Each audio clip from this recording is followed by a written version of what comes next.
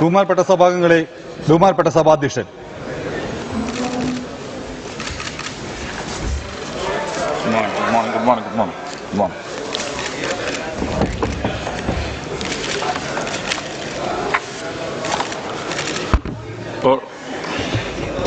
Order order ബഹുമാനപ്പെട്ട ധനകാര്യ വകുപ്പ് മന്ത്രി ശ്രീ കെ എൻ ബാലഗോപാൽ അങ്ങേക്ക് രണ്ടായിരത്തി ഇരുപത്തിരണ്ട് ഇരുപത്തിമൂന്ന് സാമ്പത്തിക വർഷത്തെ ബജറ്റിലേക്കുള്ള ഉപധനാഭ്യർത്ഥനകളുടെ അന്തിമ സ്റ്റേറ്റ്മെന്റും കേരള അടി സ്വകാര്യ നിക്ഷേപ നിധി ബോർഡിന്റെ രണ്ടായിരത്തി ഇരുപത്തിയൊന്ന് ഇരുപത്തിരണ്ട് സാമ്പത്തിക വർഷത്തെ ആനുവൽ റിപ്പോർട്ടും ഫിഡലിറ്റി സർട്ടിഫിക്കറ്റ് എന്നിവയും മേശപ്പുറത്ത് വെക്കാവുന്നതാണ്. രണ്ടായിരത്തി ഇരുപത്തിമൂന്ന് ഇരുപത്തിനാല് സാമ്പത്തിക വർഷത്തെ ബജറ്റ് അവതരിപ്പിക്കാവുന്നതുമാണ്.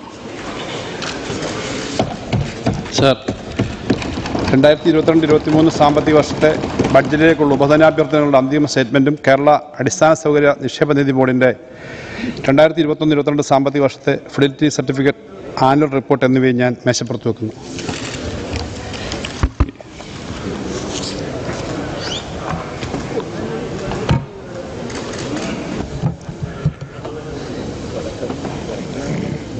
ഇല്ല ഇവിടെ വച്ചേക്കാം.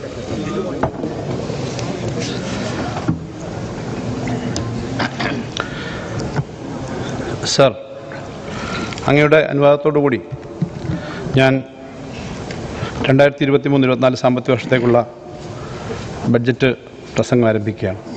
സാർ കേരളത്തെ സംബന്ധിച്ചിടത്തോളം അതിജീവനത്തിന്റെയും വീണ്ടെടുപ്പിന്റെയും വർഷമാകും വരാൻ പോകുന്നത് എന്ന ശുഭപ്രതീക്ഷ പങ്കുവച്ചുകൊണ്ടാണ് കഴിഞ്ഞ വർഷത്തെ ബജറ്റ് പ്രസംഗം ഞാൻ ആരംഭിച്ചത്. ആ പ്രതീക്ഷ യാഥാർത്ഥ്യമായി എന്ന സന്തോഷം അറിയിച്ചുകൊണ്ട് രണ്ടായിരത്തി ഇരുപത്തി മൂന്ന് ഇരുപത്തിനാല് സാമ്പത്തിക വർഷത്തേക്കുള്ള ബജറ്റ് പ്രസംഗം ആരംഭിക്കുന്നു. സർ കേരളം വളർച്ചയുടെയും അഭിവൃദ്ധിയുടെയും പാതയിലേക്ക് തിരിച്ചു വന്നിരിക്കുന്നെന്നാണ് സ്ഥിതിവിവര കണക്കുകൾ സൂചിപ്പിക്കുന്നത്. നോട്ട് നിരോധനം അശാസ്ത്രീയമായ ജി എസ് ടി നടപ്പിലാക്കൽ ഓഖി ദുരന്തം പ്രളയങ്ങൾ മഹാവ്യാധി സാമ്പത്തിക തകർച്ച യുദ്ധം വിലക്കയറ്റം തുടങ്ങി ഒന്നിന് പുറകെ മറ്റൊന്ന് എന്ന മട്ടിൽ രണ്ടായിരത്തി പതിനാറ് മുതൽ വന്ന വെല്ലുവിളികളെ ധീരമായി അഭിമുഖീകരിക്കുവാനും അതിജീവിക്കുവാനും നമുക്ക് കഴിഞ്ഞു.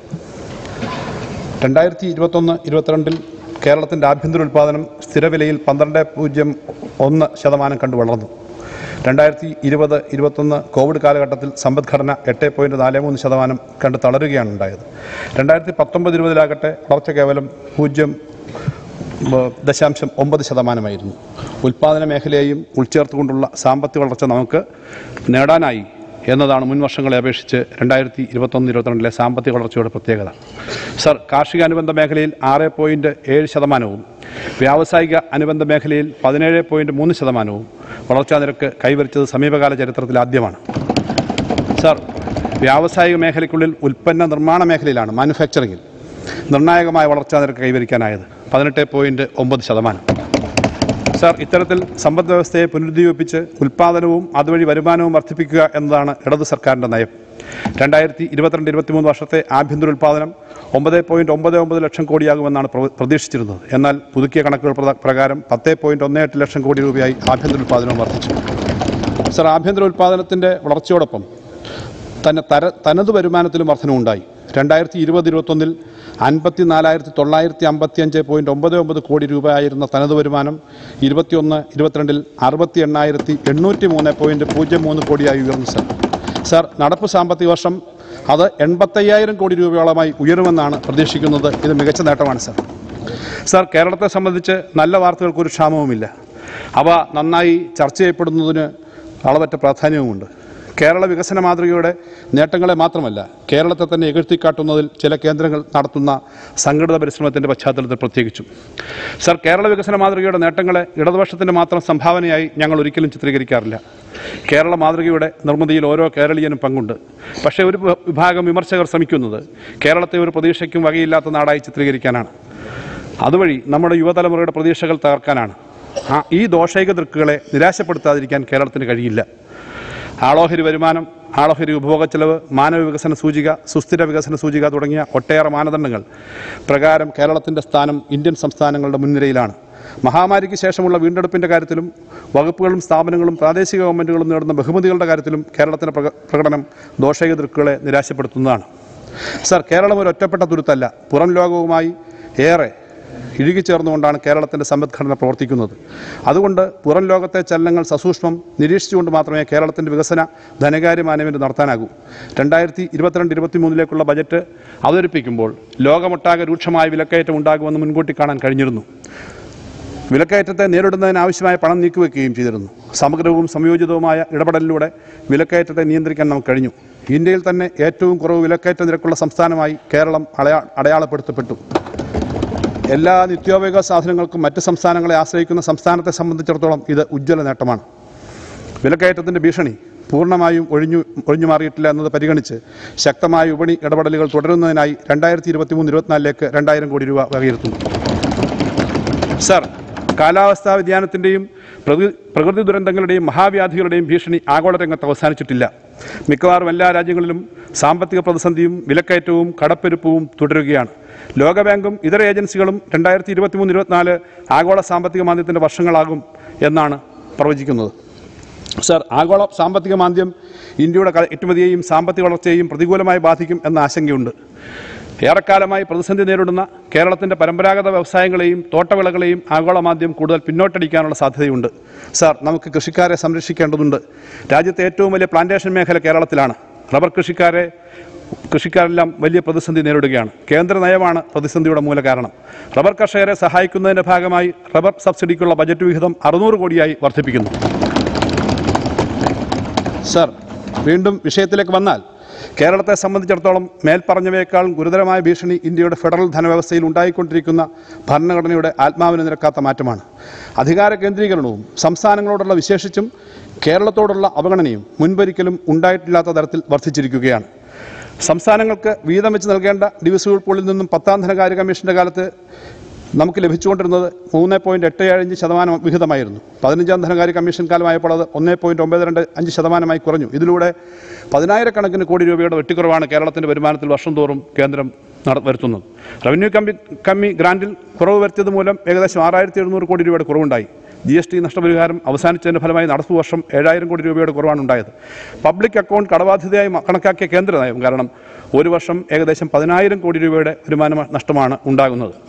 Sir KIIFB social security pension company തുടങ്ങിയ ബജറ്റിന് പുറത്ത് ധനം സമാഹരിക്കുന്ന സ്ഥാപനങ്ങളുടെ ബാധ്യതയെ സംസ്ഥാന സർക്കാരിന്റെ ബാധ്യതയായി പരിഗണിക്കുമെന്ന നിലപാടും നമ്മുടെ കടമെടുക്കാനുള്ള ശേഷിയെ പരിമിതപ്പെടുത്തുകയാണ്. ഈ വകയിലും മൂവായിരത്തി ഒരുന്നൂറ് കോടി രൂപയുടെ കുറവുണ്ടാകും. വിപണിയിൽ നിന്നുള്ള മൂവായിരത്തി ഒരുന്നൂറ് കോടി രൂപയുടെ കുറവ് ഈ വർഷം ഉണ്ടാകും വിപണിയിൽ നിന്നുള്ള കടമെടുപ്പ് പരിധിയിൽ കുറവ് വരുത്തിയത് മൂലം വിഭവ സമാഹരണത്തിൽ ഏകദേശം നാലായിരം കോടി രൂപയുടെ കുറവാണ് ഉണ്ടായത് കേന്ദ്രാവിഷ്കൃത പദ്ധതികളുടെ വീതം വയ്ക്കലും വെപ്പിലും കേരളം അവഗണിക്കപ്പെടുകയാണ്. ഈ സാഹചര്യത്തെ കേരള ജനതയോട് കൂടുതൽ ആർക്കെങ്കിലും ന്യായീകരിക്കാനാവുമോ? ഈ അവഗണനയെ ആഘോഷിക്കുന്നവർ ആരുടെ പക്ഷത്താണ് നിൽക്കുന്നത്? ഈ സാഹചര്യത്തിലും സംസ്ഥാനത്തിന്റെ പശ്ചാത്തല സൗകര്യ വികസനത്തിനും ഉൽപ്പാദന മേഖലയിലും സാമൂഹ്യ സുരക്ഷാ മേഖലയിലും ചിലവുകൾക്ക് യാതൊരു മുടക്കവും വരുത്തിയിട്ടില്ല എന്ന് മാത്രമല്ല സർക്കാർ ജീവനക്കാരുടെ ശമ്പളവും പെൻഷനും പരിഷ്കരിച്ചു എന്നതും സവിശേഷമായി ശ്രദ്ധിക്കേണ്ട സംഗതിയാണ്.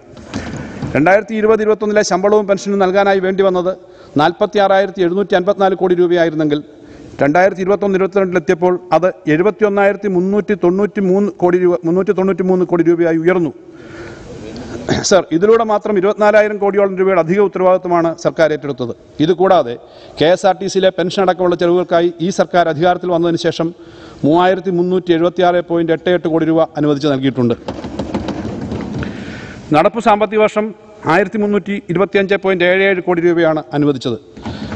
ഒരു വശത്ത് മുമ്പെങ്ങും കണ്ടിട്ടില്ലാത്തത്ര ഭീമമായ വിഭവശോഷണവും മറുവശത്ത് അധികമായി ഏറ്റെടുക്കേണ്ടി വന്ന ചെലവ് ബാധ്യതയും ഇത് രണ്ടും ചേർത്ത് വായിച്ചാണ് സർക്കാരിന്റെ ധനഞ്ഞെരുക്കത്തെ സമഗ്രമായി വിലയിരുത്തേണ്ടത്.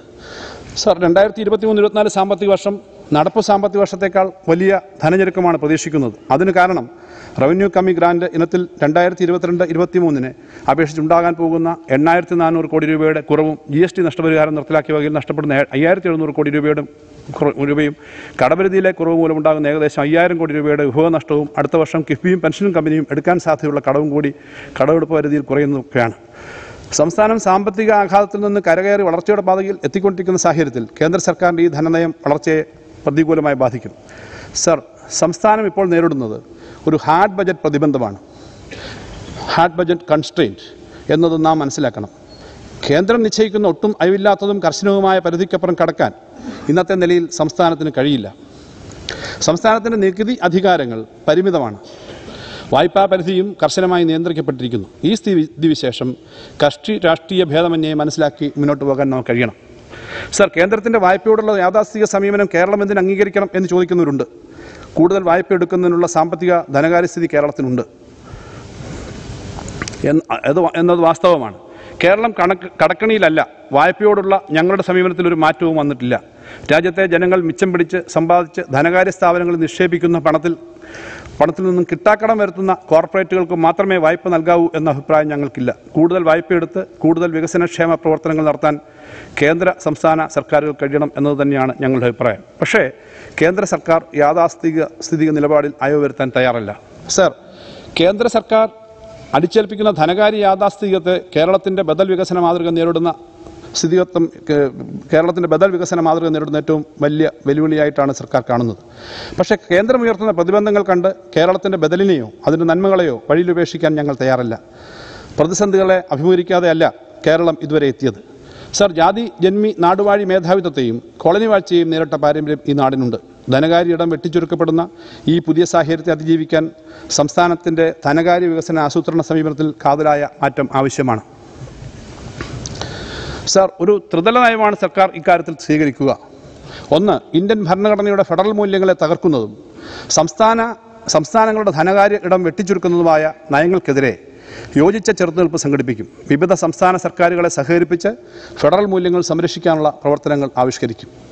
രണ്ട് നികുതി നികുതിയേതര വരുമാനം പരമാവധി വർദ്ധിപ്പിക്കുന്നതിനുള്ള നടപടികൾ സ്വീകരിക്കും. സംസ്ഥാനത്തിന്റെ ആഭ്യന്തര ഉൽപ്പാദനവും ആളോഹരി വരുമാനവും വർദ്ധിക്കുന്നുണ്ട്. എന്നാൽ അത് സംസ്ഥാന സർക്കാരിന്റെ വരുമാനത്തിൽ പൂർണമായും പ്രതിഫലിക്കുന്നില്ല. സർ ഇത് ഇത് കാരണം ഇതിന് കാരണം സംസ്ഥാനത്തിന്റെ നികുതി അധികാരം പരിമിതമായതാണ്. സമ്പത്തുള്ളവരിൽ നിന്നും നികുതി പിരിക്കാനുള്ള അധികാരം കേന്ദ്രത്തിൽ നിക്ഷിപ്തമാണ്. നികുതി നികുതിയേതര വരുമാനം ശേഖരിക്കാനുള്ള സംസ്ഥാനത്തിന്റെ പരിമിതമായ അധികാരം പരമാവധി കാര്യക്ഷമമായി ഉപയോഗിക്കും. നികുതി ഭരണം കാര്യക്ഷമമാക്കുന്നതിന്റെ ഭാഗമായി സംസ്ഥാന ജി എസ് ടി വകുപ്പിനെ സമഗ്രമായി പുനഃസംഘടിപ്പിച്ചു. രാജ്യത്ത് നികുതി വകുപ്പിനെ ശാസ്ത്രീയമായി പുനഃസംഘടിപ്പിച്ച ആദ്യ സംസ്ഥാനമാണ് കേരളം. നികുതി ഭരണത്തിൽ ജനങ്ങളുടെ പങ്കാളിത്തവും ജാഗ്രതയും പരമാവധി പരമാവധിയാക്കുന്നതിന് സർക്കാർ ശ്രമിക്കും. നികുതി നിർദ്ദേശങ്ങളിലേക്ക് പിന്നീട് വരാം. സർ മൂന്നാമതായി ഹാർഡ് ബജറ്റ് പ്രതിബന്ധത്തിന്റെ പ്രശ്നത്തെ നേരിടാൻ സ്വീകരിക്കുന്ന മാർഗം വിഭവങ്ങളുടെ ഏറ്റവും കാര്യക്ഷമമായ ഉപയോഗം ഉപഭോഗ ഉപയോഗം ഉറപ്പാക്കുക എന്നതാണ്. ജനസംഖ്യാനുപാതികമായി നോക്കുമ്പോൾ വളരെ സുസജ്ജമായ ഭരണ സംവിധാനമാണ് കേരളത്തിലുള്ളത്. ജീവനക്കാരുടെ എണ്ണം ഓഫീസ് സൗകര്യങ്ങൾ വാഹനങ്ങളുടെ ലഭ്യത മറ്റു പശ്ചാത്തല സൗകര്യങ്ങൾ തുടങ്ങിയവയിലെല്ലാം സംസ്ഥാനത്തിന്റെ സ്ഥിതി മെച്ചപ്പെട്ടതാണ്. ബൃഹത്തായി സംവിധാനത്തിന്റെ കാര്യക്ഷമതയും ഉൽപ്പാദനക്ഷമതയും വർദ്ധിപ്പിച്ചുകൊണ്ട് കൂടുതൽ വികസനക്ഷേമ പ്രവർത്തനങ്ങൾ നടത്തുക എന്നത് എന്ന വെല്ലുവിളി ഏറ്റെടുക്കുകയും ഭരണ സംവിധാനത്തെ വിജ്ഞാന സമൂഹത്തിന് ചേർന്ന വിധത്തിൽ പുനഃസംഘടിപ്പിക്കുകയും ചെയ്യും. വിവര സാങ്കേതിക വിദ്യയുടെ ഉപയോഗം ഭരണ സംവിധാനത്തിന്റെ കാര്യക്ഷമത വർദ്ധിപ്പിക്കുന്നതിന്റെ നിരവധി ഉദാഹരണങ്ങൾ കേരളത്തിലുണ്ട്. സർക്കാർ സേവനങ്ങൾ ഓൺലൈനായി ലഭ്യമാക്കുന്ന തരത്തിലുള്ള പരിഷ്കാരങ്ങൾ വ്യാപകമാക്കും. സർവകലാശാലകൾ ഗവേഷണ സ്ഥാപനങ്ങൾ തുടങ്ങി വിജ്ഞാനോൽപാദനത്തിൽ ഏർപ്പെ- ഏർപ്പെട്ടിട്ടുള്ള സ്ഥാപനങ്ങളുടെ സഹകരണം ഇക്കാര്യത്തിൽ ഉറപ്പാക്കും. സർ ബജറ്റിൽ സർക്കാർ ചെലവായി കണക്കാക്കിയിരിക്കുന്ന അടങ്കൽ തുകയുടെ വിനിയോഗത്തിലെ കാര്യക്ഷമത കേവലം അഞ്ച് ശതമാനം കണ്ട് ഉയർത്താൻ കഴിഞ്ഞാൽ തന്നെ അതുണ്ടാക്കുന്ന നേട്ടം പലമടങ്ങായിരിക്കും. വിഭവ പരിമിതി നേരിടുന്ന സന്ദർഭത്തിലാണ് ഇത്തരത്തിൽ കാര്യക്ഷമത വർദ്ധിപ്പിക്കാൻ നാം പരിശ്രമിക്കേണ്ടത്. ഇതിലേക്കായി മൂന്ന് പ്രധാന പ്രഖ്യാപനങ്ങൾ നടത്തുകയാണ്. ഒന്ന് ഭരണത്തിലെ കാര്യക്ഷമത വർദ്ധിപ്പിക്കുന്നതിന് സർക്കാർ ഏജൻസികൾ തമ്മിൽ ആരോഗ്യകരമായ മത്സരം നടക്കേണ്ടതുണ്ട്. ലഭ്യമായ ബജറ്റ് വിലയിരുത്തലിൽ നിന്നുകൊണ്ട് കൂടുതൽ ക്ഷേമ വികസന പ്രവർത്തനങ്ങൾ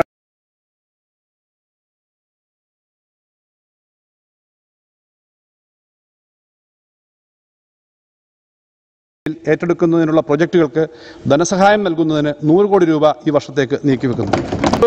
സഹായം അനുവദിക്കും. സർ രണ്ടാമത് പദ്ധതി ചെലവ് വിലയിരുത്തുന്നതിനായി വളരെ വിജയകരമായി ഉപയോഗിച്ചു വരുന്ന പ്ലാനിന്റെ പുതിയ എഡിഷനിൽ സർക്കാർ വകുപ്പുകളുടെയും സ്ഥാപനങ്ങളുടെയും കാര്യക്ഷമത ഉൽപ്പാദനക്ഷമത കൂടി താരതമ്യം ചെയ്യുന്നതിനുള്ള സംവിധാനം ഉണ്ടാകും. സർക്കാർ ചെലവാക്കുന്ന പണത്തിന് ആനുപാതികമായ പ്രയോജനം ഉണ്ടാകുന്നുണ്ട് എന്ന് ഉറപ്പാക്കുകയാണ് ലക്ഷ്യം. സർക്കാർ ഏജൻസികളുടെ കാര്യക്ഷമത താരതമ്യം ചെയ്യുന്ന ഇന്ത്യയിലെ ആദ്യത്തെ ഉദ്യമമായിരിക്കും ഇത്. പ്ലാൻ സ്പേസിന്റെ അധിക ചെലവിലേക്ക് ഒരു കോടി രൂപ വകയിരുത്തുന്നു.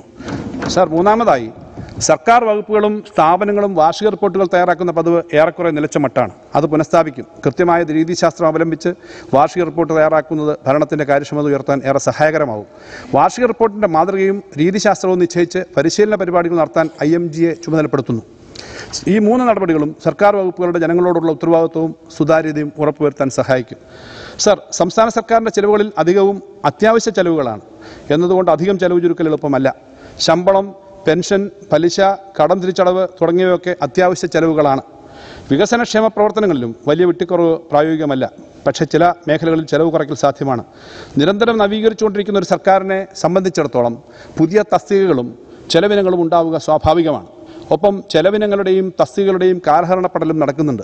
തസ്തികകളുടെ പുനർവിന്യാസം കാലഹരണപ്പെട്ട ചെലവിനങ്ങൾ സ്വമേധയാ ഒഴിവാക്കാൻ മുൻകൈയെടുക്കുന്ന സ്ഥാപനങ്ങൾക്ക് പുതിയ വാക്തലുകളിൽ പ്രത്യേക പരിഗണന വരും വർഷങ്ങളിൽ നൽകും. സർ വിഭവപരിമിതിയെ മറികടക്കുന്നതിനുള്ള ഏറ്റവും സ്വീകാര്യമായ ഒരു മാർഗം യോഗത്തിന്റെ കാര്യക്ഷമത വർദ്ധിപ്പിക്കുകയാണ്. ഇത് സർക്കാരിൽ മാത്രമല്ല സമ്പദ്ഘടനയിൽ മൊത്തത്തിൽ സംഭവിക്കുന്ന കാര്യമാണ്. അതിനുള്ള വഴി സാമ്പത്തിക പ്രവർത്തനങ്ങളുടെ അറിവുള്ളടക്കം വർദ്ധിപ്പിക്കുകയാണ്. കേരളത്തെ വിജ്ഞാന സമൂഹമായി മാറ്റുക എന്ന ഇടതുപക്ഷ ജനാധിപത്യ മുന്നണി സർക്കാരിന്റെ നയം മേൽപ്പറഞ്ഞ കാട കാഴ്ചപ്പാടിൽ അധിഷ്ഠിതമാണ്. വിജ്ഞാന സമൂഹം എന്ന ലക്ഷ്യം മുൻനിർത്തി രണ്ടായിരത്തി ഇരുപത്തി മൂന്ന് ഇരുപത്തിനാലിലേക്കുള്ള ബജറ്റിൽ നവീനമായ ഒരു ചുവടുവയ്പ് കൂടി നടത്തുകയാണ്. ഈ വർഷത്തെ ബജറ്റിനോടൊപ്പം ഒരു ആർ ആൻഡ് ഡി ബജറ്റ് കൂടി അവതരിപ്പിക്കുകയാണ്. പുതിയതും പഴയതുമായ വിജ്ഞാനത്തെ സാമ്പത്തിക പ്രവർത്തനങ്ങളിൽ ഉൾച്ചേർത്തുകൊണ്ടാണ് സാമ്പത്തിക വളർച്ച കൈവരിക്കുന്നത്. ഉൽപ്പാദന മേഖലയിൽ വിജ്ഞാനത്തിന്റെ ഉപയോഗം ഉറപ്പാക്കുന്നതിൽ ആർ വലിയ പങ്കുണ്ട്. ഇത് മനസ്സിലാക്കിക്കൊണ്ടാണ് ആർ ബജറ്റ് തയ്യാറാക്കുന്നത്. സാർ ഈ കാലഘട്ടത്തിലെ സവിശേഷത ഉൾക്കൊണ്ടുകൊണ്ട് കേരളത്തെ കൂടുതൽ ശക്തമായി മുന്നോട്ട് നയിക്കാനുള്ള ഉത്തരവാദിത്വമാണ് എൽ ഡി എഫ് സർക്കാർ ഏറ്റെടുത്തിട്ടുള്ളത്. ജനങ്ങളുടെ ജീവിത നിലവാരം കൂടുതൽ മെച്ചപ്പെടുത്താനും സുസ്ഥിരവും ആധുനികവുമായ ഒരു നവകേരളം സൃഷ്ടിക്കാനുമുള്ള ഇടതുമുന്നണിയുടെ കാഴ്ചപ്പാടിൽ ഊന്നിക്കൊണ്ടാണ് ബജറ്റ് തയ്യാറാക്കപ്പെട്ടിട്ടുള്ളത്. അതിനനുയോജ്യമായ നിർദ്ദേശങ്ങളും ആശയങ്ങളും അവതരിപ്പിക്കാനും നടപ്പിൽ വരുത്താനുമാണ് ഈ ബജറ്റിലൂടെ ലക്ഷ്യം വെക്കുന്നത്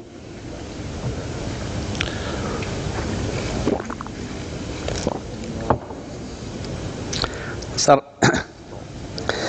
കേരള വികസന അനുഭവം ലോകം ശ്രദ്ധയോടെ വീക്ഷിക്കുന്ന ഒരു മാതൃകയാണ്. ജീവിത നിലവാരത്തിലും മാനവ വികസന സൂചികകളും വികസിത രാജ്യങ്ങളോടൊപ്പമാണ് കേരളത്തിന്റെ സ്ഥാനം. സുസ്ഥിരവും സമഗ്രവുമായ ഒരു വികസന രീതി പതിറ്റാണ്ടുകളായി കേരളത്തിനുണ്ട്. രാജ്യത്തെ ശരാശരി ആളോഹരി വരുമാനത്തിന്റെ ഒന്നര മടങ്ങിലധികമാണ് ഇപ്പോൾ കേരളത്തിന്റെ ആളോഹരി വരുമാനം. സാർ കേരളീയ സമൂഹം അഭിമുഖീകരിക്കുന്ന പ്രധാനപ്പെട്ട പ്രശ്നങ്ങളിലൊന്ന് ജനസംഖ്യാ ഘടനയിൽ വന്നുകൊണ്ടിരിക്കുന്ന മാറ്റമാണ്. രണ്ടായിരത്തി ഇരുപത്തിയൊന്നിലെ കണക്കുകൾ പ്രകാരം ജനസംഖ്യയുടെ പതിനാറ് പോയിന്റ് അഞ്ച് ശതമാനം അവർ അറുപത് വയസ്സ് കഴിഞ്ഞും അറുപത് വയസ്സ് പിന്നിട്ടവരാണ്. രണ്ടായിരത്തി മുപ്പത്തിയൊന്നോടുകൂടി ഇത് ഇരുപത് ശതമാനം കവിയെന്ന് പ്രതീക്ഷിക്കപ്പെടുന്നു. അതേസമയം സംസ്ഥാനത്തെ ജനന നിരക്ക് കുറയുകയാണ്. ആയിരത്തി തൊള്ളായിരത്തി എൺപതുകളിലും തൊണ്ണൂറുകളിലും ശരാശരി ആറ് പോയിന്റ് അഞ്ച് ലക്ഷവും അഞ്ച് പോയിന്റ് മൂന്ന് ലക്ഷവും കുട്ടികൾ ഒരു ഓരോ വർഷവും ജനിച്ചിരുന്നുവെങ്കിൽ രണ്ടായിരത്തി ഇരുപത്തിയൊന്നിൽ അത് നാല് പോയിന്റ് ആറ് ലക്ഷം മാത്രമാണ്. രണ്ടായിരത്തി മുപ്പത്തൊന്നോടുകൂടി ജനന നിരക്ക് മൂന്ന് പോയിന്റ് ആറ് ലക്ഷത്തിലേക്ക് താഴും എന്നാണ് ജനസംഖ്യാ ശാസ്ത്രജ്ഞന്മാരുടെ കണക്കുകൂട്ടൽ. അതായത് സമൂഹത്തിലെ പുതിയ തലമുറയും മുതിർന്ന പൗരന്മാരും തൊഴിൽ സേനയും തമ്മിലുള്ള അനുപാതത്തിൽ ഘടനാപരമായ മാറ്റം സംഭവിക്കും. പൊട്ടൻഷ്യൽ സപ്പോർട്ട് റേഷ്യോ നാല് പോയിന്റ് അഞ്ചിൽ നിന്ന് മൂന്ന് പോയിന്റ് നാലിലേക്കും രണ്ട് പോയിന്റ് മൂന്നിലേക്കും കുറയാം. സർ ആശ്രിത ജനസംഖ്യാനുപാതം ഏറ്റവും കൂടുതലുള്ള സംസ്ഥാനമായി കേരളം മാറിയേക്കാം. ഈ സ്ഥിതിവിശേഷത്തെക്കുറിച്ച് ശാസ്ത്രീയമായി പഠിക്കാനും ഭാവിയെ മുന്നിൽ കണ്ട് നൈരൂപീകരണം സാധ്യമാക്കാനുമുള്ള നടപടികൾ സ്വീകരിക്കും.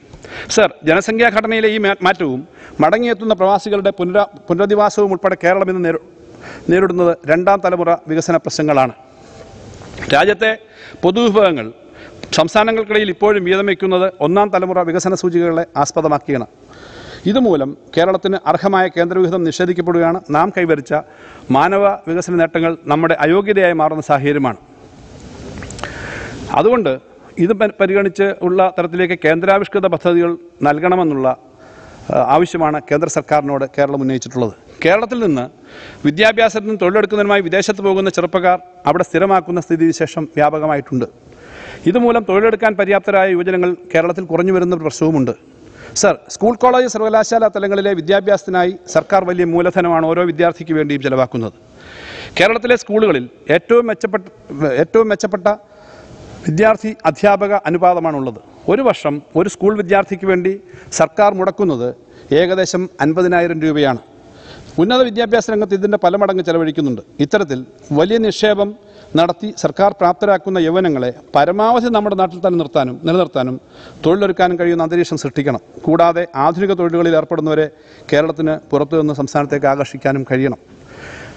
സർ അതിശൈത്യ ശൈത്യവും അത്യുഷ്ണവും എല്ലാമുള്ള പല വിദേശ രാജ്യങ്ങളിൽ നിന്നും വ്യത്യസ്തമായി വർഷം മുഴുവൻ സമതുലിതമായ കാലാവസ്ഥയാണ് കേരളത്തിനുള്ളത്. മെച്ചപ്പെട്ട തൊഴിലവസരങ്ങളും ജീവിത സൗകര്യങ്ങളും ലഭ്യമാക്കിയാൽ മലയാളികൾ ജീവിക്കാൻ തിരഞ്ഞെടുക്കുക നമ്മുടെ നാട് തന്നെയാവും. യുവതലമുറയെ കേരളത്തിൽ തന്നെ നിലനിർത്താനും അവർക്ക് ആധുനികവും അനുയോജ്യവുമായ തൊഴിലവസരങ്ങൾ നൽകാനും അടിസ്ഥാന സൗകര്യങ്ങൾ ഒരുക്കാനും വേണ്ട നടപടികൾ ത്വരിതപ്പെടുത്തേണ്ടതുണ്ട്. നവകേരളം ലക്ഷ്യം വെക്കുന്നത് ഇത്തരം മുൻഗണനകളാണ്. സർ വിജ്ഞാനത്തെ ഉൽപ്പാദനവുമായി ബന്ധിപ്പിക്കാനും അതുവഴി സംസ്ഥാനത്തിന്റെ വരുമാനം വർദ്ധിപ്പിക്കാനുമുള്ള നിരവധി പദ്ധതികളാണ് കഴിഞ്ഞ ബജറ്റിൽ ഉണ്ടായിരുന്നത്. ശാസ്ത്ര സാങ്കേതിക രംഗത്തെ ഏറ്റവും പുതിയ മാറ്റങ്ങൾ ഉൾക്കൊള്ളുന്ന നിരവധി സുപ്രധാന പദ്ധതികൾക്ക് തുടക്കം കുറിക്കാൻ നമുക്ക് കഴിഞ്ഞു. സർ ഗ്രഫീൻ സംബന്ധിച്ച് ഗവേഷണ പരീക്ഷണങ്ങൾ നടത്തുന്നതിനായി സ്ഥാപിച്ച ഇന്ത്യ ഇന്നൊവേഷൻ സെന്റർ ഫോർ ഗ്രഫീന്റെ പ്രവർത്തനങ്ങൾ പുരോഗമിക്കുകയാണ്. രണ്ടായിരത്തി ഇരുപത്തി മൂന്ന് സെപ്റ്റംബറോടുകൂടി സെന്ററിന്റെ പ്രവർത്തനങ്ങൾ ആരംഭിക്കാൻ കഴിയും. കേരള ഡിജിറ്റൽ ഡിജിറ്റൽ യൂണിവേഴ്സിറ്റിയെയും സിമെറ്റിനെയും നിർവഹണ ഏജൻസികളും ടാറ്റ സ്റ്റീൽ ലിമിറ്റഡിനെ വ്യാവസായിക പങ്കാളിയുമാക്കി കേരള സർക്കാരിന്റെയും കേന്ദ്ര സർക്കാരിന്റെയും സംയുക്താഭിമുഖ്യത്തിൽ ആണ് ഈ സ്ഥാപനം പ്രവർത്തിക്കുന്നത്. ഗ്രഫീൻ എക്കോസിസ്റ്റവുമായി ബന്ധപ്പെട്ട ഗവേഷണ വികസന പ്രവർത്തനങ്ങൾക്കായി Manchester University Oxford University Siegen University Germany തുടങ്ങിയ സ്ഥാപനങ്ങളുമായി Kerala Digital University M O ഒപ്പിട്ടു. എൺപത്തിയാറ് നാല് ഒന്ന് കോടി രൂപ ചെലവ് വരുന്ന പദ്ധതിക്ക് ഭരണാനുമതി നൽകിയിട്ടുണ്ട്. ഈ വർഷം പദ്ധതി വിഹിതമായ ആറ് കോടി ഉൾപ്പെടെ പത്ത് കോടി രൂപ കൂടി സെന്ററിന്റെ പ്രവർത്തനങ്ങൾക്കായി വകയിരുത്തുന്നു. സർ കഴിഞ്ഞ ബജറ്റിൽ ആയിരം കോടി രൂപ ചെലവിൽ മൂന്ന് സയൻസ് പാർക്കുകളും ഒരു ഡിജിറ്റൽ സയൻസ് പാർക്കും സ്ഥാപിക്കുമെന്ന് പ്രഖ്യാപിച്ചിരുന്നു. അതുമായി ബന്ധപ്പെട്ട പ്രവർത്തനങ്ങളുടെ നിർവഹണ ഏജൻസിയായി കേരള ഡിജിറ്റൽ യൂണിവേഴ്സിറ്റിയെ ചുമതലപ്പെടുത്തിയിരുന്നു. ഡിജിറ്റൽ സയൻസ് പാർക്കിനായി തിരുവനന്തപുരം ടെക്നോ പാർക്ക് ഫേസ് ഫോറിൽ പതിമൂന്ന് പോയിന്റ് ആറ് അഞ്ച് ഏക്കർ സ്ഥലം കണ്ടെത്തുകയുണ്ടായി. കെട്ടിട നിർമ്മാണം പൂർത്തിയാകുന്നവരെ ഡിജിറ്റൽ സയൻസ് പാർക്ക് പ്രവർത്തിക്കുന്നതിനായി ടെക്നോ പാർക്ക് ക്യാമ്പസിൽ തന്നെ പതിനായിരം ചതുരശ്രാടി സ്ഥലം കണ്ടെത്തിയിട്ടുണ്ട്. രണ്ടായിരത്തി മെയ് മാസത്തോടെ ഡിജിറ്റൽ സയൻസ് പാർക്ക് പ്രവർത്തനം ആരംഭിക്കും. Edinburgh യൂണിവേഴ്സിറ്റിയുമായി digital park digital science park park സ്ഥാപിക്കുന്നതിനായി digital university M O U ഒപ്പുവെച്ചിട്ടുണ്ട്. Sir വ്യവസായ പാർക്കുകൾ അഗ്രി പാർക്കുകൾ വർക്ക് നിയർ ഹോം പദ്ധതികൾ തുടങ്ങിയവ ആരംഭിക്കാനുള്ള നടപടിക്രമങ്ങൾ പുരോഗമിക്കുകയാണ്. സ്വകാര്യ മൂലധനം ഉപയോഗിക്കുന്ന വ്യവസായ പാർക്കുകളും താമസിയാതെ ആരംഭിക്കും. ഐ ടി രംഗത്ത് കൂടുതൽ പദ്ധതികൾ നടപ്പിൽ വരികയാണ്. പുതിയ പാർക്കുകൾക്കുള്ള സ്ഥലം കണ്ടെത്തുന്നതിനുള്ള പ്രവർത്തനങ്ങളും നടന്നു വരികയാണ്. സർ കണ്ണൂർ ഐ ടി പാർക്കിന്റെ നിർമ്മാണം ഈ വർഷം തന്നെ ആരംഭിക്കാൻ കഴിയും. സർ കേരളത്തിന്റെ ന്യൂ കേരള ന്യൂട്രാസ്യൂട്ടിക്കൽസ് രംഗത്ത് ഒരു മികവിന്റെ കേന്ദ്രം സ്ഥാപിക്കുന്നതിനുള്ള പ്രഖ്യാപനം കഴിഞ്ഞ ബജറ്റിൽ നടത്തിയിരുന്നു. അതുമായി ബന്ധപ്പെട്ട് പ്രൊജക്ട് റിപ്പോർട്ട് തയ്യാറാക്കാൻ ഉള്ള പണം അനുവദിച്ചിരുന്നു. അതിന്റെ പ്രൊജക്റ്റായിട്ടുണ്ട് തിരുവനന്തപുരത്തെ ബയോ മുന്നൂറ്റി അറുപത് ലൈഫ് സയൻസ് പാർക്കിൽ കോർ സെന്റർ ഓഫ് എക്സലൻസും ന്യൂട്ര എന്റർപ്രൈസസ് ഡിവിഷനും ചേർന്ന് സ്ഥാപിക്കുന്നതിനുള്ള പദ്ധതിയുടെ ആദ്യഘട്ടത്തിനായിട്ട് അഞ്ച് കോടി രൂപ വകയിരുത്തുന്നു. സർ കഴിഞ്ഞ ബജറ്റിൽ പ്രഖ്യാപിച്ച മൈക്രോബയോ മികവിന്റെ കേന്ദ്രം ആ പദ്ധതിയുടെ project report പൂർത്തിയായിട്ടുണ്ട്. Kerala State Council for Science Technology and എൻവയോൺമെന്റിന്റെ നേതൃത്വത്തിൽ രാജീവ് ഗാന്ധി സെന്റർ ഫോർ ബയോടെക്നോളജിയുടെ പിന്തുണയോടെയും പങ്കാളിത്തത്തോടെയും കൂടി തിരുവനന്തപുരത്ത് തോന്നക്കൽ ലൈഫ് സയൻസ് പാർക്കിൽ കേന്ദ്രം നിലവിൽ വരും. ഇതിനായി പത്ത് കോടി രൂപ അനുവദിക്കുന്നു. സർ സംസ്ഥാനത്തിന്റെ ആഭ്യന്തര ഉൽപ്പാദനവും വ്യവസായ കാർഷിക മേഖലകളും മെച്ചപ്പെടുത്താനുള്ള ക്രിയാത്മകമായ നടപടികളാണ് സർക്കാർ സ്വീകരിക്കുന്നത്. ആ ദിശയിൽ മുന്നേറാനുള്ള മുന്നേറാനാണ് പുതിയ പദ്ധതികളിലൂടെ ശ്രമിക്കുന്നത്. Sir make in Kerala. Sir കേരളത്തിന്റെ ആഭ്യന്തര ഉൽപ്പാദനവും തൊഴിൽ സംരംഭ നിക്ഷേപ അവസരങ്ങളും വർദ്ധിപ്പിക്കാൻ സൗക സർവ സൗകര്യങ്ങളും ഒരുക്കി ബൃഹത്തായ ഒരു മേക്ക് ഇൻ കേരള പദ്ധതി വികസിപ്പിക്കും. മേക്ക് ഇൻ കേരളയുമായി ബന്ധപ്പെട്ട് വിശദമായ ഒരു പഠനം സെന്റർ ഫോർ ഡെവലപ്മെന്റ് സ്റ്റഡീസ് നടത്തിയിരുന്നു. റിപ്പോർട്ട് പ്രകാരം രണ്ടായിരത്തി ഇരുപത്തൊന്ന് ഇരുപത്തിരണ്ടിൽ കേരളത്തിലേക്ക് ഏകദേശം ഒരു ലക്ഷത്തി ഇരുപത്തി എണ്ണായിരം രൂപയുടെ ഉൽപ്പന്നങ്ങളാണ് ഇറക്കുമതി ചെയ്തത്. ഇതിൽ തൊണ്ണൂറ്റിരണ്ട് ശതമാനവും ഇതര സംസ്ഥാനങ്ങളിൽ നിന്നുമാണ്. ഇക്കാലയളവിൽ സംസ്ഥാനത്തിന്റെ കയറ്റുമതി ഏകദേശം എഴുപത്തിനാലായിരം കോടി രൂപയുടേതായിരുന്നു. ഇതിൽ നിന്നും എഴുപത് ശതമാനം ഇതര സംസ്ഥാനങ്ങളിലേക്കായിരുന്നു. കേരളത്തിന്റെ വ്യാപാര കമ്മി കമ്മി വളരെ ഉയർന്നതാണെന്ന് ഇതിൽ നിന്ന് വ്യക്തമാകുന്നുണ്ട്. ഈ സാഹചര്യത്തിൽ ഇറക്കുമതി ചെയ്യുന്ന ഉൽപ്പന്നങ്ങളിൽ തദ്ദേശീയമായി ഉൽപ്പ ഉൽപ്പാദിപ്പിക്കാൻ സാധ്യതയുള്ളവയെ കണ്ടെത്തുക ആണ് പഠനത്തിന്റെ ഒരു ലക്ഷ്യം. ഉൽപ്പാദനക്ഷമത കൂലിച്ചെലവ് ലാഭം തുടങ്ങിയവ വിശകലനം ചെയ്ത് കേരളത്തിൽ ഉൽപ്പാദിപ്പിക്കാൻ സാധ്യതയുള്ള ഉൽപ്പന്നങ്ങൾ കണ്ടെത്താനും ഉൽപ്പാദനത്തിന് പിന്തുണ നൽകാനുമുള്ള നടപടികൾ സ്വീകരിച്ചു വരുന്നു. പദ്ധതിയുടെ രൂപീകരണത്തിൽ ബന്ധപ്പെട്ട സംരംഭക ഗ്രൂപ്പുകളെയും ശാസ്ത്ര സാങ്കേതിക ഗവേഷണ സ്ഥാപനങ്ങളെയും പങ്കാളിത്തം ഉറപ്പാക്കുന്നുണ്ട്. ഇതുമായി ബന്ധപ്പെട്ട് വ്യവസായ വകുപ്പും ഇതര വകുപ്പുകളും ചേർന്ന് വിപുലമായ പ്രായോഗിക പദ്ധതി രൂപീകരിക്കും. കേരളത്തിലെ കാർഷിക മൂല്യവർദ്ധിത ഉൽപ്പന്നങ്ങൾ ഉണ്ടാക്കുന്ന കാർഷിക സ്റ്റാർട്ടപ്പുകൾക്കും മേക്ക് ഇൻ കേരളയിലൂടെ പിന്തുണ നൽകും. സംരംഭങ്ങൾക്ക് മൂലധനം കണ്ടെത്താൻ പലിശകൾ ഉൾപ്പെടെയുള്ള സഹായം നൽകും. മേക്ക് ഇൻ കേരള പദ്ധതിയുമായി മുന്നോട്ട് പോകാൻ വലിയ ആത്മവിശ്വാസം നൽകുന്ന ഒട്ടേറെ ഘടകങ്ങൾ സംസ്ഥാനത്തിനുണ്ട്. ഇതിൽ ഏറ്റവും പ്രധാനപ്പെട്ടത് ഉൽപ്പന്ന നിർമ്മാണ രംഗത്തുണ്ടായിക്കൊണ്ടിരിക്കുന്ന പുതിയ ഉണർവാണ്. കേരളത്തിലെ വ്യവസായ അന്തരീക്ഷത്തെക്കുറിച്ച് സംശയമുള്ളവർ ആഗോള പ്രശസ്തനായ പ്രശസ്തമായ ബ്ലഡ് ബാങ്ക് നിർമ്മാണ കമ്പനിയായ ടെർമോ പെൻബോളിന്റെ സ്ഥാപകനും മുൻ ഐ എസ് ഉദ്യോഗസ്ഥനുമായ ശ്രീ സി ബാലഗോപാൽ അടുത്തിടത്ത് അടുത്തിടെ പ്രസിദ്ധീകരിച്ച ബിലോ ദ റഡാർ എന്ന പുസ്തകം വായിക്കണം. കേരളം വ്യവസായ നിക്ഷേപത്തിന് യോജിച്ച സംസ്ഥാനമല്ല എന്ന വാദം തെറ്റാണെന്ന് തെളിയിക്കുകയാണ് പുസ്തകത്തിലൂടെ അദ്ദേഹം. കഴിഞ്ഞ ഇരുപത് വർഷത്തിനിടയ്ക്ക് കേരളത്തിൽ ആരംഭിക്കുകയും വലിയ വിജയം കൈവരിക്കുകയും ചെയ്ത അൻപത് കമ്പനികളുടെ അനുഭവം അദ്ദേഹം വിവരിക്കുന്നുണ്ട്. വ്യവസായ സമൂഹം തരുന്ന ഈ സാക്ഷ്യത്തോടൊപ്പം വേണം സ്റ്റാർട്ടപ്പ് മിഷൻ നേടിയെടുത്ത ദേശീയ അന്തർദേശീയ അംഗീകാരത്തെ കാണാൻ അതുപോലെ ആവേശകരമാണ് വ്യവസായ വകുപ്പിന്റെ നേതൃത്വത്തിൽ സംഘടിപ്പിച്ച സംരംഭക വർഷത്തിന്റെ വിജയം. സർ വ്യവസായ വകുപ്പ് ഏറ്റെടുത്ത സംരംഭക വർഷം പദ്ധതി സ്റ്റാർട്ടപ്പ് മിഷന്റെ പ്രവർത്തനങ്ങൾ എന്നിവയോട് കേരളത്തിലെ യുവ സംരംഭക സമൂഹം നടത്തുന്ന ആവേശകരമായ പ്രതികരണമാണ് മേക്ക് ഇൻ കേരള പോലെയുള്ള ഒരു ബൃഹത് പദ്ധതി ഏറ്റെടുക്കാൻ സർക്കാരിന് ആത്മവിശ്വാസം നൽകുന്നത്. മേക്ക് ഇൻ കേരളയ്ക്കായി പദ്ധതി കാലയളവിൽ ആയിരം കോടി രൂപ അധികമായി അനുവദിക്കും. ഈ വർഷം നൂറ് കോടി രൂപ മേക്ക് ഇൻ കേരളയ്ക്കായി മാറ്റിവെക്കുന്നു. സർ മിഷൻ ആയിരം. രണ്ടായിരത്തി ഇരുപത്തിരണ്ട് ഇരുപത്തിമൂന്ന് സംരംഭ വർഷം പദ്ധതി മികച്ച രീതിയിൽ നടപ്പാക്കിയിട്ടുണ്ട്. കഴിഞ്ഞ ഒരു വർഷത്തിനിടയിൽ ഒരു ലക്ഷത്തിലധികം സംരംഭങ്ങളാണ് സംസ്ഥാനത്ത് പുതുതായി തുടങ്ങിയത്.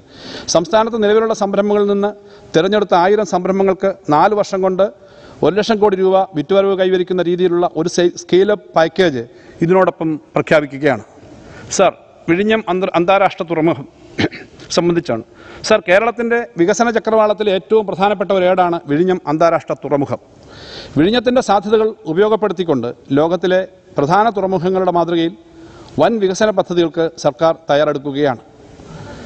ലോകത്തിലെ തന്നെ ഏറ്റവും വലിയ ട്രാൻസ്ഷിപ്മെന്റ് കണ്ടെയ്നർ തുറമുഖങ്ങളിലൊന്നായി വിഴിഞ്ഞത്തിന് മാറാൻ കഴിയും. സമുദ്ര ഗതാഗതത്തിലെ മുപ്പത് നാൽപ്പത് ശതമാനം ചരക്ക് നീക്കവും നടക്കുന്ന തിരക്കേറിയ സമുദ്രപാതയിലാണ് വിഴിഞ്ഞം സ്ഥിതി ചെയ്യുന്നത്. നമ്മുടെ രാജ്യത്തിന് സമീപം സ്ഥിതി ചെയ്യുന്ന രാജ്യങ്ങൾക്കും നമ്മുടെ രാജ്യത്തിനും ചരക്കുകൾ കൈമാറ്റം ചെയ്യുന്നതിനുള്ള ഏറ്റവും പ്രധാനപ്പെട്ട വാതായനമാണ് വിഴിഞ്ഞം തുറമുഖം. ലോകത്തിലെ ഏറ്റവും പ്രധാനപ്പെട്ട നഗരങ്ങളും വ്യവസായ കേന്ദ്രങ്ങളും വളർന്നു വന്നത് ഇത്തരത്തിലുള്ള തുറമുഖങ്ങളോട് ചേർന്നാണ്. ദുബായ് സിംഗപ്പൂർ ഷാങ്ഹായ് തുടങ്ങിയ തുറമുഖ നഗരങ്ങളുടെ ഉദാഹരണം നമ്മുടെ മുന്നിലുണ്ട്. വിഴിഞ്ഞം തുറമുഖത്തിന്റെ ചുറ്റുപാടുമുള്ള മേഖലയിൽ വിപുലമായ വാണിജ്യ വ്യവസായ കേന്ദ്രം വികസിപ്പിക്കുന്നതിന്റെ ഭാഗമായി വിഴിഞ്ഞം മുതൽ തേക്കട വഴി തേക്കട വഴി ദേശീയപാത അറുപത്തിയാറിലെ നാവായിക്കുളം വരെ നീളുന്ന അറുപത്തിമൂന്ന് കിലോമീറ്ററും തേക്കട മുതൽ മംഗലപുരം വരെയുള്ള പന്ത്രണ്ട് കിലോമീറ്റർ ഉൾക്കൊള്ളുന്ന റിംഗ് റോഡ് നിർമ്മിക്കാൻ തീരുമാനിച്ചിട്ടുണ്ട്. സംസ്ഥാനത്തെ ഏറ്റവും പ്രധാനപ്പെട്ട വ്യാവസായിക ഇടനാഴിയായി ഇത് മാറും. ഈ ഇടനാഴിയുടെ ചുറ്റുമായി വ്യവസായ സ്ഥാപനങ്ങളും വാണിജ്യ കേന്ദ്രങ്ങളും വിപുലമായ താമസ സൗകര്യങ്ങളും അടക്കമുള്ള ടൗൺഷിപ്പുകളുടെ ശൃംഖല രൂപപ്പെടും. ഏകദേശം അയ്യായിരം കോടി ചെലവ് വരുന്ന വ്യാവസായിക ഇടനാഴിയുടെ ഭൂമി ഏറ്റെടുക്കാൻ ഏറ്റെടുക്കൽ പ്രവർത്തനങ്ങൾക്കായി കിഫ്ബി വഴി ആയിരം കോടി രൂപ വകയിരുത്തുന്നു സർ. സർ വ്യാവസായിക ഇടനാഴിയുടെ ഇരുവശങ്ങളിലും അധിവസിക്കുന്ന ജനങ്ങളെ കൂടി പങ്കാളികളാക്കി. വ്യവസായ പാർക്കുകൾ ലോജിസ്റ്റിക് സെന്ററുകൾ ജനവാസ കേന്ദ്രങ്ങൾ എന്നിവ വികസിപ്പിക്കാൻ സർക്കാർ മുൻകൈ എടുക്കും. സർക്കാർ സ്വകാര്യ സംരംഭകർ ഭൂമി ഉടമകൾ എന്നിവരുൾപ്പെടുന്ന വികസന പദ്ധതികൾ തയ്യാറാക്കും. ലാൻഡ് പൂളിംഗ് സംവിധാനവും പി പി പി വികസന മാർഗങ്ങളും ഉപയോഗപ്പെടുത്തി അറുപതിനായിരം കോടി രൂപയുടെ വികസന പദ്ധതികൾ ആദ്യഘട്ടത്തിൽ നടപ്പിലാക്കാൻ കഴിയും എന്ന് പ്രതീക്ഷിക്കുന്നു. സർ വെസ്റ്റ് കോസ്റ്റ് കനാൽ സംബന്ധിച്ചാണ്. സംസ്ഥാനത്തിന്റെ വടക്ക് ബേക്കൽ മുതൽ തെക്ക് കോവളം വരെയുള്ള വെസ്റ്റ് കോസ്റ്റ് കനാലിന്റെ നീളം അറുന്നൂറ്റി പതിനാറ് കിലോമീറ്ററാണ് ഡബ്ല്യു സി സിയെ കേരളത്തിന്റെ ഒരു സാമ്പത്തിക വ്യാപാര ഇടനാഴിയാക്കി മാറ്റുക എന്ന ലക്ഷ്യത്തോടെ പദ്ധതി രൂപപ്പെടു രൂപപ്പെടുത്തും.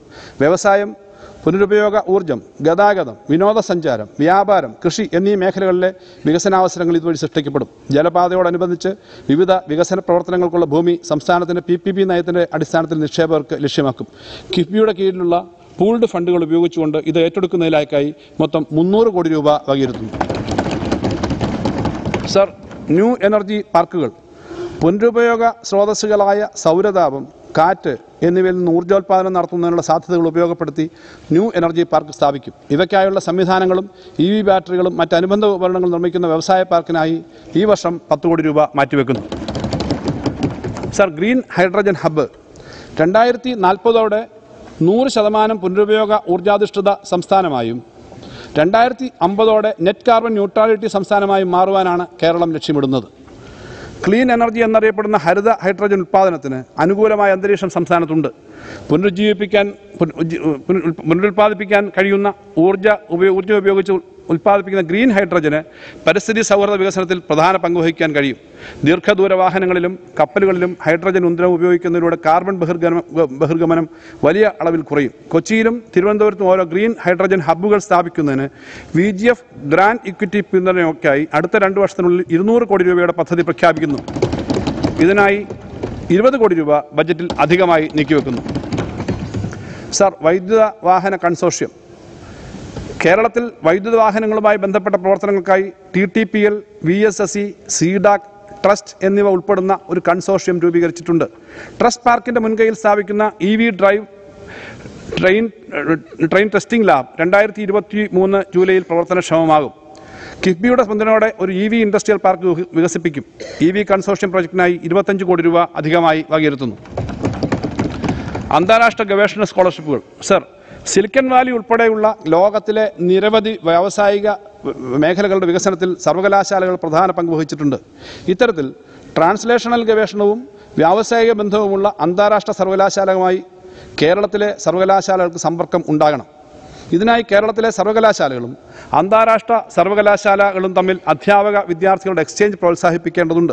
പ്രതിവർഷം ലോകത്തിലെ ഇരുന്നൂറ് സർവകലാശാലകളിൽ ഹ്രസ്വകാല ഗവേഷണ അസൈൻമെന്റുകൾ നേടുന്ന നൂറ് ഗവേഷകരുടെ യാത്രാ ചെലവുകളും ജീവിത ചെലവുകളും പിന്തുണയ്ക്കുന്നതിനായി ഒരു ഹ്രസ്വകാല ഫെലോഷിപ്പ് ആരംഭിക്കും.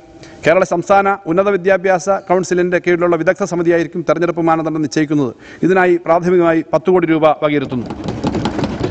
ദേശീയപാത വികസനം. സർ കേരളത്തിന്റെ അടിസ്ഥാന സൗകര്യ വികസന മേഖലയിൽ വൻ കുതിച്ചുചാട്ടമാണ് ഇപ്പോഴുണ്ടായിട്ടുള്ളത്. ദേശീയപാത അറുപത്തിയാറ് മറ്റ് ദേശീയപാതകൾ ഉൾപ്പെടെ ആയിരത്തി തൊള്ളായിരത്തി മുപ്പത്തിയൊന്ന് കിലോമീറ്റർ ദൂരത്തിൽ ഏകദേശം ഒരു ലക്ഷത്തി മുപ്പത്തി മൂവായിരം കോടിയോളം രൂപയുടെ നിർമ്മാണ പ്രവർത്തനങ്ങൾ വിവിധ ഘട്ടങ്ങളിൽ പുരോഗമിക്കുകയാണ്. ഈ പ്രവർത്തനങ്ങൾ സുഗമമായും വേഗത്തിലും നടക്കുന്നതിനുള്ള അടിസ്ഥാന കാരണം ഭൂമി ഏറ്റെടുക്കുന്നതിൽ സർക്കാർ ഏറ്റെടുത്ത സാമ്പത്തിക പങ്കാളിത്തമാണ്. സാർ ഇതുവരെ ദേശീയപാതയുടെ സ്ഥലമെടുപ്പിനായി സർക്കാർ അയ്യായിരത്തി അഞ്ഞൂറ്റി എൺപത് കോടി രൂപയാണ് നൽകിയിട്ടുള്ളത്. ഇപ്പോഴുള്ള പ്രവർത്തനങ്ങൾ അടുത്ത മൂന്ന് വർഷത്തിനകം പൂർത്തീകരിക്കുമെന്നാണ് പ്രതീക്ഷിക്കുന്നത്. സംസ്ഥാനത്ത് ഏറ്റവും വലിയ മൂലധന നിക്ഷേപം നടന്ന ഒരു മേഖലയാണിത്. വ്യാപാര മേളകൾ. സാർ എല്ലാ വർഷവും ന്യൂഡൽഹി പ്രകൃതി മൈതാനത്ത് സംഘടിപ്പിക്കുന്ന അന്താരാഷ്ട്ര വ്യാപാര മേഖല മേളയുടെ മാതൃകയിൽ സംസ്ഥാനത്ത് ദേശീയ അന്തർദേശീയ നിലവാരത്തിലുള്ള വ്യാപാര മേള സംഘടിപ്പിക്കും. കേരളത്തിലെ വ്യാ- വ്യവസായികൾക്കും സംരംഭകർക്കും അന്തർദേശീയ തലത്തിൽ ഉൽപ്പന്നങ്ങൾ പരിചയപ്പെടുത്താനുള്ള വേദിയായി ഇത് മാറും. ഇതിനായി തിരുവനന്തപുരത്ത് സ്ഥിരം വേദി സൃഷ്ടിക്കും. പദ്ധതിക്ക് പ്രാരംഭമായി പതിനഞ്ച് കോടി രൂപ അധികമായി വിലയിരുത്തു വിലയിരുത്തുന്നു. വർക്ക് നിയർ ഹോം സർ കോവിഡുമായി ബന്ധപ്പെട്ട് ലോകമാകെ വിജയകരമായി നടപ്പിലാക്കപ്പെട്ട തൊഴിൽ സംവിധാനമാണ് വർക്ക് നിയർ ഹോം കോവിഡിന് ശേഷവും പുതിയൊരു തൊഴിൽ സംസ്കാരമായി വർക്ക് നിയർ ഹോം ഉയർന്നു വരുന്നു. കഴിഞ്ഞ ബജറ്റിൽ വർക്ക് നിയർ ഹോം സംവിധാനങ്ങൾ പ്രാദേശിക തലത്തിൽ ഒരുക്കുന്നതിനായി അൻപത് കോടി രൂപ നീക്കിവച്ചിരുന്നു ഇതുമായി ബന്ധപ്പെട്ട അടിസ്ഥാന സൗകര്യ വികസനത്തിന് പ്രാദേശിക പ്രാദേശിക തലത്തിൽ രൂപരേഖ ഉണ്ടാക്കിയിട്ടുണ്ട്. മൂന്ന് തരം സൗകര്യങ്ങൾ ഒരുക്കാനാണ് സർക്കാർ ആലോചിക്കുന്നത്. ഒന്ന് ഐ ടി അനുബന്ധ വിഭാഗത്തിലെ ജീവനക്കാർക്ക് റിമോട്ട് വർക്കുകൾ വർക്കുകൾ നൽകാൻ തയ്യാറുള്ള വ്യവസായങ്ങൾക്ക് വേണ്ടിയുള്ള കേന്ദ്രങ്ങൾ. രണ്ട് വിദൂര ജോലികളിലോ ഗിഗ് വർക്കിലോ ഏർപ്പെടുന്നവർക്ക് വേണ്ടിയുള്ള കേന്ദ്രങ്ങൾ. മൂന്ന് കോമൺ ഫെസിലിറ്റി സെന്ററുകൾ സർ ഇത്തരം സെന്ററുകളുടെ പ്രവർത്തനത്തിന് സംസ്ഥാന സർക്കാരും സ്വകാര്യ മേഖലയും തദ്ദേശ സ്വയംഭരണ സ്ഥാപനങ്ങളും ചേർന്ന് രൂപീകരിക്കുന്ന പങ്കാളിത്ത മാതൃകയാവും ഉണ്ടാകുക. പലിശരഹിത വായ്പയായി കിഫ്ബിയിൽ നിന്നുള്ള ഫണ്ട് തദ്ദേശ സ്ഥാപനങ്ങൾക്ക് നൽകും. തൊഴിലുറപ്പ് തൊഴിലുറപ്പാക്കുന്ന മുറയ്ക്കാണ് ഫണ്ട് പൂർണമായി നൽകുന്നത്. നിർമ്മാണം പൂർത്തിയായി ഒരു വർഷത്തെ മൊറട്ടോറിയം കാലയളവിന് ശേഷം പത്ത് വർഷം കൊണ്ട് ഈ വായ്പ തദ്ദേശ സ്ഥാപനങ്ങൾ തിരിച്ചടയ്ക്കണം. അടുത്ത മൂന്ന് വർഷത്തിനുള്ളിൽ വർക്ക് നിയർ ഹോം സൗകര്യങ്ങൾ വഴി ഒരു ലക്ഷം വർക്ക് സീറ്റുകൾ സൃഷ്ടിക്കുന്നതിനായി ആകെ ആയിരം കോടി രൂപയുടെ ചെലവാണ് സർ പ്രതീക്ഷിക്കുന്നത്. ഈ വർഷം ഇതിനായി അൻപത് കോടി രൂപ നീക്കിവെക്കുന്നു.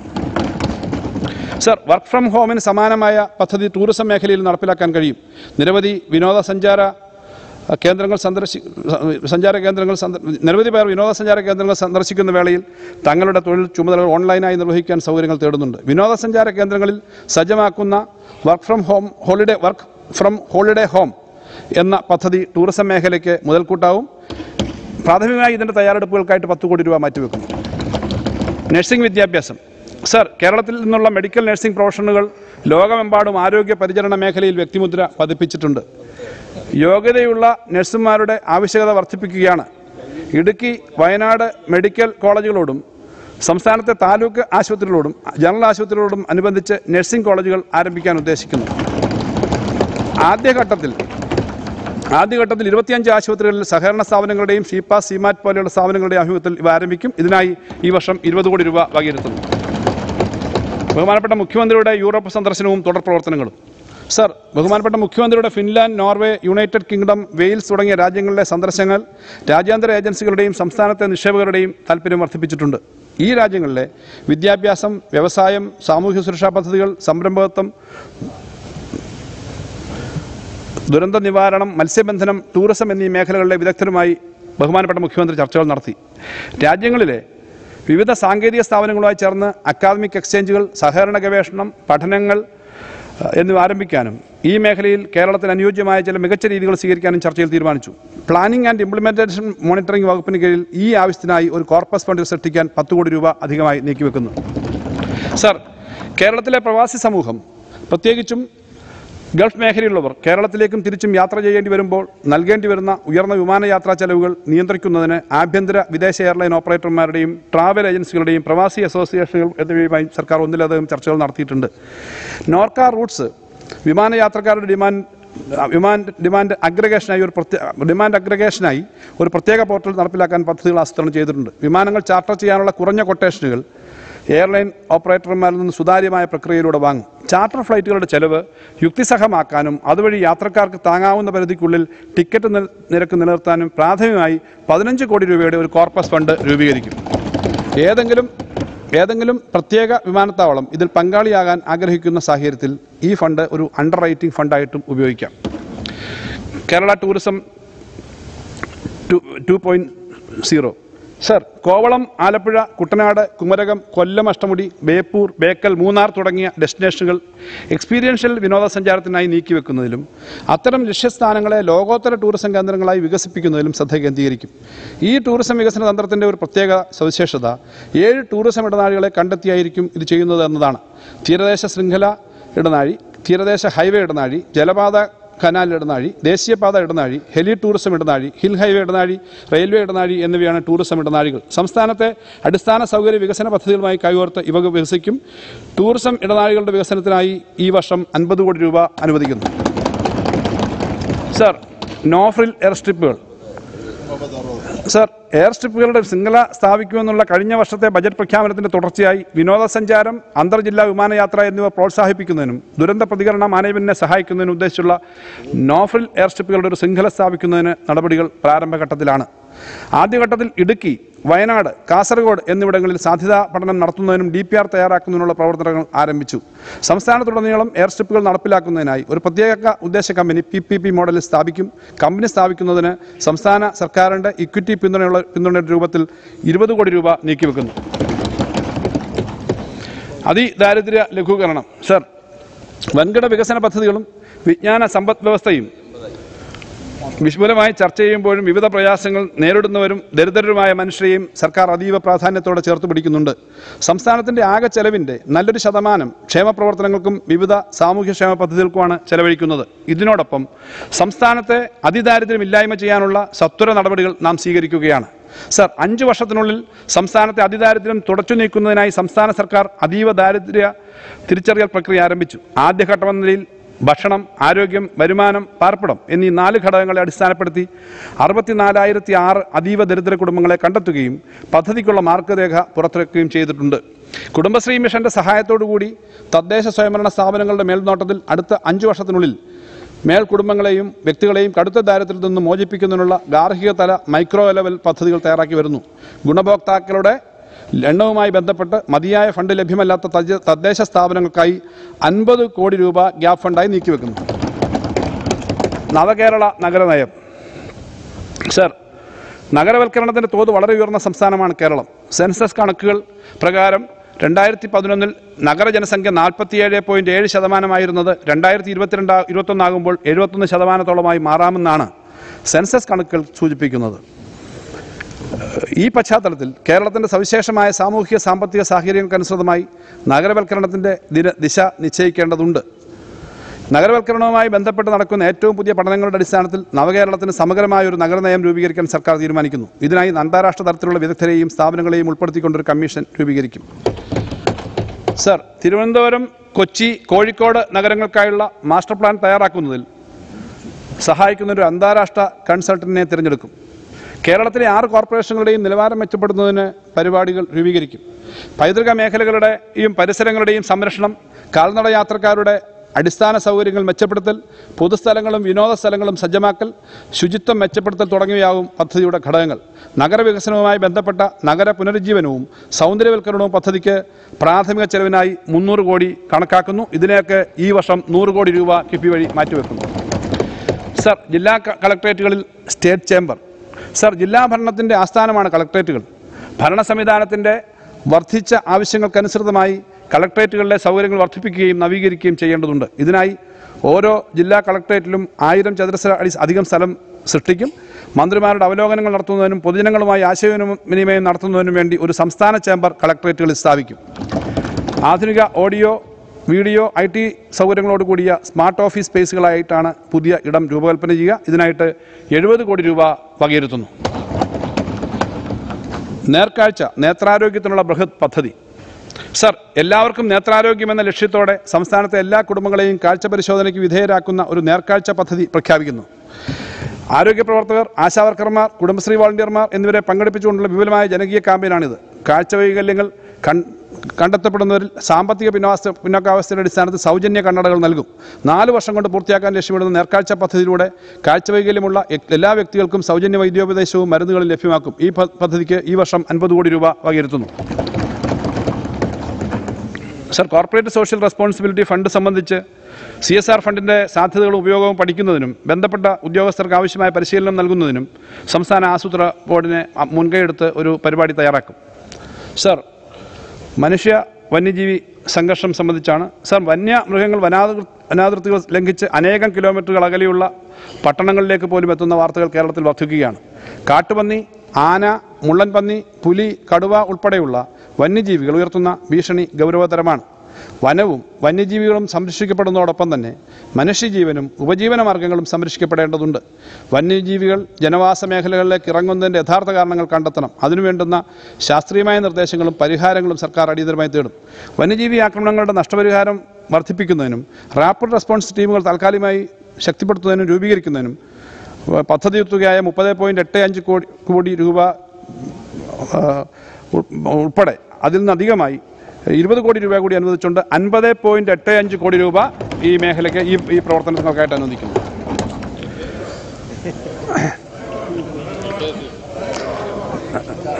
വനം ബഡ്ജറ്റിനിടയ്ക്ക് വേറെ പറയുന്നത് ശരിയാണ് ഒരു ഉപജീവന പദ്ധതി. സർ സംസ്ഥാനത്തെ ഓരോ പട്ടികവർഗ കുടുംബത്തിനും ഒരു ഉപജീവന സംരംഭം നടപ്പാക്കുന്നതിന് സഹായം നൽകുന്ന പദ്ധതി ആവിഷ്കരിക്കും. വിവിധ ഏജൻസികളുടെ പ്രതിനിധികൾ കൂടി ഉൾപ്പെടുന്ന ഒരു ജനകീയ കമ്മിറ്റി ഉപജീവന പദ്ധതികൾ തയ്യാറാക്കുവാൻ സഹായിക്കും. പദ്ധതി പുരോഗതിയുടെ അടിസ്ഥാനത്തിൽ തുക ഗഡുക്കളായി നൽകും. ഊരുകളിൽ താമസിക്കുന്ന തെരഞ്ഞെടുക്കപ്പെട്ട കുടുംബങ്ങൾക്ക് ആദ്യ വർഷം സഹായം നൽകും. ഈ പദ്ധതിക്കായി ആദ്യഘട്ടം എന്നതിൽ പത്ത് കോടി രൂപ നീക്കിവെക്കുന്നു. സർ ഭാഗം പ്ലാൻ സംബന്ധിച്ചുള്ളതാണ്. കൃഷി. സർ കൃഷിക്ക് സവിശേഷമായ പരിഗണനയാണ് സർക്കാർ നൽകുന്നത്. കാർഷിക മേഖലയ്ക്കാകെ തൊള്ളായിരത്തി എഴുപത്തി ഒന്ന് പോയിന്റ് ഏഴ് ഒന്ന് കോടി രൂപ വകയിരുത്തുന്നു. ഇതിൽ നൂറ്റി അൻപത്തി ആറ് പോയിന്റ് മൂന്ന് പൂജ്യം കോടി രൂപ കേന്ദ്ര സഹായമായി പ്രതീക്ഷിക്കുന്നു. വിളപരിപാലന മേഖല രണ്ടായിരത്തി ഇരുപത്തി മൂന്ന് ഇരുപത്തിനാല് വർഷം ആകെ എഴുന്നൂറ്റി മുപ്പത്തിരണ്ട് പോയിന്റ് നാല് ആറ് കോടി രൂപ വിളപരിപാലന മേഖലയ്ക്കായി മാറ്റിവെക്കുന്നു. നെൽകൃഷി വികസനത്തിന് നീക്കിവെക്കുന്ന തുക ഈ വർഷത്തെ എഴുപത്തി ആറ് കോടിയിൽ നിന്ന് തൊണ്ണൂറ്റി തുക തൊണ്ണൂറ്റിയഞ്ച് പോയിന്റ് ഒന്ന് പൂജ്യം കോടിയായി ഉയർത്തുകയാണ്. ആധുനിക സാങ്കേതിക വിദ്യ വിദ്യയിൽ അധിഷ്ഠിതമായ കൃഷി രീതികൾക്കൊപ്പം ജൈവ കൃഷി രീതികളുടെയും ഭക്ഷ്യയോഗ്യവും സുരക്ഷിതമായ ഭക്ഷ്യോൽപാദനം പ്രോത്സാഹിപ്പിക്കും. ഇതിനായി ആറ് കോടി രൂപ അനുവദിക്കുന്നു. സമഗ്രമായ പച്ചക്കറി കൃഷി വികസന പദ്ധതികൾക്കായി തൊണ്ണൂറ്റിമൂന്ന് പോയിന്റ് നാല് അഞ്ച് കോടി രൂപ വകയിരുത്തുന്നു. സർ നാളികേര വികസന പദ്ധതികൾക്കായി അറുപത്തെട്ട് പോയിന്റ് ഒമ്പത് അഞ്ച് കോടി രൂപ വകയിരുത്തുന്നു. നാളികേര മിഷ- മിഷന്റെ ഭാഗമായി വിത്ത് തേങ്ങ സംഭരിക്കുന്നതിനും കൃഷി വകുപ്പ് ഫാമുകളുടെ തെങ്ങിൻ തൈകൾ ഉൽപ്പാദിപ്പിച്ച് വിതരണം ചെയ്യുന്നതിനുമായി ഇരുപത്തിയഞ്ച് കോടി രൂപ വകയിരുത്തുന്നു. സർ നാളികേരത്തിന്റെ താങ്ങുവില മുപ്പത്തിരണ്ട് രൂപയിൽ നിന്നും മുപ്പത്തിനാല് രൂപയായി ഉയർത്തുന്നു. സർ സുഗന്ധവ്യഞ്ജന കൃഷികളുടെ വികസനവുമായി ബന്ധപ്പെട്ട പ്രവർത്തനങ്ങൾക്കായി നാല് പോയിന്റ് ആറ് കോടി രൂപ വകയിരുത്തുന്നു. V F C V F P C കെക്കുള്ള വകയിരുത്തൽ നടപ്പ് സാമ്പത്തിക വർഷത്തെ ഇരുപത്തിയഞ്ച് കോടി രൂപയിൽ നിന്നും മുപ്പത് കോടി രൂപയായി വർദ്ധിപ്പിക്കുന്നു. സർ തദ്ദേശീയവും വിദേശീയവുമായ പഴവർഗങ്ങളുടെ ഉൽപ്പാദനവും ഉൽപ്പാദനക്ഷമതയും വർദ്ധിപ്പിക്കുന്നതിന് ഊന്നൽ നൽകിക്കൊണ്ട് ഫലവർഗ കൃഷി വിപുലീകരിക്കും. ഇതിനായി പതിനെട്ട് പോയിന്റ് ഒമ്പത് രണ്ട് കോടി രൂപ വകയിരുത്തുന്നു. വന്യജീവികൾ ജനവാസ മേഖലയിലേക്ക് കടക്കുന്നതിന് തടയുന്നതിനായി പുതിയ തരത്തിലുള്ള ശാസ്ത്രീയ മാർഗങ്ങൾ അവലംബിക്കുന്നതിനുള്ള പരിപാടികൾ ഉൾപ്പെടെ കൃഷി വകുപ്പ് ചെയ്യുന്നുണ്ട്. രണ്ട് കോടി രൂപ അതിനായിട്ട് അനുവദിക്കുന്നു. സ്മാർട്ട് കൃഷി ഭവനുകൾക്ക് പത്ത് കോടി രൂപയും കൃഷി ദർശൻ പരിപാടികൾക്ക് രണ്ട് പോയിന്റ് ഒന്ന് കോടി രൂപയും അനുവദിക്കുന്നു. ഞങ്ങളും കൃഷിയിലേക്ക് പരിപാടിക്ക് ആറ് കോടി രൂപ അനുവദിക്കുന്നു. കാർഷിക കർമ്മസേനകളുടെ പ്രവർത്തനം മെച്ചപ്പെടുത്തുന്നതിനായി എട്ട് കോടി രൂപ സംസ്ഥാന വിള ഇൻഷുറൻസ് പദ്ധതിക്കായി മുപ്പത് കോടി രൂപ എന്നിങ്ങനെ വകയിരുത്തുന്നു. സർ കുട്ടനാട് മേഖലയിലെ കാർഷിക വികസനത്തിനായി പതിനേഴ് കോടി രൂപയും സാങ്കേതിക സൗകര്യ വികസനത്തിനായി പന്ത്രണ്ട് കോടി രൂപയും വകയിരുത്തുന്നു. കാർഷിക ഉൽപ്പന്നങ്ങളുടെ വിപണനം സംഭരണം വെയർ ഹൗസിംഗ് എന്നിവയ്ക്കായി എഴുപത്തിനാല് പോയിന്റ് അഞ്ച് കോടി രൂപ വകയിരുത്തുന്നു. സർ ചെറുകിട ഇടത്തരം സംസ്കരണ സംരംഭങ്ങൾക്കുള്ള യന്ത്രോപകരണങ്ങൾ എഫ് എഫ് പി ഒ മുഖേന വാങ്ങുന്നതിനായി മൂന്ന് പോയിന്റ് ഏഴ് അഞ്ച് കോടി രൂപ വകയിരുത്തുന്നു. സർ മണ്ണ് ജലസംരക്ഷണം. മണ്ണ് ജലസംരക്ഷണ മേഖലയിലെ പദ്ധതി പ്രവർത്തനങ്ങൾക്കായി എൺപത്തി ഒമ്പത് പോയിന്റ് ഏഴ് അഞ്ച് കോടി രൂപ വകയിരുത്തുന്നു. തളിപ്പറമ്പ് നിയോജകമണ്ഡലത്തിലെ ഒമ്പത് തദ്ദേശ സ്വയംഭരണ തദ്ദേശ ഭരണ സ്ഥാപനങ്ങളുടെ സൂക്ഷ്മ നിർത്തട പദ്ധതികൾക്കായി മൂന്ന് കോടി രൂപ അനുവദിക്കുന്നു. പാലക്കാട് ജില്ലയിലെ തൃത്താല കോഴിക്കോട് കോഴിക്കോട് ജില്ലയിലെ കുറ്റാടി നിയോജകമണ്ഡലങ്ങളിൽ നീർത്തട വികസനത്തിന് രണ്ട് കോടി രൂപ വീതം അനുവദിക്കുന്നു. മൃഗസംരക്ഷണവും ക്ഷീരവികസനവും. സാർ മൃഗസംരക്ഷണ ക്ഷീരവികസന ഉപമേഖലകൾക്കുള്ള ആകെ അടങ്കൽ നാനൂറ്റി മുപ്പത്തഞ്ച് പോയിന്റ് നാല് കോടി രൂപയാണ്. മൃഗസംരക്ഷണ വകുപ്പിന് മുന്നൂറ്റി ഇരുപത് പോയിന്റ് ആറ് നാല് കോടി രൂപയും ക്ഷീരവികസന വകുപ്പിന് നൂറ്റി പതിനാല് പോയിന്റ് ഏഴ് ആറ് കോടി രൂപയും ബജറ്റിൽ വകയിരുത്തുന്നു. കേന്ദ്ര സഹായമായി ഒമ്പത് പോയിന്റ് ഒമ്പത് ഒന്ന് കോടി രൂപ ഇതിൽ പ്രതീക്ഷിക്കുന്നു. മൃഗചികിത്സാ സേവനങ്ങൾ ശക്തിപ്പെടുത്തുന്നതിനായി നാൽപ്പത്തിയൊന്ന് കോടി രൂപ വകയിരുത്തുന്നു.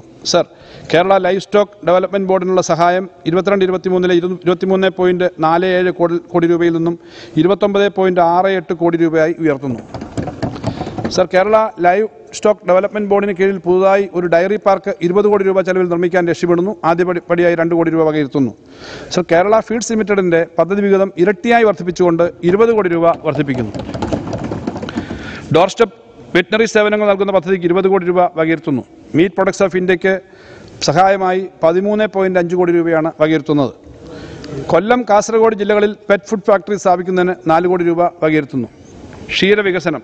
സർ ക്ഷീരവികസന മേഖലയ്ക്ക് ആർ എ ഡി എഫ് വായ്പയടക്കം ആകെ നൂറ്റി പതിനാല് പോയിന്റ് ഏഴ് ആറ് കോടി രൂപ വകയിരുത്തുന്നു. ക്ഷീരഗ്രാമം പദ്ധതി വ്യാപിപ്പിക്കുന്നതിനായി രണ്ട് പോയിന്റ് നാല് കോടി രൂപ വകയിരുത്തുന്നു. വാണിജ്യ ക്ഷീരവികസന പ്രവർത്തനങ്ങളും മിൽക്ക് ഷെഡ് പ്രവർത്തനങ്ങളും എന്ന പദ്ധതിക്ക് നാൽപ്പത്തിരണ്ട് പോയിന്റ് മൂന്ന് മൂന്ന് കോടി രൂപ വകയിരുത്തുന്നു. തീറ്റപ്പുൽ അസോള ചോള കൃഷികൾക്കുള്ള സഹായം ജലസേന സഹായം സൈലേജ് നിർമ്മാണ യൂണിറ്റുകൾ തീറ്റപ്പുൽ ഹബ്ബ് എന്നിവയുടെ പ്രവർത്തനങ്ങൾക്കായി എട്ട് പോയിന്റ് അഞ്ച് കോടി രൂപ വകയിരുത്തുന്നു. സംസ്ഥാനത്ത് കാലിത്തീറ്റ ഫാമും മോഡൽ ഡയറി യൂണിറ്റ് സ്ഥാപിക്കലെന്ന പുതിയ പദ്ധതിക്കായി പതിനൊന്ന് കോടി രൂപ വകയിരുത്തുന്നു. മത്സ്യബന്ധനം. സർ മത്സ്യബന്ധന മേഖലയ്ക്കാകെ മുന്നൂറ്റി ഇരുപത്തൊന്ന് മൂന്ന് ഒന്ന് കോടി രൂപ വകയിരുത്തുന്നു. ഉൾനാടൻ മത്സ്യബന്ധനവുമായി ബന്ധപ്പെട്ട മത്സ്യസമ്പത്തിന്റെ സംരക്ഷണത്തിനും പരിപാലനത്തിനുമായി അഞ്ച് കോടി രൂപ വകയിരുത്തുന്നു. കടലോര മത്സ്യബന്ധന പദ്ധതികൾക്കായിട്ട് ആറ് ആറ് പോയിന്റ് ഒന്ന് കോടി രൂപ മത്സ്യരംഗത്തെ അടിസ്ഥാന സൗകര്യ വ്യവസ്ഥനായുള്ള സമുദ്ര പ്രൊജക്ടിന്റെ പ്രവർത്തനങ്ങൾക്കായി മൂന്ന് പോയിന്റ് അഞ്ച് കോടി രൂപ എന്നിങ്ങനെ വില- വിലയിരുത്തുന്നു. മത്സ്യത്തൊഴിലാളികളുടെ സഹായത്തോടെ സമുദ്രത്തിൽ നിന്നും പ്ലാസ്റ്റിക് മാലിന്യം നീക്കം ചെയ്യുക എന്ന ലക്ഷ്യത്തോടെ നടപ്പാക്കുന്ന ശുചിത്വ സാഗരം പരിപാടി നടപ്പാക്കുന്നതിന് അഞ്ച് പോയിന്റ് അഞ്ച് കോടി രൂപ വകയിരുത്തുന്നു. മത്സ്യബന്ധന ബോട്ടുകളെ ആധുനികവൽക്കരിക്കാൻ പത്ത് കോടി രൂപയുടെ ഒരു പുതിയ പദ്ധതി പ്രഖ്യാപിക്കുകയാണ്. അറുപത് ശതമാനം നിരക്കിൽ പരമാവധി തുകയായ പത്ത് ലക്ഷം രൂപ വരെ സബ്സിഡി ഇനത്തിൽ അനുവദിക്കാനാണ് ഉദ്ദേശിക്കുന്നത്. സർ മത്സ്യബന്ധന ബോട്ടുകളുടെ എഞ്ചിനുകൾ ഘട്ടം ഘട്ടമായി പെട്രോൾ ഡീസൽ എഞ്ചിനുകളാക്കി മാറ്റുന്നതിനുള്ള പുതിയ പദ്ധതിക്കായി ആദ്യഘട്ടത്തിൽ എട്ട് രൂപ എട്ട് കോടി രൂപ നീക്കിവെക്കുന്നു. മാരികൾച്ചർ വികസനം. സർ നോർവേയിൽ നിന്നുള്ള ആർട്ടിഫിഷ്യൽ ഇന്റലിജൻസ് അധിഷ്ഠിത സാങ്കേതികവിദ്യയുടെ പിന്തുണയോടെ സമുദ്ര കൂടുകൃഷി കൊണ്ടുവരാൻ സർക്കാർ ഉദ്ദേശിക്കുന്നു. കേരളത്തിലെ യോജിച്ച പ്രദേശങ്ങളിൽ മത്സ്യത്തൊഴിലാളികളുടെ സജീവ പങ്കാളിത്തത്തോടെ ജലകൃഷിക്കായി ജലത്തിൽ മുങ്ങിക്കിടക്കുന്ന മാതൃകാ കൂടുകൾ സ്ഥാപിക്കാൻ വിഭാവനം ചെയ്യുന്നു. Cochin university of science and technology fisheries സർവകലാശാലയുടെയും fisheries മേഖലയിലെ മറ്റ് കേന്ദ്ര സംസ്ഥാന സ്ഥാപനങ്ങളുടെയും ഗവേഷണ വികസന പിന്തുണയും ഇതിനായി ഉപയോഗിക്കും. ആധുനിക കൂടുകളിൽ ലൈസ് കട്ട് സംരക്ഷണവും അത്യന്താധുനിക സെൻസർ സാങ്കേതികവിദ്യയും ഘടിപ്പിക്കും. ഇതിനായി ഒൻപത് കോടി രൂപ അധികമായിട്ട് വകയിരുത്തുന്നു. സർ സീ ഫുഡ് പ്രോസസ്സിംഗ് പാർക്കും അക്വാകൾച്ചർ വാല്യൂ അഡിഷനും മത്സ്യോൽപ്പന്നങ്ങളുടെ സംസ്കരണത്തിലും സംഭരണത്തിലും അന്താരാഷ്ട്ര നിയന്ത്രണങ്ങളും മാനദണ്ഡങ്ങളും പാലിക്കേണ്ടതുണ്ട്. അതിന് ആധുനിക സൗകര്യങ്ങൾ ആവശ്യമാണ്. സാങ്കേതികവിദ്യയുടെ സഹായത്തോടെ മത്സ്യോൽപ്പന്നങ്ങൾക്ക് മൂല്യവർധന വരുത്തുന്നതിൽ നോർവേ മികച്ച മാതൃകയാണ്. ഫലപ്രദമായ ശീത ശൃംഖലകൾ ആധുനിക ഉപകരണങ്ങൾ വൈദഗ്ധ്യമുള്ള മനുഷ്യശക്തി എന്നിവ വഴി വിപണനത്തിൽ വലിയ മാറ്റങ്ങൾ കൊണ്ടുവരാൻ കഴിയും. ഇതിനായി കെ എസ് ഐ ഡി സിയുടെ കീഴിലുള്ള ഫുഡ് പാർക്ക് നവീകരിക്കുന്നതിനായി സാധ്യത സർക്കാർ പരിശോധിക്കും. പദ്ധതിക്കായി ഇരുപത് കോടി രൂപ ബജറ്റിൽ മാറ്റിവെക്കുന്നു. പഞ്ഞമാസങ്ങളിൽ മത്സ്യത്തൊഴിലാളികൾക്ക് സഹായം ലഭ്യമാക്കുന്ന സമ്പാദ്യ സമാശ്വാസ പദ്ധതിക്കായി ഇരുപത്തിയേഴ് കോടി രൂപ വകയിരുത്തുന്നു. ഉൾനാടൻ മത്സ്യമേഖലയ്ക്ക് എൺപത്തിരണ്ട് പോയിന്റ് ഒന്ന് ഒന്ന് കോടി രൂപ വകയിരുത്തുന്നു. അക്വാകൾച്ചർ ഉൽപ്പാദനം അൻപതിനായിരം ടണ്ണ് ആക്കി വർദ്ധിപ്പിക്കാനാണ് ലക്ഷ്യമിടുന്നത്. ഇതിനായി അറുപത്തിയേഴ് പോയിന്റ് അഞ്ച് പൂജ്യം കോടി രൂപ നീക്കിവെക്കുന്നു. വനാമി കൊഞ്ച് കൃഷി പ്രോത്സാഹിപ്പിക്കുന്നതിന് അഞ്ച് പോയിന്റ് എട്ട് എട്ട് കോടി രൂപ വകയിരുത്തുന്നു. നൂതന അക്വാകൾച്ചർ പ്രവർത്തനങ്ങൾക്ക് കൈപ്പാട് കോൾ പൊക്കാടി പ്രദേശങ്ങളിൽ കൊഞ്ച് കൃഷി വ്യാപിപ്പിക്കുന്നതിനായി അഞ്ച് കോടി രൂപ നീക്കിവെക്കുന്നു. ഫിഡ് സീഡ് ഫാക്ടറികളും ഹാച്ചറികളും വിപുലീകരണത്തിനായി ഇരുപത് കോടി രൂപയും ഇരുപത് കോടി രൂപയും നീക്കിവെക്കുന്നു. ഫിഷറീസ് ഇന്നൊവേഷൻ കൗൺസിൽ സർ ബഹുമാനപ്പെട്ട മുഖ്യമന്ത്രിയും സംഘവും നടത്തിയ യൂറോപ്പ് സന്ദർശനത്തിന് ശേഷം രൂപീകരിച്ച ആശയങ്ങൾ പ്രാവർത്തികമാക്കുന്നതിന് ഒരു ഫിഷറീസ് ഇന്നോവേഷൻ കൗൺസിൽ രൂപീകരിക്കാൻ സർക്കാർ തീരുമാനിച്ചിട്ടുണ്ട്. ഫിഷറീസ് വകുപ്പ് വ്യവസായ വകുപ്പ് KDISC knowledge mission Kerala startup mission R and D ഇൻസ്റ്റിറ്റ്യൂട്ടുകൾ മത്സ്യമേഖലയിലെ ശാസ്ത്രജ്ഞർ വിദഗ്ധർ കയറ്റുമതിക്കാർ എന്നിവരുൾപ്പെട്ട ഒരു പ്രധാന ഫെസിലിറ്റേഷൻ കേന്ദ്രമായി ഫിഷറീസ് ഇന്നോവേഷൻ കൗൺസിൽ പ്രവർത്തിക്കുന്നതാണ്.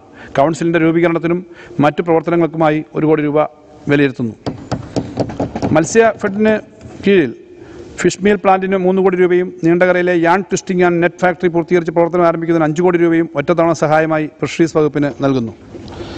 ഫിഷറീസ് സർവകലാശാലയുടെ പുതിയ ക്യാമ്പസ് പയ്യന്നൂരിൽ പ്രവർത്തനം ആരംഭിക്കും. സാർ അതിന്റെ പ്രവർത്തനം നടക്കുകയാണ്. ഈ ക്യാമ്പസിന്റെ വികസനത്തിന് വേണ്ടി അടിയന്തര ആവശ്യങ്ങൾക്കായിട്ട് രണ്ട് കോടി രൂപ വകയിരുത്തുന്നു. സർ മുതലപ്പൊഴി മാസ്റ്റർ പ്ലാനിനായി അമ്പത് ലക്ഷം രൂപയും മത്സ്യബന്ധനങ്ങൾ തുറമുഖങ്ങളുടെ ബന്ധപ്പെട്ട അഞ്ച് പദ്ധതികൾക്കായിട്ട് പന്ത്രണ്ട് പോയിന്റ് ഒമ്പത് കോടി രൂപയും വകയിരുത്തുന്നു. നീണ്ടകര മത്സ്യബന്ധന തുറമുഖത്തിന്റെ വിപുലീകരണം നവീകരണ പ്രവർത്തനങ്ങൾ കണ്ണൂർ ജില്ലയിലെ അഴീക്കൽ മത്സ്യബന്ധന തുറമുഖം കൊല്ലം ജില്ലയിലെ ആലപ്പാട് അഴീക്കൽ കായംകുളം അഴീക്കൽ മത്സ്യബന്ധന തുറമുഖം എന്നിവയുടെ ആധുനികവൽക്കരണത്തിനായി NABARD I R I D F വായ്പാ സഹായത്തോടെ ഇരുപത് കോടി രൂപ വകയിരുത്തുന്നു. തീരദേശ വികസനം.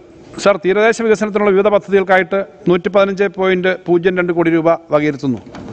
സാർ മത്സ്യബന്ധന തൊഴിലാളികൾക്കുള്ള അടിസ്ഥാന സൗകര്യങ്ങളും മാനവശേഷി വികസനത്തിനുമായി എഴുപത്തൊന്ന് കോടി രൂപയും NABARD I R D F R I D F വായ്പാ സഹായത്തോടെ നടത്തുന്ന സംയോജിത തീരവികസന പദ്ധതിയുടെ പ്രവർത്തികൾക്കായി ഇരുപത് കോടി രൂപയും മത്സ്യബന്ധന തുറമുഖങ്ങളുടെ അറ്റകുറ്റപ്പണികൾക്കും മണ്ണ് നീക്കലിനുമായി ഒമ്പത് പോയിന്റ് അഞ്ച് രണ്ട് കോടി രൂപയും മത്സ്യത്തൊഴിലാളികൾക്കുള്ള ഗ്രൂപ്പ് ഇൻഷുറൻസ് പദ്ധതിക്കായി പത്ത് കോടി രൂപയും അനുവദിക്കുന്നു. സർ പുനർഗേഹം പദ്ധതിക്ക് നടപ്പ് വർഷം ബജറ്റ് വിഹിതത്തിലുപരിയായി അറുപത്തിയേഴ് പോയിന്റ് ഏഴ് അഞ്ച് കോടി രൂപ അനുവദിച്ചിരുന്നു. രണ്ടായിരത്തി ഇരുപത്തിരണ്ട് ഇരുപത്തി ഇരുപത്തിമൂന്ന് ഇരുപത്തിനാല് പുനർഗേഹം പദ്ധതിയുടെ വകയിരുത്തൽ പതിനാറ് കോടിയിൽ നിന്ന് ഇരുപത് കോടിയായി വർദ്ധിപ്പിക്കുന്നു. സർ തീരസംരക്ഷണ പ്രവർത്തികൾക്കായി പ്രഖ്യ- പ്രഖ്യാപിക്കുന്ന പുതിയ പദ്ധതിക്ക് പതിനഞ്ച് കോടി രൂപ അനുവദിക്കുന്നു. വനവും വന്യജീവി സംരക്ഷണവും. വനം വന്യജീവി മേഖലയിലെ വിവിധ പദ്ധതികൾക്കായി നബാർഡ് വായ്പ ഉൾപ്പെടെ ഇരുന്നൂറ്റി നാൽപ്പത്തിയൊന്ന് പോയിന്റ് ആറ് ആറ് കോടി രൂപ അനുവദിക്കുന്നു. ജനപങ്കാളിത്തത്തോടുകൂടിയുള്ള സുസ്ഥിരമായ വനസംരക്ഷണവും വനത്തിനുള്ളിൽ ജലലഭ്യതയും ലഭ്യതയും ശാസ്ത്രീയമായ വനമാനേജ്മെന്റും നടത്തുന്ന വരുത്തുന്ന പദ്ധതികൾക്കായിട്ട് മുപ്പത്തഞ്ച് കോടി രൂപയിൽ നിന്നും അൻപത് കോടിയായി ഉയർത്തുന്നു. വനസംരക്ഷണ പദ്ധതിക്കായി ഇരുപത്തി കോടി രൂപ നീക്കിവെക്കുന്നു. ആധുനിക സാങ്കേതിക വിദ്യയും അത്യാധുനിക ഉപകരണങ്ങൾ ഉപയോഗിച്ച് വനാതിർത്തി ചിട്ടപ്പെടു തിട്ടപ്പെടുത്തുക കയ്യേറ്റങ്ങൾ തടയുക എന്നിവ ലക്ഷ്യമിടുന്ന പദ്ധതിക്കായിട്ട് ഇരുപത്തിയെട്ട് കോടി രൂപ വകയിരുത്തുന്നു. ജൈവ വൈവിധ്യ സംരക്ഷണം. സർ ജൈവ വൈവിധ്യ സംരക്ഷണ പദ്ധതിക്കായി പത്ത് കോടി രൂപ വകയിരുത്തുന്നു. പിണറായിയിലെ കാർഷിക വൈവിധ്യ കേന്ദ്രം വെള്ളായണി കാർഷിക കോളേജിലെ കാർഷിക ജൈവ വൈവിധ്യ പ്രവർത്തനം എന്നിവയും അടുത്ത വർഷം നടപ്പിലാക്കും.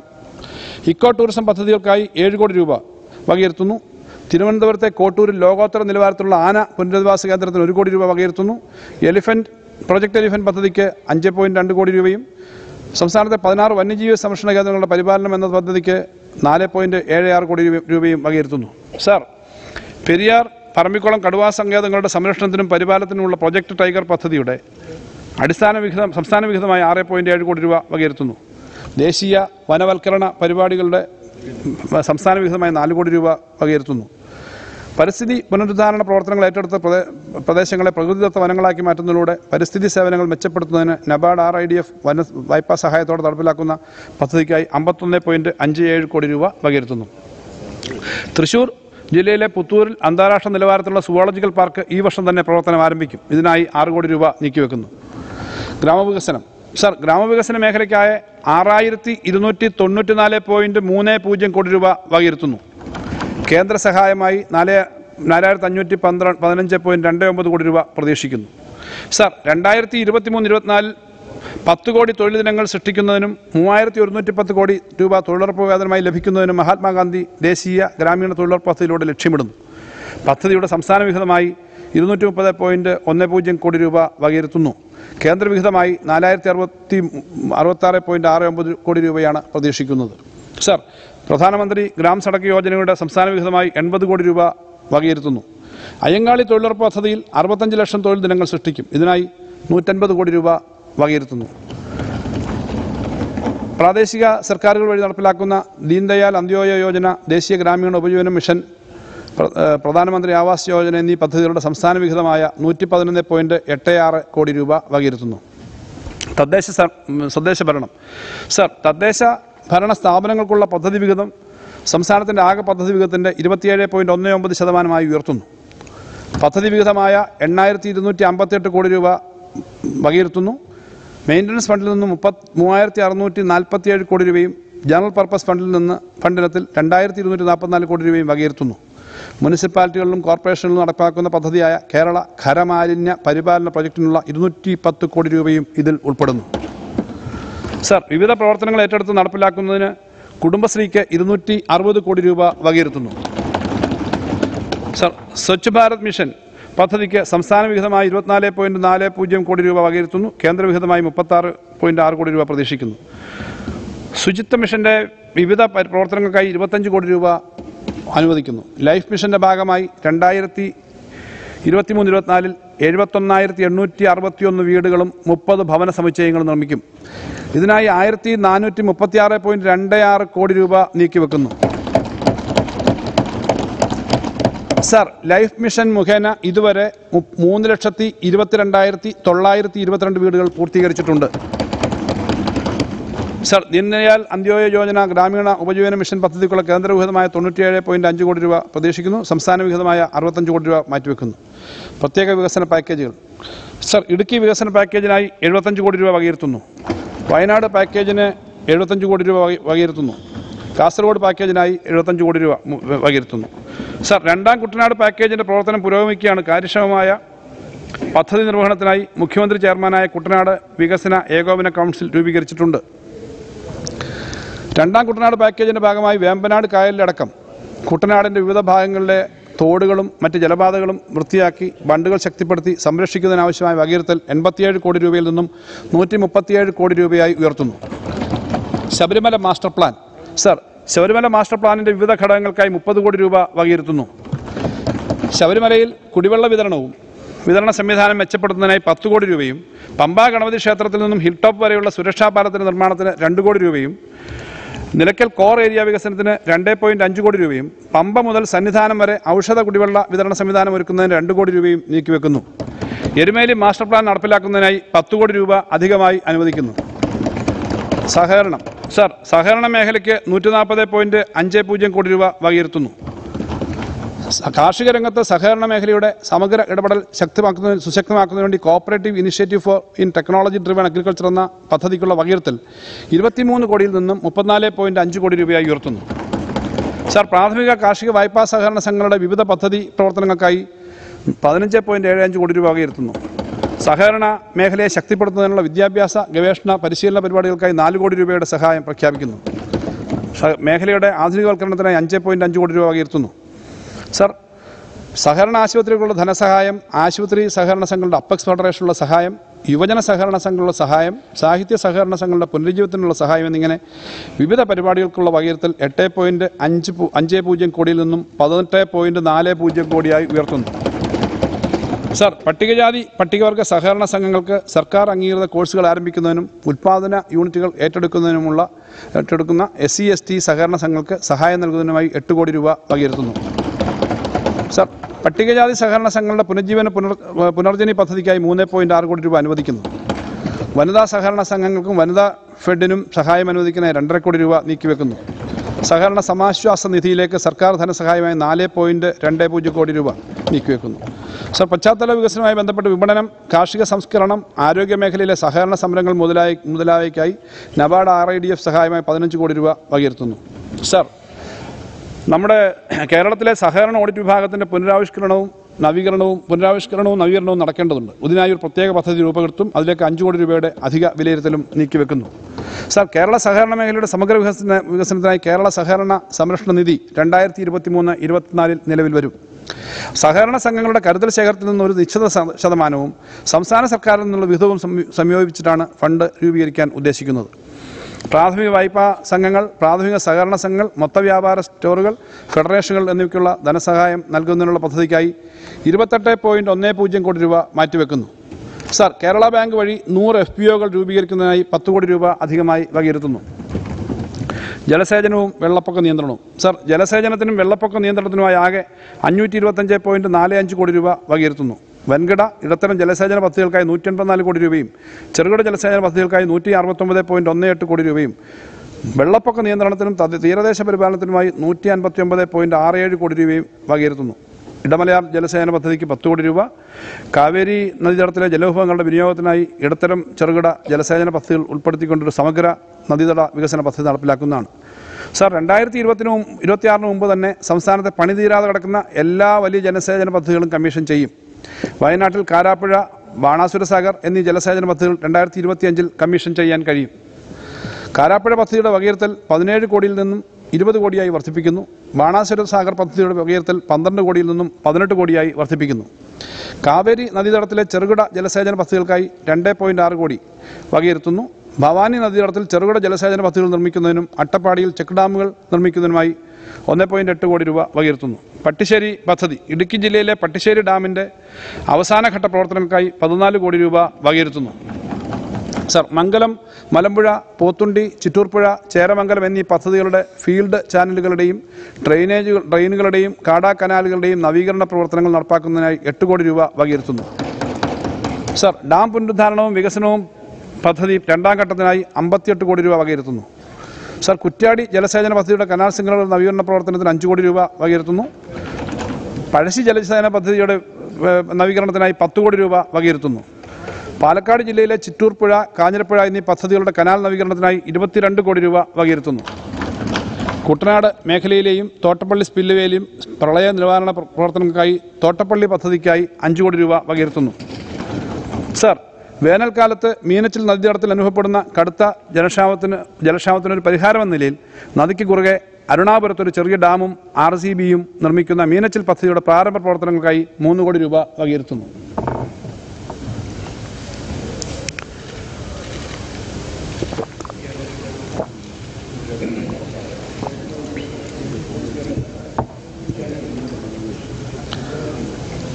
സർ സംസ്ഥാനത്തുടനീളം ചെറുകിട ജലസേന പദ്ധതികളുടെ വികസനത്തിനായി നൂറ്റി അറുപത്തൊമ്പത് പോയിന്റ് ഒന്ന് എട്ട് കോടി രൂപ വകയിരുത്തുന്നു. ഭൂഗർഭ ജലലഭ്യത വർദ്ധിപ്പിക്കുന്നതിനെ സംബന്ധിച്ച് പരിശോധനകൾക്കും പഠനങ്ങൾക്കുമായിട്ട് അതിനുള്ള സൗകര്യങ്ങളായി പതിനഞ്ച് കോടി രൂപ വകയിരുത്തുന്നു. ഭൂഗർഭജലം അടിസ്ഥാനമൊക്കെയുള്ള കുടിവെള്ള പദ്ധതിക്ക് അഞ്ച് പോയിന്റ് അഞ്ച് എട്ട് കോടി രൂപ. ലിഫ്റ്റ് ഇറിഗേഷൻ പദ്ധതിക്കായിട്ട് ഇരുപത്തിനാല് കോടി രൂപ വകയിരുത്തുന്നു. ഇതിൽ പത്തൊമ്പത് കോടി രൂപ പുതിയ ലിഫ്റ്റ് ഇറിഗേഷൻ പദ്ധതികൾക്ക് വേണ്ടിയിട്ടായിരിക്കും. സാർ ഹരിതകേരള മിഷനുമായി ചേർന്ന് കുളങ്ങളുടെ നവീകരണം കുളങ്ങളെ ജലസേചന പദ്ധതികളുമായി ബന്ധിപ്പിക്കുക തുടങ്ങിയ പരിപാടികൾക്ക് പദ്ധതികൾക്കായിട്ട് ഏഴ് പോയിന്റ് അഞ്ച് കോടി രൂപ വകയിരുത്തുന്നു. കമ്മ്യൂണിറ്റി മൈക്രോ ഇറിഗേഷൻ പദ്ധതി വഴി എല്ലാ ജില്ലകളിലും ആധുനിക മൈക്രോ ഇറിഗേഷൻ സൗകര്യങ്ങൾ ഏർപ്പെടുത്തുന്നതിനായി പന്ത്രണ്ട് കോടി വകയിരുത്തുന്നു. നദികൾ മാലിന്യമുക്തമാക്കുന്നതിന് രണ്ട് കോടി രൂപ വകയിരുത്തുന്നു. കുട്ടനാട്ടിലെ ഏറ്റവും പരിസ്ഥിതി ലോലമായ പ്രദേശങ്ങളിലെ പാടശേഖരങ്ങളുടെ പുറംബണ്ട് നിർമ്മിക്കുന്നതിനുള്ള പദ്ധതിക്ക് നൂറ് കോടി രൂപ വകയിരുത്തുന്നു. ആലപ്പുഴ കോട്ടയം ജില്ലകളിലെ പാടശേഖരങ്ങളിലെ വെള്ളപ്പൊക്ക നിവാരണത്തിനായി മുപ്പത്തിയേഴ് കോടി രൂപ വകയിരുത്തുന്നു. തീരദേശ സംരക്ഷണ പ്രവർത്തനങ്ങൾക്കായി ജലസേചന വകുപ്പിന് പതിനാറ് പോയിന്റ് അഞ്ച് നാല് കോടി രൂപ വകയിരുത്തുന്നു.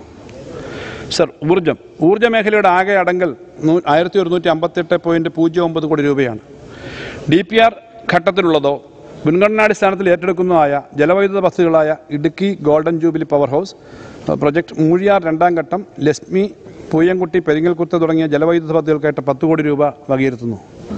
വിവിധ സൗരോർജ പദ്ധതികൾക്ക് പത്ത് കോടി രൂപ ഊർജ മിഷന് വേണ്ടി കീഴിലുള്ള സൗര പദ്ധതിക്ക് പത്ത് കോടി രൂപ വകയിരുത്തുന്നു. പുതിയ സബ്സ്റ്റേഷനുകളും ലൈനുകളും നിർമ്മിക്കുന്നതിനും പ്രസരണ മേഖലയിലേക്കുമായി മുന്നൂറ് കോടി രൂപ വകയിരുത്തുന്നു. ഷോളയാർ കുറ്റ്യാടി ഇടുക്കി സ്റ്റേജ് ഒന്ന് ജലവൈദ്യുത പദ്ധതികളുടെ പുനരുദ്ധാരണത്തിന് നവീകരണ പ്രവർത്തനങ്ങൾക്കായി പന്ത്രണ്ട് കോടി രൂപ വകയിരുത്തുന്നു. വൈദ്യുതി സംവിധാനം വിതരണ സംവിധാനം മെച്ചപ്പെടുത്തുന്ന പരിപാടികൾക്കായി നൂറ്റി അൻപത് കോടി രൂപ വകയിരുത്തുന്നു. പ്രളയ പ്രതിരോധ നിർമ്മാണങ്ങൾക്കായി കെ എസ് ഇ ഏഴ് കോടി രൂപ വകയിരുത്തുന്നു. ദ്യുതി പദ്ധതിയുടെ കീഴിലുള്ള വിവിധ പ്രവർത്തനങ്ങൾക്കായിട്ട് മുന്നൂറ്റി എഴുപത്തി ആറ് കോടി രൂപ വകയിരുത്തുന്നു. എല്ലാ ജില്ലകളിലും ഇലക്ട്രിക് വാഹന ചാർജിംഗ് സ്റ്റേഷനുകൾ സ്ഥാപിക്കുന്നതിന് ഏഴ് പോയിന്റ് ഒമ്പത് എട്ട് കോടി രൂപ വകയിരുത്തുന്നു. സാർ ഇടമൺ കൊച്ചി പദ്ധതിക്കുള്ള നഷ്ടപരിഹാര പാക്കേജിന് മുപ്പത് കോടി രൂപ വകയിരുത്തുന്നു. പുനരാവർത്തക ഊർജ പദ്ധതികൾക്കുള്ള innovation fund viability gap fund എന്നിവയ്ക്ക് സംസ്ഥാന വിഹിതമായി മുപ്പത്തിനാല് പോയിന്റ് മൂന്ന് ആറ് കോടി രൂപ വകയിരുത്തുന്നു. അനർട്ടിന്റെ വിവിധ പ്രവർത്തനങ്ങൾക്ക് നാൽപ്പത്തി ഒൻപത് കോടി രൂപ വകയിരുത്തുന്നു. എനർജി മാനേജ്മെന്റ് സെന്ററിന്റെ വിവിധ പ്രവർത്തനങ്ങൾക്കായി ഒമ്പത് പോയിന്റ് ഒന്ന് നാല് കോടി രൂപ അനുവദിക്കുന്നു. വ്യവസായവും ധാതുക്കളും. സാർ രണ്ടായിരത്തി ഇരുപത്തി മൂന്ന് ഇരുപത്തിനാലിൽ വ്യവസായ മേഖലയുടെ ആകെ അടങ്കൽ ആയിരത്തി ഇരുന്നൂറ്റി അമ്പത്തി ഒമ്പത് പോയിന്റ് ആറ് ആറ് കോടി രൂപയാണ്. ഇതിൽ ഗ്രാമീണ ചെറുകിട വ്യവസായങ്ങൾക്കുള്ള വിഹിതം നാനൂറ്റി എൺപത്തി മൂന്ന് പോയിന്റ് നാല് കോടി രൂപയാണ്. കേന്ദ്ര സഹായമായി പന്ത്രണ്ട് കോടി രൂപ ഇതിൽ പ്രതീക്ഷിക്കുന്നു. സാർ ചെറുകിട വ്യവസായത്തിന് ഇരുന്നൂറ്റി പന്ത്രണ്ട് പോയിന്റ് ഏഴ് കോടി രൂപയും കയർ വ്യവസായത്തിന് നൂറ്റി പതിനേഴ് കോടി രൂപയും കശുവണ്ടി വ്യവസായത്തിന് അമ്പത്തെട്ട് കോടി രൂപയും ഖാദി വ്യവസായത്തിന് പതിനാറ് പോയിന്റ് ഒന്ന് കോടി രൂപയും കൈത്തറി യന്ത്രത്തറി വ്യവസായത്തിന് അമ്പത്തി ആറ് പോയിന്റ് നാല് പൂജ്യം കോടി രൂപയും കരകൗശല മേഖലയ്ക്ക് നാൽപ്പത്തിരണ്ട് കോടി രൂപ നാല് പോയിന്റ് രണ്ട് പൂജ്യം കോടി രൂപയും വാണിജ്യ വാണിജ്യത്തിന് ഏഴ് കോടി രൂപയും വകയിരുത്തുന്നു. നിലവിലുള്ള വികസന പ്ലോട്ട് പ്രദേശങ്ങൾ എന്നിവയുടെ നവീകരണത്തിനും ആധുനീകരണ ആധുനീകരണത്തിനുമായി പതിനെട്ട് കോടി രൂപ വകയിരുത്തുന്നു. സർ ബഹുനില വ്യവസായ എസ്റ്റേറ്റുകളുടെ നിർമ്മാണത്തിന് പത്ത് കോടി രൂപ വകയിരുത്തുന്നു. സംസ്ഥാനത്ത് ഇരുപത്തഞ്ചോളം ചെറിയ പാർക്കുകൾ എസ്റ്റേറ്റുകളുടെ വികസനത്തിനായി നാല് കോടി രൂപ വകയിരുത്തുന്നു. കരകൗശല മേഖലയിൽ നിർമ്മാണ പ്രോത്സാഹന കേന്ദ്രങ്ങളുടെ നിർമ്മാണ പ്രവർത്തനത്തിന് രണ്ട് കോടി രൂപ വകയിരുത്തുന്നു. വ്യവസായ കേന്ദ്രങ്ങളിലെ വിവിധ സ്ഥാപനങ്ങളോട് അമ്പതിനായിരം പേർക്ക് കാര്യശേഷി വികസന പരിപാടി നടപ്പിലാക്കാനായി ഒൻപത് കോടി രൂപ വകയിരുത്തുന്നു. സ്വയം തൊഴിൽ സംരംഭക സഹായ പദ്ധതിക്കായിട്ട് അറുപത് കോടി രൂപ വകയിരുത്തുന്നു. പ്രളയവും നാനോ യൂണിറ്റുകൾക്ക് മാർജിൻ മണി ഗ്രാന്തായി പതിനെട്ട് കോടി രൂപ വകയിരുത്തുന്നു. സർ പ്രവർത്തനക്ഷമമായ ക്ഷമമായ എം എസ് എം ഇ യൂണിറ്റുകൾക്ക് സഹായം നൽകുന്നതിനും നിലവിലുള്ള സൂക്ഷ്മ സംരംഭങ്ങളെ ചെറുകിട സംരംഭങ്ങളായും ചെറുകിട സംരംഭങ്ങളെ സംരംഭങ്ങളായി ഉയർത്തുന്നതിനുള്ള പ്രത്യേക പാക്കേജിനായി ഇരുപത്തൊന്ന് പോയിന്റ് അഞ്ച് പൂജ്യം കോടി രൂപ വകയിരുത്തുന്നു. സർ സ്വകാര്യ വ്യവസായ പാർക്കുകളെ പ്രോത്സാഹിപ്പിക്കുന്നതിനായി പത്ത് കോടി രൂപ അനുവദിക്കുന്നു. സർ തോട്ടം ഉൽപ്പന്നങ്ങളുടെ സുരക്ഷിത ശേഖരണത്തിനായി പൊതു സ്വകാര്യ പങ്കാളിത്ത മാതൃകയിൽ ആധുനിക വെയർ- വെയർഹൗസുകൾ സംഘടിപ്പിക്കും. തോട്ടം മേഖലയുടെ ഈ വികസന പ്രവർത്തനങ്ങൾക്കായി രണ്ട് കോടി രൂപ വകയിരുത്തുന്നു.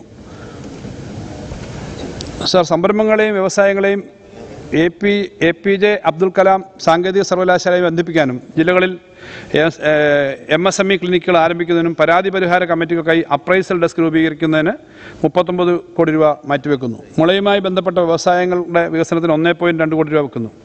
ചേതമംഗലത്ത് കൈത്തറി ഗ്രാമം സ്ഥാപിക്കുന്നതിന് പത്ത് കോടി രൂപ വിലയിരുത്തുന്നു വകയിരുത്തുന്നു.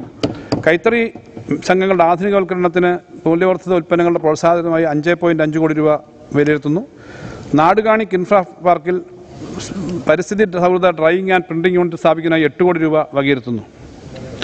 സർ കയർ വ്യവസായത്തിൽ യന്ത്രവൽക്കരണത്തിന് നിയന്ത്രിത യന്ത്രവൽക്കരണം പശ്ചാത്തല വികസനം എന്നിവയ്ക്കായി നാൽപ്പത് കോടി രൂപ വകയിരുത്തുന്നു. കയർ മേഖലയിലെ ഗവേഷണ സാങ്കേതിക വിദ്യാവികസനം നടത്തുന്ന കേന്ദ്രങ്ങൾക്കായി ഉള്ള സഹായമായി എട്ട് കോടി രൂപ വകയിരുത്തുന്നു. കയർ കയർ ഉൽപ്പന്നങ്ങളിൽ നിന്നുള്ള വിൽപ്പനയ്ക്കുള്ള വിപണി വികസന സഹായ പദ്ധതിയിൽ പത്ത് കോടി രൂപ വകയിരുത്തുന്നു. കയർ ഉൽപ്പാദനവും വിപണി പ്രോത്സാഹനവും പദ്ധതിക്കായി പത്ത് കോടി രൂപ വില വകയിരുത്തുന്നു. ഇത് കഴിഞ്ഞ വർഷത്തേക്കാളും ആറ് കോടി രൂപ അധികമാണ്. കയർ ഉൽപ്പന്നങ്ങളുടെയും ചെറുടെയും വിലസ്ഥിരതാ ഫണ്ടിനായി മുപ്പത്തിയെട്ട് കോടി രൂപ വകയിരുത്തുന്നു.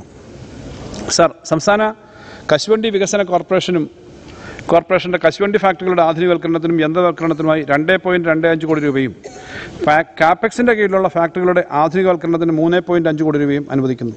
സർ ജൈവ കശുമാവ് കൃഷിക്കും കശുവണ്ടി ബാങ്ക് ബാങ്ക് സ്ഥാപിക്കുന്നതിനുമായി സംസ്ഥാന കശുവൻ കശുമാവ് കൃഷി വികസന ഏജൻസിക്ക് ഏഴ് പോയിന്റ് രണ്ട് കോടി രൂപ വക- വകയിരുത്തുന്നു. കേരള കാർഷിക ബോർഡിന് റിവോൾവിംഗ് ഫണ്ടായി നാൽപ്പത്തി മൂന്ന് പോയിന്റ് അഞ്ച് അഞ്ച് കോടി രൂപ അനുവദിക്കുന്നു. സർ കശുവണ്ടി മേഖല നേരിടുന്ന പ്രതിസന്ധി പരിഹരിക്കാനായി കശുവണ്ടി പുനരുജ്ജീവന പാക്കേജിന് മുപ്പത്തി മുപ്പത് കോടി രൂപ വകയിരുത്തുന്നു. സംസ്ഥാനത്ത് നിക്ഷേപ സൗഹൃദ അന്തരീക്ഷം കൂടുതൽ മെച്ചപ്പെടുത്തുന്നതിന് വേണ്ടിയുള്ള പദ്ധതികൾക്കായി എഴുന്നൂറ്റി എഴുപത് പോയിന്റ് രണ്ട് ഒന്ന് കോടി രൂപ വകയിരുത്തുന്നു. തിരുവനന്തപുരത്ത് ലൈഫ് സയൻസ് പാർക്കിന്റെ വിവിധ പ്രവർത്തനങ്ങൾക്കായി ഇരുപത് കോടി രൂപ വകയിരുത്തുന്നു. വ്യവസായ പാർക്കുകളുടെ അടിസ്ഥാന സൗകര്യ വികസനങ്ങൾക്ക് മുപ്പത്തിയൊന്ന് പോയിന്റ് ഏഴ് അഞ്ച് കോടി രൂപ വകയിരുത്തുന്നു. കേരള വ്യവസായ വികസന കോർപ്പറേഷൻ ലിമിറ്റഡിന് നൂറ്റി ഇരുപത്തിരണ്ട് പോയിന്റ് അഞ്ച് പൂജ്യം കോടി രൂപ വകയിരുത്തുന്നു. K S I K S I D C മുഖേന വ്യവസായ വളർച്ചാ കേന്ദ്രങ്ങൾക്ക് പതിനൊന്ന് പോയിന്റ് രണ്ട് അഞ്ച് കോടി രൂപ വകയിരുത്തുന്നു. സർ കുറ്റാടിയിലെ നാളികേർ ഇൻഡസ്ട്രിയൽ പാർക്ക് ഉൾപ്പെടെ കെ എസ് ഐ ഡി സിക്ക് കീഴിലെ വിവിധ വ്യവസായ പാർക്കുകൾക്ക് മുപ്പത്തിയൊന്ന് പോയിന്റ് ഏഴ് അഞ്ച് കോടി രൂപ നീക്കിവെക്കുന്നു. കിൻഫ്രയ്ക്ക് മുന്നൂറ്റി മുപ്പത്തഞ്ച് പോയിന്റ് അഞ്ച് ആറ് കോടി രൂപ നീക്കിവെക്കുന്നു. പെട്രോൾ കെമി പെട്രോ കെമിക്കൽ വ്യവസായങ്ങളുടെ വികസനത്തിന് നാൽപ്പത്തി നാല് കോടി രൂപ മാറ്റിവെക്കുന്നു.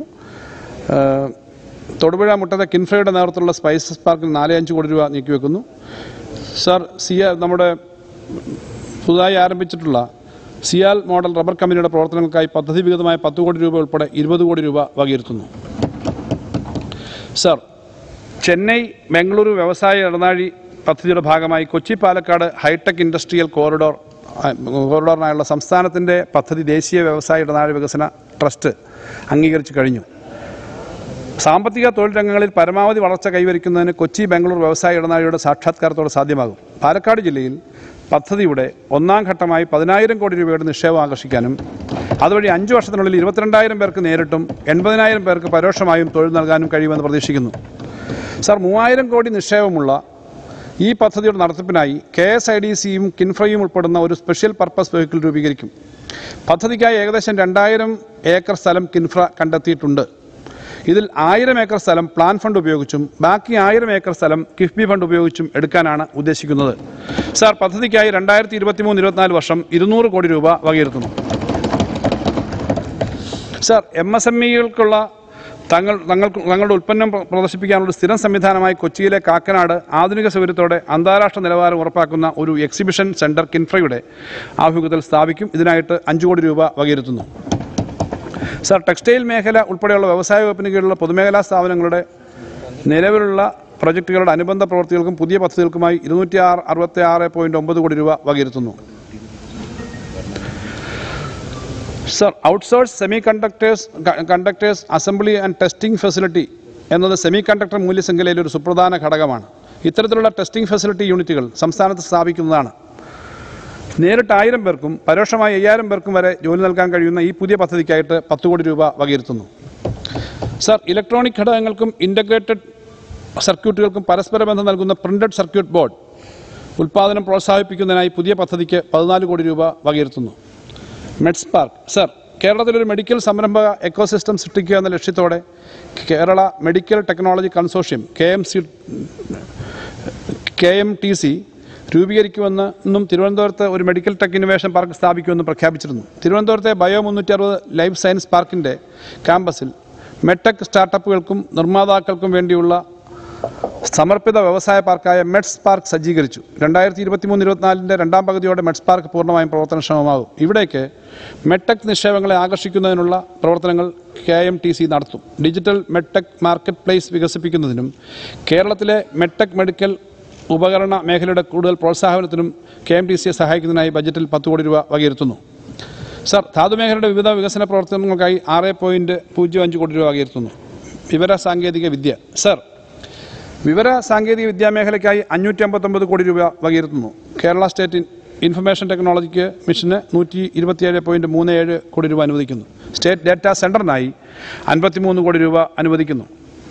I I triple I T M കെയുടെ പ്രവർത്തനങ്ങൾക്ക് ഉൾപ്പെടെ ഡിജിറ്റൽ യൂണിവേഴ്സിറ്റിക്കായി നാൽപ്പത്തിയാറ് പോയിന്റ് ആറ് കോടി രൂപ അനുവദിക്കുന്നു. തിരുവനന്തപുരത്തെ ടെക്നോ പാർക്കിന് ഇരുപത്തിയാറ് പോയിന്റ് ആറ് കോടി രൂപയും കൊച്ചി ഇൻഫോ പാർക്കിന് വികസനത്തിനായി മുപ്പത്തിയഞ്ച് പോയിന്റ് ഏഴ് അഞ്ച് കോടി രൂപയും കോഴിക്കോട് സൈബർ പാർക്കിന് പന്ത്രണ്ട് പോയിന്റ് എട്ട് മൂന്ന് കോടി രൂപയും വകയിരുത്തുന്നു. സാർ പൊതുമേഖലാ സ്ഥാപനമായ Kerala state information technology infrastructure ലിമിറ്റഡിന് ഇരുന്നൂറ്റി ഒന്ന് കോടി രൂപ. Sir Kerala fibre optic network K phone പദ്ധതിക്ക് നൂറ് കോടി രൂപ ലഭിക്കുന്നു. ഒരു നിയമസഭാ മണ്ഡലത്തിൽ അഞ്ഞൂറ് കുടുംബങ്ങൾ എന്ന കണക്കിൽ അർഹരായ എഴുപതിനായിരം ബി പി ഫോൺ പദ്ധതി കീഴിൽ സൗജന്യ ഗാർഹിക ഇന്റർനെറ്റ് കണക്ഷൻ നൽകുന്നതിന് രണ്ട് കോടി രൂപ അനുവദിക്കുന്നു. സർ കേരള സ്പേസ് പാർക്കിന് കെ സ്പേസ് എഴുപത്തിയൊന്ന് പോയിന്റ് എട്ട് നാല് കോടി രൂപ വകയിരുത്തുന്നു. സർ കേരള സ്റ്റാർട്ടപ്പ് മിഷന് തൊണ്ണൂറ് പോയിന്റ് അഞ്ച് രണ്ട് കോടി രൂപ വകയിരുത്തുന്നു. കൊച്ചി ടെക്നോളജി ഇന്നൊവേഷൻ സോണിന് ഇരുപത് കോടി രൂപയും യുവജന സംരംഭകത്വ വികസന പരിപാടികൾക്ക് എഴുപത് പോയിന്റ് അഞ്ച് രണ്ട് കോടി രൂപയും ഇതിൽ ഉൾപ്പെടുന്നു. ഫണ്ട് ഓഫ് ഫണ്ട്സ് വിഹിതത്തിനായി മുപ്പത് കോടി രൂപ അധികമായി അനുവദിക്കുന്നതുൾപ്പെടെ കേരള സ്റ്റാർട്ടപ്പ് മിഷന് ആകെ നൂറ്റി ഇരുപത് പോയിന്റ് അഞ്ച് രണ്ട് കോടി രൂപ അനുവദിക്കുന്നു. സർ ഗതാഗതവും വാർത്താവിനിമയവും. ഗതാഗത മേഖലയുമായി ബന്ധപ്പെട്ട വിവിധ പദ്ധതികൾക്കുള്ള വിഹിതം രണ്ടായിരത്തി ഇരുപത്തിരണ്ട് ഇരുപത്തി മൂന്നിൽ ആയിരത്തി എഴുന്നൂറ്റി എൺപത്തി എട്ട് പോയിന്റ് ആറ് ഏഴ് കോടി രൂപയായിരുന്നത്. രണ്ടായിരത്തി ഇരുപത്തി മൂന്ന് ഇരുപത്തിനാലിൽ രണ്ടായിരത്തി എൺപത് കോടി രൂപയായി ഉയർത്തുന്നു. തുറമുഖം ലൈറ്റ് ഹൗസ് ഷിപ്പിംഗ് മേഖലയ്ക്കായി എൺപത് പോയിന്റ് ഒന്ന് മൂന്ന് കോടി രൂപ വകയിരുത്തുന്നു. ആലപ്പുഴ മറീന പോർട്ടിനായി അഞ്ച് കോടി രൂപ വകയിരുത്തുന്നു.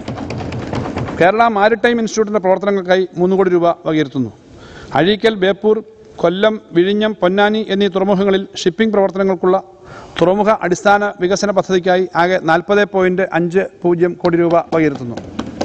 സർ കേരളത്തിന്റെ വടക്ക് ഭാഗത്ത് തുറമുഖ ആവശ്യങ്ങൾ നിറവേറ്റുക എന്ന ഉദ്ദേശത്തോടെ അഴീക്കലിൽ ഒരു greenfield international port outer harbour വികസിപ്പിക്കുവാൻ ഉദ്ദേശിക്കുന്നു. മൂന്ന് ഘട്ടങ്ങളിലായി വിഭാവന ചെയ്തിട്ടുള്ള Malabar international port and SEZ limited greenfield international port and സെസിന്റെ വികസന പദ്ധതിയുടെ ആകെ ചെലവ് മൂവായിരത്തി അറുന്നൂറ്റി തൊണ്ണൂറ്റെട്ട് കോടി രൂപയാണ്. പദ്ധതിക്കായിട്ട് പ്രാഥമികമായിട്ട് ഒമ്പത് പോയിന്റ് ഏഴ് നാല് കോടി രൂപ വകയിരുത്തുന്നു. സർ ദേശീയപാത ഉൾപ്പെടെയുള്ള റോഡുകൾക്കും പാലങ്ങൾക്കുമായി ആയിരത്തി ഒരുന്നൂറ്റി നാൽപ്പത്തിനാല് പോയിന്റ് രണ്ട് രണ്ട് കോടി രൂപ വകയിരുത്തുന്നു. പൊതുമരാമത്ത് വകുപ്പ് റോഡുകളും പാലങ്ങളും. സർ സംസ്ഥാന പാതകൾ വികസിപ്പിക്കുന്നതിനും മെച്ചപ്പെടുത്തുന്നതിനുള്ള പദ്ധതിക്കായി എഴുപത്തഞ്ച് കോടി രൂപ വകയിരുത്തുന്നു. പ്രധാന ജില്ലാ റോഡുകളുടെ വികസനവും മെച്ചപ്പെടുത്തലുമായി ബന്ധപ്പെട്ട പദ്ധതിക്കായി ഇരുന്നൂറ്റി എൺപത്തി എട്ട് പോയിന്റ് രണ്ട് ഏഴ് കോടി രൂപ വകയിരുത്തുന്നു. ഇതിൽ ഇരുന്നൂറ്റി ഇരുപത്തഞ്ച് കോടി രൂപ സംസ്ഥാനത്തെ ഡിഫക്ട് ലയബിലിറ്റി പീരീഡ് കഴിഞ്ഞ പ്രധാന ജില്ലാ B M and B C റോഡുകളുടെ ആവർത്തന പരിപാലന ചെലവ് കുറയ്ക്കുന്നതിനായി ഓവർലേയിങ് പ്രവൃത്തിക്ക് മാത്രമായി അനുവദിക്കുന്ന ഒറ്റത്തവണ സഹായമായിരിക്കും. സർ എൺപത്തിരണ്ട് കിലോമീറ്റർ നീളം വരുന്ന എഴുന്നൂറ്റി അറുപത്തി അഞ്ച് പോയിന്റ് നാല് നാല് കോടി രൂപ ആകെ നിർമ്മാണ ചെലവ് വരുന്നതുമായ പുനലൂർ പൊൻകുന്നം റോഡിന്റെ നിലവാരം ഉയർത്തുന്ന പ്രവൃത്തികൾ ഇ പി സി നോഡിലേക്ക് പരിവർത്തനം ചെയ്യുന്നതാണ്. സർ റെയിൽവേ സുരക്ഷയുമായി ബന്ധപ്പെട്ട പ്രവർത്തനങ്ങൾക്ക് പന്ത്രണ്ട് പോയിന്റ് ഒന്ന് കോടി രൂപ വകയിരുത്തുന്നു. റോഡ് സുരക്ഷാ പ്രവർത്തനവുമായി ബന്ധപ്പെട്ട പദ്ധതികൾക്ക് പത്ത് പോയിന്റ് അഞ്ച് ഒന്ന് കോടി രൂപ വകയിരുത്തുന്നു. കേന്ദ്ര റോഡ് ഫണ്ട് റോഡ് ബോർഡിന്റെ പ്രവൃത്തികൾക്കായി അറുപത്തിയൊന്ന് പോയിന്റ് എട്ട് അഞ്ച് കോടി രൂപ നീക്കിവെക്കുന്നു. റോഡ് ഗതാഗതം. സർ റോഡ് ഗതാഗത മേഖലയ്ക്കായി ആകെ നൂറ്റി എൺപത്തിനാല് പോയിന്റ് പൂജ്യം ഏഴ് കോടി രൂപ വകയിരുത്തുന്നു. ഇതിൽ നിന്നും കെ എസ് ആർ ടി സിക്ക് നൂറ്റി മുപ്പത്തൊന്ന് കോടി രൂപയും മോട്ടോർ വാഹന വകുപ്പിന് നാൽപ്പത്തിനാല് പോയിന്റ് പൂജ്യം ഏഴ് കോടി രൂപയും മാറ്റിവെക്കുന്നു. Sir K S R T C വാഹന വാഹന വ്യൂഹങ്ങളുടെ നവീകരണവും ഗുണനിലവാരവും മെച്ചപ്പെടുത്തലുമായി ബന്ധപ്പെട്ട പ്രവർത്തനങ്ങളുടെ വിഹിതം രണ്ടായിരത്തി ഇരുപത്തിരണ്ട് ഇരുപത്തി മൂന്നിൽ അൻപത് കോടി രൂപയായിരുന്നത് എഴുപത്തഞ്ച് കോടി രൂപയായി ഉയർത്തുന്നു. കെ എസ് ആർ ടി സിയുടെ അടിസ്ഥാന സൗകര്യ വികസനം വർക്ക്ഷോപ്പ് ഡിപ്പോകളുടെ നവീകരണം മുതലായ പ്രവർത്തനങ്ങൾക്കായി മുപ്പത് കോടി രൂപയും കമ്പ്യൂട്ടർവൽക്കരണവും ഇ ഗവേണൻസ് നടപ്പിലാക്കുന്നതിനായി ഇരുപത് കോടി രൂപയും വകയിരുത്തുന്നു. സാർ പ്രീഫാബ് സാങ്കേതികവിദ്യ ഉപയോഗിച്ചതിനാൽ Kottayam K S R T C bus സ്റ്റേഷനിലെ കെട്ടിടത്തിന്റെ നിർമ്മാണ ചെലവിൽ വലിയ കുറവാണ് ഉണ്ടായത്. വിഴിഞ്ഞം ആറ്റിങ്ങൽ കൊട്ടാരക്കര കായംകുളം എറണാകുളം തൃശൂർ കണ്ണൂർ കാസർഗോഡ് എന്നിവിടങ്ങളിലെ ചെലവ് കുറഞ്ഞ നിർമ്മാണ എന്നിവിടങ്ങളിൽ ചെലവ് കുറഞ്ഞ നിർമ്മാണ മാർഗങ്ങൾ ഉപയോഗിച്ച് K S R T C bus station ശേഷം പുതിയ മന്ദിരങ്ങൾ നിർമ്മിക്കും. നേരത്തെ വെച്ച പണത്തിനൊപ്പം ഇതിനായി ഇരുപത് കോടി രൂപ കൂടി അധി അധികമായിട്ട് അനുവദിക്കുന്നു. സർ ഇ മൊബിലിറ്റി പ്രചരണ പ്രവർത്തനങ്ങൾക്കായി പതിനഞ്ച് പോയിന്റ് അഞ്ച് അഞ്ച് കോടി രൂപ വിലയിരുത്തുന്നു. സർ സംസ്ഥാനത്തെ ഉൾനാടൻ ജലഗതാഗതവുമായി ബന്ധപ്പെട്ട പദ്ധതികൾക്കായി ആകെ നൂറ്റി നാൽപ്പത്തൊന്ന് പോയിന്റ് ആറ് ആറ് കോടി രൂപ വകയിരുത്തുന്നു. ജലഗതാഗത വകുപ്പിന് പുതിയ ഗതാഗത ബോട്ടുകൾ വാങ്ങാൻ ഇരുപത്തിനാല് കോടി രൂപ വകയിരുത്തുന്നു. സർ ബാർജുകൾ പുതിയ ബാർജുകൾക്കായി രണ്ട് പോയിന്റ് അഞ്ച് കോടി രൂപ പുതിയ ക്രൂയിസ് വെസൽ നിർമ്മിക്കാൻ നാല് കോടി രൂപ എന്നിങ്ങനെ മാറ്റിവെക്കുന്നു. ഇടുക്കി വയനാട് കാസർഗോഡ് ജില്ലകളിൽ എയർഷിപ്പുകൾ സ്ഥാപിക്കുന്നതിന് നാല് പോയിന്റ് അഞ്ച് കോടി രൂപ വകയിരുത്തുന്നു. ശബരിമല ഗ്രീൻഫീൽഡ് എയർ വിമാനത്തിനാവ വിമാനത്താവളത്തിന്റെ പ്രവർത്തനങ്ങൾക്കായി രണ്ട് പോയിന്റ് പൂജ്യം ഒന്ന് കോടി രൂപ വകയിരുത്തുന്നു. സർ വിനോദസഞ്ചാരം. വിനോദസഞ്ചാര മേഖലയ്ക്ക് മുന്നൂറ്റി അറുപത്തിരണ്ട് പോയിന്റ് ഒന്ന് അഞ്ച് കോടി രൂപ അനുവദിക്കുന്നു. Kerala institute of travel studies state institute of hospitality management food craft institute എന്നീ സ്ഥാപനങ്ങൾക്ക് പത്തൊമ്പത് പോയിന്റ് മൂന്ന് കോടി രൂപ അനുവദിക്കുന്നു. അന്തർദേശീയ ടൂറിസം പ്രചരണത്തിന് എൺപത്തൊന്ന് കോടി രൂപ അനുവദിക്കുന്നു. സർ തൃശ്ശൂർ പൂരം ഉൾപ്പെടെ പൈതൃക ഉത്സവങ്ങൾക്കും പ്രാദേശിക സാംസ്കാരിക പരിപാടികൾക്കുമായി എട്ട് കോടി രൂപയും രണ്ടായിരത്തി ഇരുപത്തി നാലിലെ കേരള ട്രാവൽ മാർട്ട് സംഘടിപ്പിക്കുന്നതിനായി ഏഴ് കോടി രൂപയും കൊച്ചി മുസരസ് ബിനാലയ്ക്ക് രണ്ട് കോടി രൂപയും വകയിരുത്തുന്നു. ടൂറിസം മേഖലയിൽ വൈദ്യുതി സബ്സിഡി ഇനത്തിൽ പത്ത് കോടി രൂപയും കാരവാൻ ടൂറിസം സംരംഭങ്ങൾക്കുള്ള സബ്സിഡി ഇനത്തിൽ മൂന്ന് പോയിന്റ് ഏഴ് കോടി രൂപയും റിവോൾവിംഗ് ഫണ്ട് പദ്ധതി ഉടനായി മൂന്ന് കോടി രൂപയും വകയിരുത്തുന്നു. പ്രധാന ടൂറിസം കേന്ദ്രങ്ങളിൽ അടിസ്ഥാന സൗകര്യ വികസനവും മറ്റ് സൗകര്യങ്ങളും സാധ്യമാക്കുന്നതിന് നൂറ്റി മുപ്പത്തി അഞ്ച് പോയിന്റ് ആറ് അഞ്ച് കോടി രൂപ വകയിരുത്തുന്നു. കാപ്പാട് ചരിത്ര മ്യൂസിയം. സർ ആയിരത്തി നാനൂറ്റി തൊണ്ണൂറ്റിയെട്ടിൽ വാസ്കോഡഗാമ കപ്പലിറങ്ങിയ കാപ്പാട് തുറമുഖം കേരളത്തിന്റെ ചരിത്രത്തിലെ ഏറ്റവും പൗരാണികമായ പ്രാധാന്യമുള്ള പ്രദേശങ്ങളിലൊന്നാണ്. കാപ്പാടിന്റെ ചരിത്രപരമായ പ്രാധാന്യം പ്രതിഫലിപ്പിക്കുന്ന ഒരു മ്യൂസിയം സ്ഥാപിക്കും. സാംസ്കാരിക ടൂറിസം മേഖലയിൽ കേരളത്തിലെ ഒരു പ്രമുഖ കേന്ദ്രമായി മാറാൻ കഴിയുന്ന ഈ മ്യൂസിയത്തിന് പ്രാഥമികമായി പത്ത് കോടി രൂപ വകയിരുത്തുന്നു. ഓ- ഓഷനേറിയവും മ്യൂസിയവും. സർ പൗരാണികമായ വ്യാപാര കേന്ദ്രമാണ് Kollam. Chinese Arab Portuguese Dutch British വ്യാപാരികൾ കൊല്ലവുമായി കച്ചവട ബന്ധം സ്ഥാപിച്ചിരുന്നു. കൊല്ലത്തിന്റെ വ്യാപാര വാണിജ്യ ചരിത്രം വിശദീകരിക്കുന്ന ഒരു മ്യൂസിയവും അതോടൊപ്പം ഒരു ഓഷനറിയവും കൊല്ലം തങ്കശ്ശേരിയിൽ സ്ഥാപിക്കും. പൊതു സ്വകാര്യ പങ്കാളിത്തത്തോടെയാകും ഓഷനറി സ്ഥാപിക്കുക. ടൂറിസം രംഗത്തിന് ഗുണപരമാകുന്ന ഈ പദ്ധതിക്കായി പത്ത് കോടി രൂപ വകയിരുത്തുന്നു. സർ അതിഥി മന്ദിരങ്ങളുടെയും യാത്രീ നിവാസികളുടെയും നവീകരണത്തിനായി ഇരുപത്തിരണ്ട് കോടി രൂപ വകയിരുത്തുന്നു. ഉത്തരവാദിത്ത ടൂറിസം പദ്ധതിക്കായിട്ട് ഒമ്പത് പോയിന്റ് അഞ്ച് അഞ്ച് കോടി രൂപ വകയിരുത്തുന്നു. Heritage and spice spice route പ്രൊജക്റ്റിൽ ഉൾപ്പെടുത്തി മുസിരിസ് ആലപ്പുഴ തലശ്ശേരി ഹെറിറ്റേജ് പ്രൊജക്റ്റുകൾക്കായി പതിനേഴ് കോടി രൂപ നീക്കിവെക്കുന്നു. ചാമ്പ്യൻസ് ബോട്ട് ലീഗിനായി പന്ത്രണ്ട് കോടി രൂപ നീക്കിവെക്കുന്നു. ശാസ്ത്ര സേവനങ്ങളും ഗവേഷണവും. സർ ശാസ്ത്ര സാങ്കേതിക മേഖലയിൽ ഇന്നവേഷനവും സംരംഭകത്വവും എന്ന പദ്ധതിക്കായി രണ്ട് കോടി രൂപ നീക്കിവെക്കുന്നു. കേരള സംസ്ഥാന ശാസ്ത്ര സാങ്കേതിക പരിസ്ഥിതി കൗൺസിലിന് തൊണ്ണൂറ് പോയിന്റ് ഏഴ് ഏഴ് കോടി രൂപ നീക്കിവെക്കുന്നു. K disk. സർ സംസ്ഥാനത്തിന്റെ രണ്ടാം തലമുറ വികസന പ്രശ്നങ്ങൾ പരിഹരിക്കുന്നതിന് വേണ്ടി ഇന്നവേഷൻ പ്രോത്സാഹിപ്പിക്കുക എന്ന ലക്ഷ്യത്തോടെയാണ് കെ ഡിസ്ക് രൂപീകരിക്കപ്പെട്ടിട്ടുള്ളത്. കെ ഡിസ്കിന്റെ പ്രവർത്തനം സംസ്ഥാനത്ത് ഒരു ഇന്നവേഷൻ സൗഹൃദ ആവാസ വ്യവസ്ഥ സൃഷ്ടിക്കുന്നതിന് കാരണമായിട്ടുണ്ട്. വിവിധ മേഖലകളിലായി നൂതനമായ നിരവധി പദ്ധതികൾ കെ ഡിസ്ക് ഏറ്റെടുത്തിരിക്കുന്നു. ഇന്നവേഷന്റെ ആഗോള തലസ്ഥാനമാക്കി കേരളത്തെ മാറ്റാനുള്ള ലക്ഷ്യമാണ് കെ ഡിസ്കിനുള്ളത് രണ്ടായിരത്തി ഇരുപത്തി മൂന്ന് ഇരുപത്തിനാലിൽ കെ ഡിസ്കിനായി നൂറ് കോടി രൂപ വകയിരുത്തുന്നു. Sir institute of advanced biology ഇരുപത്തിയേഴായിരം ചതുരശ്ര അടി കെട്ടിടത്തിൽ പ്രവർത്തിക്കുന്ന ഈ ഇൻസ്റ്റിറ്റ്യൂട്ടിന് ലബോറട്ടറി സൗകര്യം വികസിപ്പിക്കുന്നതിന് എൺപതിനായിരം ചതുരശ്ര അടി കൂടി കൂട്ടിച്ചേർക്കുവാൻ ഉദ്ദേശിക്കുന്നു. ഈ പ്രവർത്തനങ്ങളുടെ ഭാഗമായിട്ട് ഇൻസ്റ്റിറ്റ്യൂട്ടിന് അൻപത് കോടി രൂപ വകയിരുത്തുന്നു. തിരുവനന്തപുരം ക്യാൻസർ റീജിയണൽ ക്യാൻസർ സെന്ററിന് എൺപത്തൊന്ന് കോടി രൂപ വകയിരുത്തുന്നു. ആർ സി സിയെ സംസ്ഥാന ക്യാൻസർ സെന്ററായി ഉയർത്തുന്നതിന് നൂ ആകെ നൂറ്റി ഇരുപത് കോടി രൂപ ചെലവ് വരും. ഇതിന് കേന്ദ്ര സർക്കാർ അംഗീകാരം നൽകുകയും ആദ്യ ഗഡു അനുവദിക്കുകയും ചെയ്തിട്ടുണ്ട്. പദ്ധതിയുടെ പ്രവർത്തനങ്ങൾക്കായി പതിമൂന്ന് പോയിന്റ് എട്ട് കോടി രൂപ വികരുത്തുന്നു മലബാർ ക്യാൻസർ സെന്ററിന്റെ വിവിധ വികസന പ്രവർത്തനങ്ങൾക്കായി ആരോഗ്യ വിദ്യാഭ്യാസ മേഖലയ്ക്ക് കീഴിൽ ഇരുപത്തിയെട്ട് കോടി രൂപ അനുവദിക്കുന്നു. Sir Cochin cancer research centre രണ്ടാം ഘട്ട നിർമ്മാണ പ്രവർത്തനങ്ങൾ നടന്നു വരുന്നു. കൊച്ചിൻ ക്യാൻസർ സെന്ററിന് ആരോഗ്യ വിദ്യാഭ്യാസ മേഖലയ്ക്ക് കീഴിൽ പതിനാല് പോയിന്റ് അഞ്ച് കോടി രൂപ അനുവദിക്കുന്നു. സർ പരിസ്ഥിതി ആവാസ വ്യവസ്ഥാ മേഖല വ്യവസ്ഥാ മേഖലയിലെ വിവിധ പദ്ധതികൾക്കായി ആകെ ഇരുപത്തി ആറ് പോയിന്റ് മൂന്ന് എട്ട് കോടി രൂപ വിലയിരുത്തുന്നു. വിദ്യാഭ്യാസം. സർ. വിദ്യാഭ്യാസ മേഖലയ്ക്ക് സംസ്ഥാന പദ്ധതി വിഹിതമായി ആയിരത്തി എഴുന്നൂറ്റി എഴുപത്തി മൂന്ന് പോയിന്റ് പൂജ്യം ഒമ്പത് കോടി രൂപ നീക്കിവെക്കുന്നു. സ്കൂളുകൾക്ക് അടിസ്ഥാന സൗകര്യ വികസനത്തിനുള്ള എൺപത്തഞ്ച് കോടി രൂപ തൊണ്ണൂറ്റിയഞ്ച് കോടി രൂപയായി വർദ്ധിപ്പിക്കുന്നു. സ്കൂൾ കുട്ടികൾക്ക് സൗജന്യ യൂണിഫോം നൽകുന്നതിനായി നൂറ്റി നാൽപ്പത് കോടി രൂപ വകയിരുത്തുന്നു. ഓട്ടിസം പാർക്കിന്റെ പ്രവർത്തനങ്ങൾക്കായി നാൽപ്പത് ലക്ഷം രൂപ അനുവദിക്കുന്നു. സർക്കാർ ഹയർ സെക്കൻഡറി സ്കൂളുകളിലെ അടിസ്ഥാന സൗകര്യ വികസനത്തിനായി അറുപത്തഞ്ച് കോടി രൂപ വകയിരുത്തുന്നു. സമഗ്ര ശിക്ഷാൻ അഭിയാൻ പദ്ധതിയുടെ വിവിധ ഘടകങ്ങളുടെ നടത്തിപ്പിലേക്ക് അടിസ്ഥാന വിഹിതമായി സംസ്ഥാന വിഹിതമായി അറുപത് കോടി രൂപ നീക്കിവെക്കുന്നു. ഉച്ചഭക്ഷണ പരിപാടിക്ക് മുന്നൂറ്റി നാൽപ്പത്തി നാല് പോയിന്റ് ആറ് നാല് കോടി രൂപ വകയിരുത്തുന്നു. ഉന്നത വിദ്യാഭ്യാസം. സർ കൂടുതൽ മികവ് കൈവരിക്കുന്നതിന് സർവകലാശാലകളെയും ഉന്നത വിദ്യാഭ്യാസ സ്ഥാപനങ്ങളെയും സഹായിക്കുന്നതിനുള്ള പ്രത്യേക കർമ്മ പദ്ധതിക്ക് രണ്ടായിരത്തി ഇരുപത്തി മൂന്ന് ഇരുപത്തിനാല് രൂപ നൽകും. ഇതിനായി എണ്ണൂറ്റി പതിനാറ് പോയിന്റ് ഏഴ് ഒമ്പത് കോടി രൂപ ഉന്നത വിദ്യാഭ്യാസത്തിനും സാങ്കേതിക വിദ്യാഭ്യാസത്തിനുമായി വകയിരുത്തിയിട്ടുണ്ട്. സർ ട്രാൻസ്ലേഷൻ ഗവേഷണത്തിനായി റിസ്ക് ഫണ്ട്. സർ ഗവേഷണ ഫലങ്ങളെ ഉൽപ്പാദന പ്രക്രിയയിലേക്ക് വാണിജ്യാടിസ്ഥാനത്തിൽ ട്രാൻസ്ലേറ്റ് ചെയ്യാൻ വ്യവസായങ്ങളെ പ്രോത്സാഹിപ്പിക്കുന്നതിനും അക്കാഡമിക് സ്ഥാപനങ്ങളോടൊപ്പം ചേർന്ന് വിജ്ഞാനോൽപ്പന്നങ്ങൾ നിർമ്മിക്കുന്നതിനുള്ള റിസ്ക് കുറയ്ക്കുന്നതിനായി ഒരു ഗവേഷണ ഫണ്ട് രൂപീകരിക്കാൻ സർക്കാർ ഉദ്ദേശിക്കുന്നു. സാങ്കേതിക വിദ്യകൾ ട്രാൻസ്ലേറ്റ് ചെയ്യുന്നതിനായി വ്യവസായങ്ങളും സർവകലാശാലകളും കൂടിച്ചേർന്ന് രൂപീകരിക്കുന്ന എസ് പി വിയിൽ മൂലധന നിക്ഷേപത്തിനായി ഈ ഫണ്ട് ഉപയോഗിക്കും. വിജയകരമായി പ്രവർത്തിക്കുന്ന എസ് പി വികളുടെ വരുമാനത്തിൽ നിന്നും ഫണ്ട് തിരിച്ചുപിടിക്കും. ഗവേഷണ ഫണ്ടിനുള്ള പ്രാരംഭ പിന്തുണയ്ക്കായി പത്ത് കോടി രൂപ മാറ്റിവെക്കുന്നു. സർ ഉന്നത വിദ്യാഭ്യാസ കമ്മീഷനുകൾ നിർമ്മിച്ച നിർദ്ദേശവിധത്തിൽ കേരളത്തിലെ വിവിധ വൈജ്ഞാനിക മേഖലകളിൽ മികവിന്റെ കേന്ദ്രങ്ങൾ സ്ഥാപിക്കുന്നതിന് പതിനാല് കോടി രൂപ നീക്കിവെക്കുന്നു. ഉന്നത വിദ്യാഭ്യാസ കൗൺസിലിന് പത്തൊമ്പത് കോടി രൂപ വകയിരുത്തുന്നു. കണ്ണൂർ സർവകലാശാലയിൽ centre for atmospheric sciences coastal ecosystem ecosystem studies quantum computing കേന്ദ്രം പെട്രോമിക്സ് ആൻഡ് ജീനോമിക് റിസർച്ച് കേന്ദ്രം എന്നിവ സ്ഥാപിക്കുന്നതിനുള്ള ധനസഹായം നൽകും.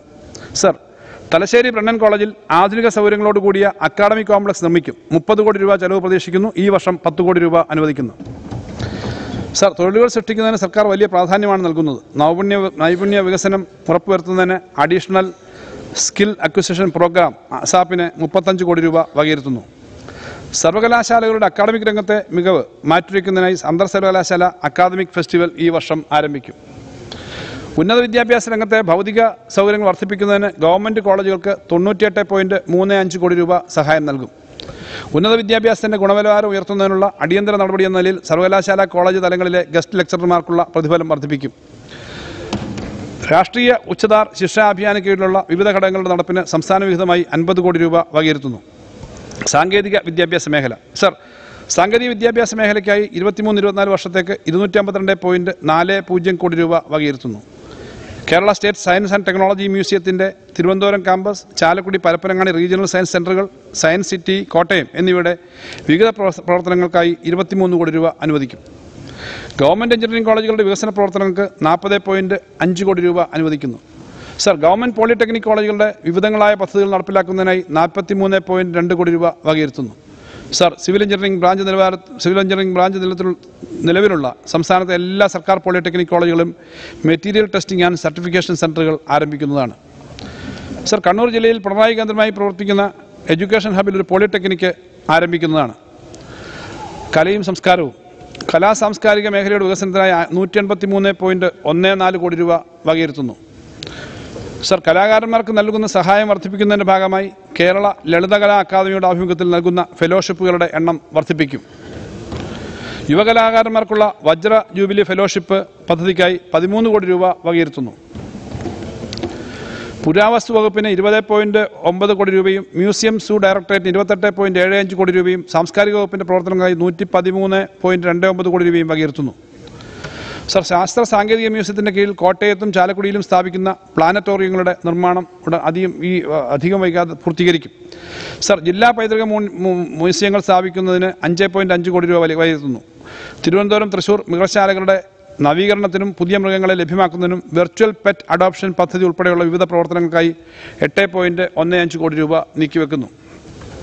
A K G museum. Sir മഹാനായ വിപ്ലവകാരിയും സ്വാതന്ത്ര്യ സമര സേനാനിയും രാജ്യത്തിന്റെ ആദ്യത്തെ പ്രതിപക്ഷ നേതാവുമായിരുന്ന എ കെ ജി പാവങ്ങളുടെ പട പടത്തലവൻ എന്ന് അറിയപ്പെടുന്നു. എ കെ ജിയുടെ ജീവിതം കേരളത്തിലെ സമരമുന്നേറ്റങ്ങളുടെ നേർചരിത്രം കൂടിയാണ്. എ കെ ഗോപാലന്റെ ജീവിതവും പോരാട്ടങ്ങളും അടയാളപ്പെടുത്തുന്ന Kannur Peralassery A K G മ്യൂസിയത്തിന് ആറ് കോടി രൂപ വകയിരുത്തുന്നു. കല്ലുമാല സമര സ്ക്വയർ. സർ കേരളത്തിന്റെ നവോത്ഥാന ചരിത്രത്തിലെ സമുജ്ജലമായ ഏടാണ് കല്ലുമാല സമരം. ആയിരത്തി തൊള്ളായിരത്തി പതിനഞ്ച് ഡിസംബറിൽ കൊല്ലം പീരങ്കി മൈതാനത്ത് ചങ്ങനാശ്ശേരി പരമേശ്വരൻ പിള്ളയുടെ അധ്യക്ഷതയിൽ നടന്ന മഹായോഗത്തിലാണ് മഹാത്മാ അയ്യങ്കാളി കല്ലും കല്ലയും മാലയും ബഹിഷ്കരിക്കാൻ സ്ത്രീകളോട് ആഹ്വാനം ചെയ്തത്. മാറുമറച്ച് വസ്ത്രം ധരിക്കാനുള്ള കേരളീയ സ്ത്രീകളുടെ പോരാട്ടങ്ങളിലെ നിർണായക സംഭവമായിരുന്നു കല്ലുമാല ബഹിഷ്കരണം. കേരളീയ സ്ത്രീകളുടെ സ്വാഭിമാന പോരാട്ട ചരിത്രത്തിലെ നവോത്ഥാന മുന്നേറ്റത്തിന്റെയും സ്മാരകമായി കൊല്ലം പീരങ്കി മൈതാനത്തെ കല്ലുമാല സമര മൈതാനമായി സംരക്ഷിക്കും. പീരങ്കി മൈതാനത്ത് കല്ലുമാല സ്ക്വയർ നിർമ്മിക്കും. ഇതിനായി അഞ്ചു കോടി രൂപ വകയിരുത്തുന്നു. സർ വൈക്കം സത്യാഗ്രഹ ശതാബ്ദി. നമ്മുടെ നാടിന്റെ നവോത്ഥാന ചരിത്രത്തിലെ സുപ്രധാനമായ സംഭവമാണ് വൈക്കം സത്യാഗ്രഹം. രണ്ടായിരത്തി ഇരുപത്തിനാലിൽ വൈക്കം സത്യാഗ്രഹത്തിന്റെ ശതാബ്ദിയാണ്. ഇത് സർക്കാർ സമുചിതമായി ആഘോഷിക്കും. അതിനായിട്ടുള്ള പരിപാടികൾ തയ്യാറാക്കും. Sir K S F D സിയുടെ കീഴിലുള്ള തിയേറ്ററുകളുടെ ആധുനികവൽക്കരണം ഒ ടി ടി പ്ലാറ്റ്ഫോം നിർമ്മാണം സിനിമ നിർമ്മാണം എന്നിവയ്ക്കായി പതിനേഴ് കോടി രൂപ നീക്കിവെക്കുന്നു. സംഗീത നാടക അക്കാദമിയുടെ നേതൃത്വത്തിലുള്ള അന്താരാഷ്ട്ര നാടകോത്സവത്തിന് പ്രത്യേക ധനസഹായമായി ഒരു കോടി രൂപ നൽകും. കേരള സാഹിത്യ അക്കാദമിക്ക് മലയാള സാഹിത്യ സമ്മേളനം സംഘടിപ്പിക്കുന്നതിന് ഒരു കോടി രൂപ അനുവദിക്കുന്നു. കൊണ്ടോട്ടിയിലെ മഹാവി മൊയിൻകുട്ടി വൈദ്യർ മാപ്പിളകല അക്കാദമിക്ക് അധികമായി പതിനഞ്ച് ലക്ഷം രൂപ അനുവദിക്കുന്നു. തിരുവനന്തപുരം ചെമ്പഴന്തിയിൽ പ്രവർത്തിക്കുന്ന ശ്രീനാരായണ അന്തർദേശീയ പഠന കേന്ദ്രത്തിന് മുപ്പത്തിയഞ്ച് ലക്ഷം രൂപ അനുവദിക്കുന്നു. സ്പോർട്സും യുവജനക്ഷേമവും കായിക യുവനക്ഷേമ കായിക വകുപ്പിന്റെ പദ്ധതികൾക്കായി നൂറ്റി മുപ്പത്തഞ്ച് പോയിന്റ് ഏഴ് അഞ്ച് കോടി രൂപ അകീർത്തുന്നു. തിരുവനന്തപുരത്തെ ജി വി രാജ സ്പോർട്സ് സ്കൂളിന്റെ സ്പോർട്സ് ഡിവിഷന്റെയും കണ്ണൂരിലെ സ്പോർട്സ് ഡിവിഷൻ കണ്ണൂരിന്റെയും അപ്ഗ്രഡേഷന് വേണ്ടി ഇരുപത് കോടി രൂപ വകയിരുത്തുന്നു. Thrissur Kunnamkulam government boys high higher secondary സ്കൂളിൽ സ്പോർട്സ് വിഭാഗത്തിന് ഹോസ്റ്റൽ മെസ്സ് തുടങ്ങിയ അടിസ്ഥാന സൗകര്യങ്ങൾ സജ്ജീകരിക്കുന്നതിനായിട്ട് മൂന്ന് പോയിന്റ് ആറ് കോടി രൂപ വകയിരുത്തുന്നു. സംസ്ഥാന സ്പോർട്സ് കൗൺസിലിന്റെ വിവിധങ്ങളായ പ്രവർത്തനങ്ങൾക്ക് മുപ്പത്തിയഞ്ച് പോയിന്റ് ഒമ്പത് കോടി രൂപ നീക്കിവെക്കുന്നു. സംസ്ഥാന യുവജന ബോർഡിന്റെ പ്രവർത്തനങ്ങൾക്ക് പതിനെട്ട് പോയിന്റ് ഒമ്പത് അഞ്ച് കോടി രൂപ വകയിരുത്തുന്നു. പൊതുജനാരോഗ്യ മേഖല. സർ രണ്ടായിരത്തി ഇരുപത്തി മൂന്ന് ഇരുപത്തിനാല് സാമ്പത്തിക വർഷത്തിൽ വൈദ്യ ശുശ്രൂഷയും പൊതുജനാരോഗ്യവും എന്ന മേഖലയ്ക്ക് ആകെ വിഹിതമായി രണ്ടായിരത്തി എണ്ണൂറ്റി ഇരുപത്തിയെട്ട് പോയിന്റ് മൂന്ന് മൂന്ന് കോടി രൂപ വകയിരുത്തുന്നു. ഇത് മുൻവർഷത്തേക്കാൾ നൂറ്റി തൊണ്ണൂറ്റി ആറ് പോയിന്റ് അഞ്ച് കോടി രൂപ അധികമാണ്. സർ കോവിഡിന് ശേഷമുള്ള ആരോഗ്യ പ്രശ്നങ്ങൾ കൈകാര്യം ചെയ്യുന്നതിനായി അഞ്ച് കോടി രൂപ നീക്കി വെക്കുന്നു. സംസ്ഥാനത്തെ എല്ലാ ജില്ലാ ആശുപത്രികൾക്കും ക്യാൻസർ ചികിത്സയ്ക്കുള്ള കേന്ദ്രങ്ങൾ സ്ഥാപിക്കാൻ ഉദ്ദേശിക്കുന്നു. പകർച്ചവ്യാധി നിയന്ത്രണവുമായി ബന്ധപ്പെട്ട പ്രവർത്തനങ്ങൾക്ക് പതിനൊന്ന് കോടി രൂപ വകയിരുത്തുന്നു.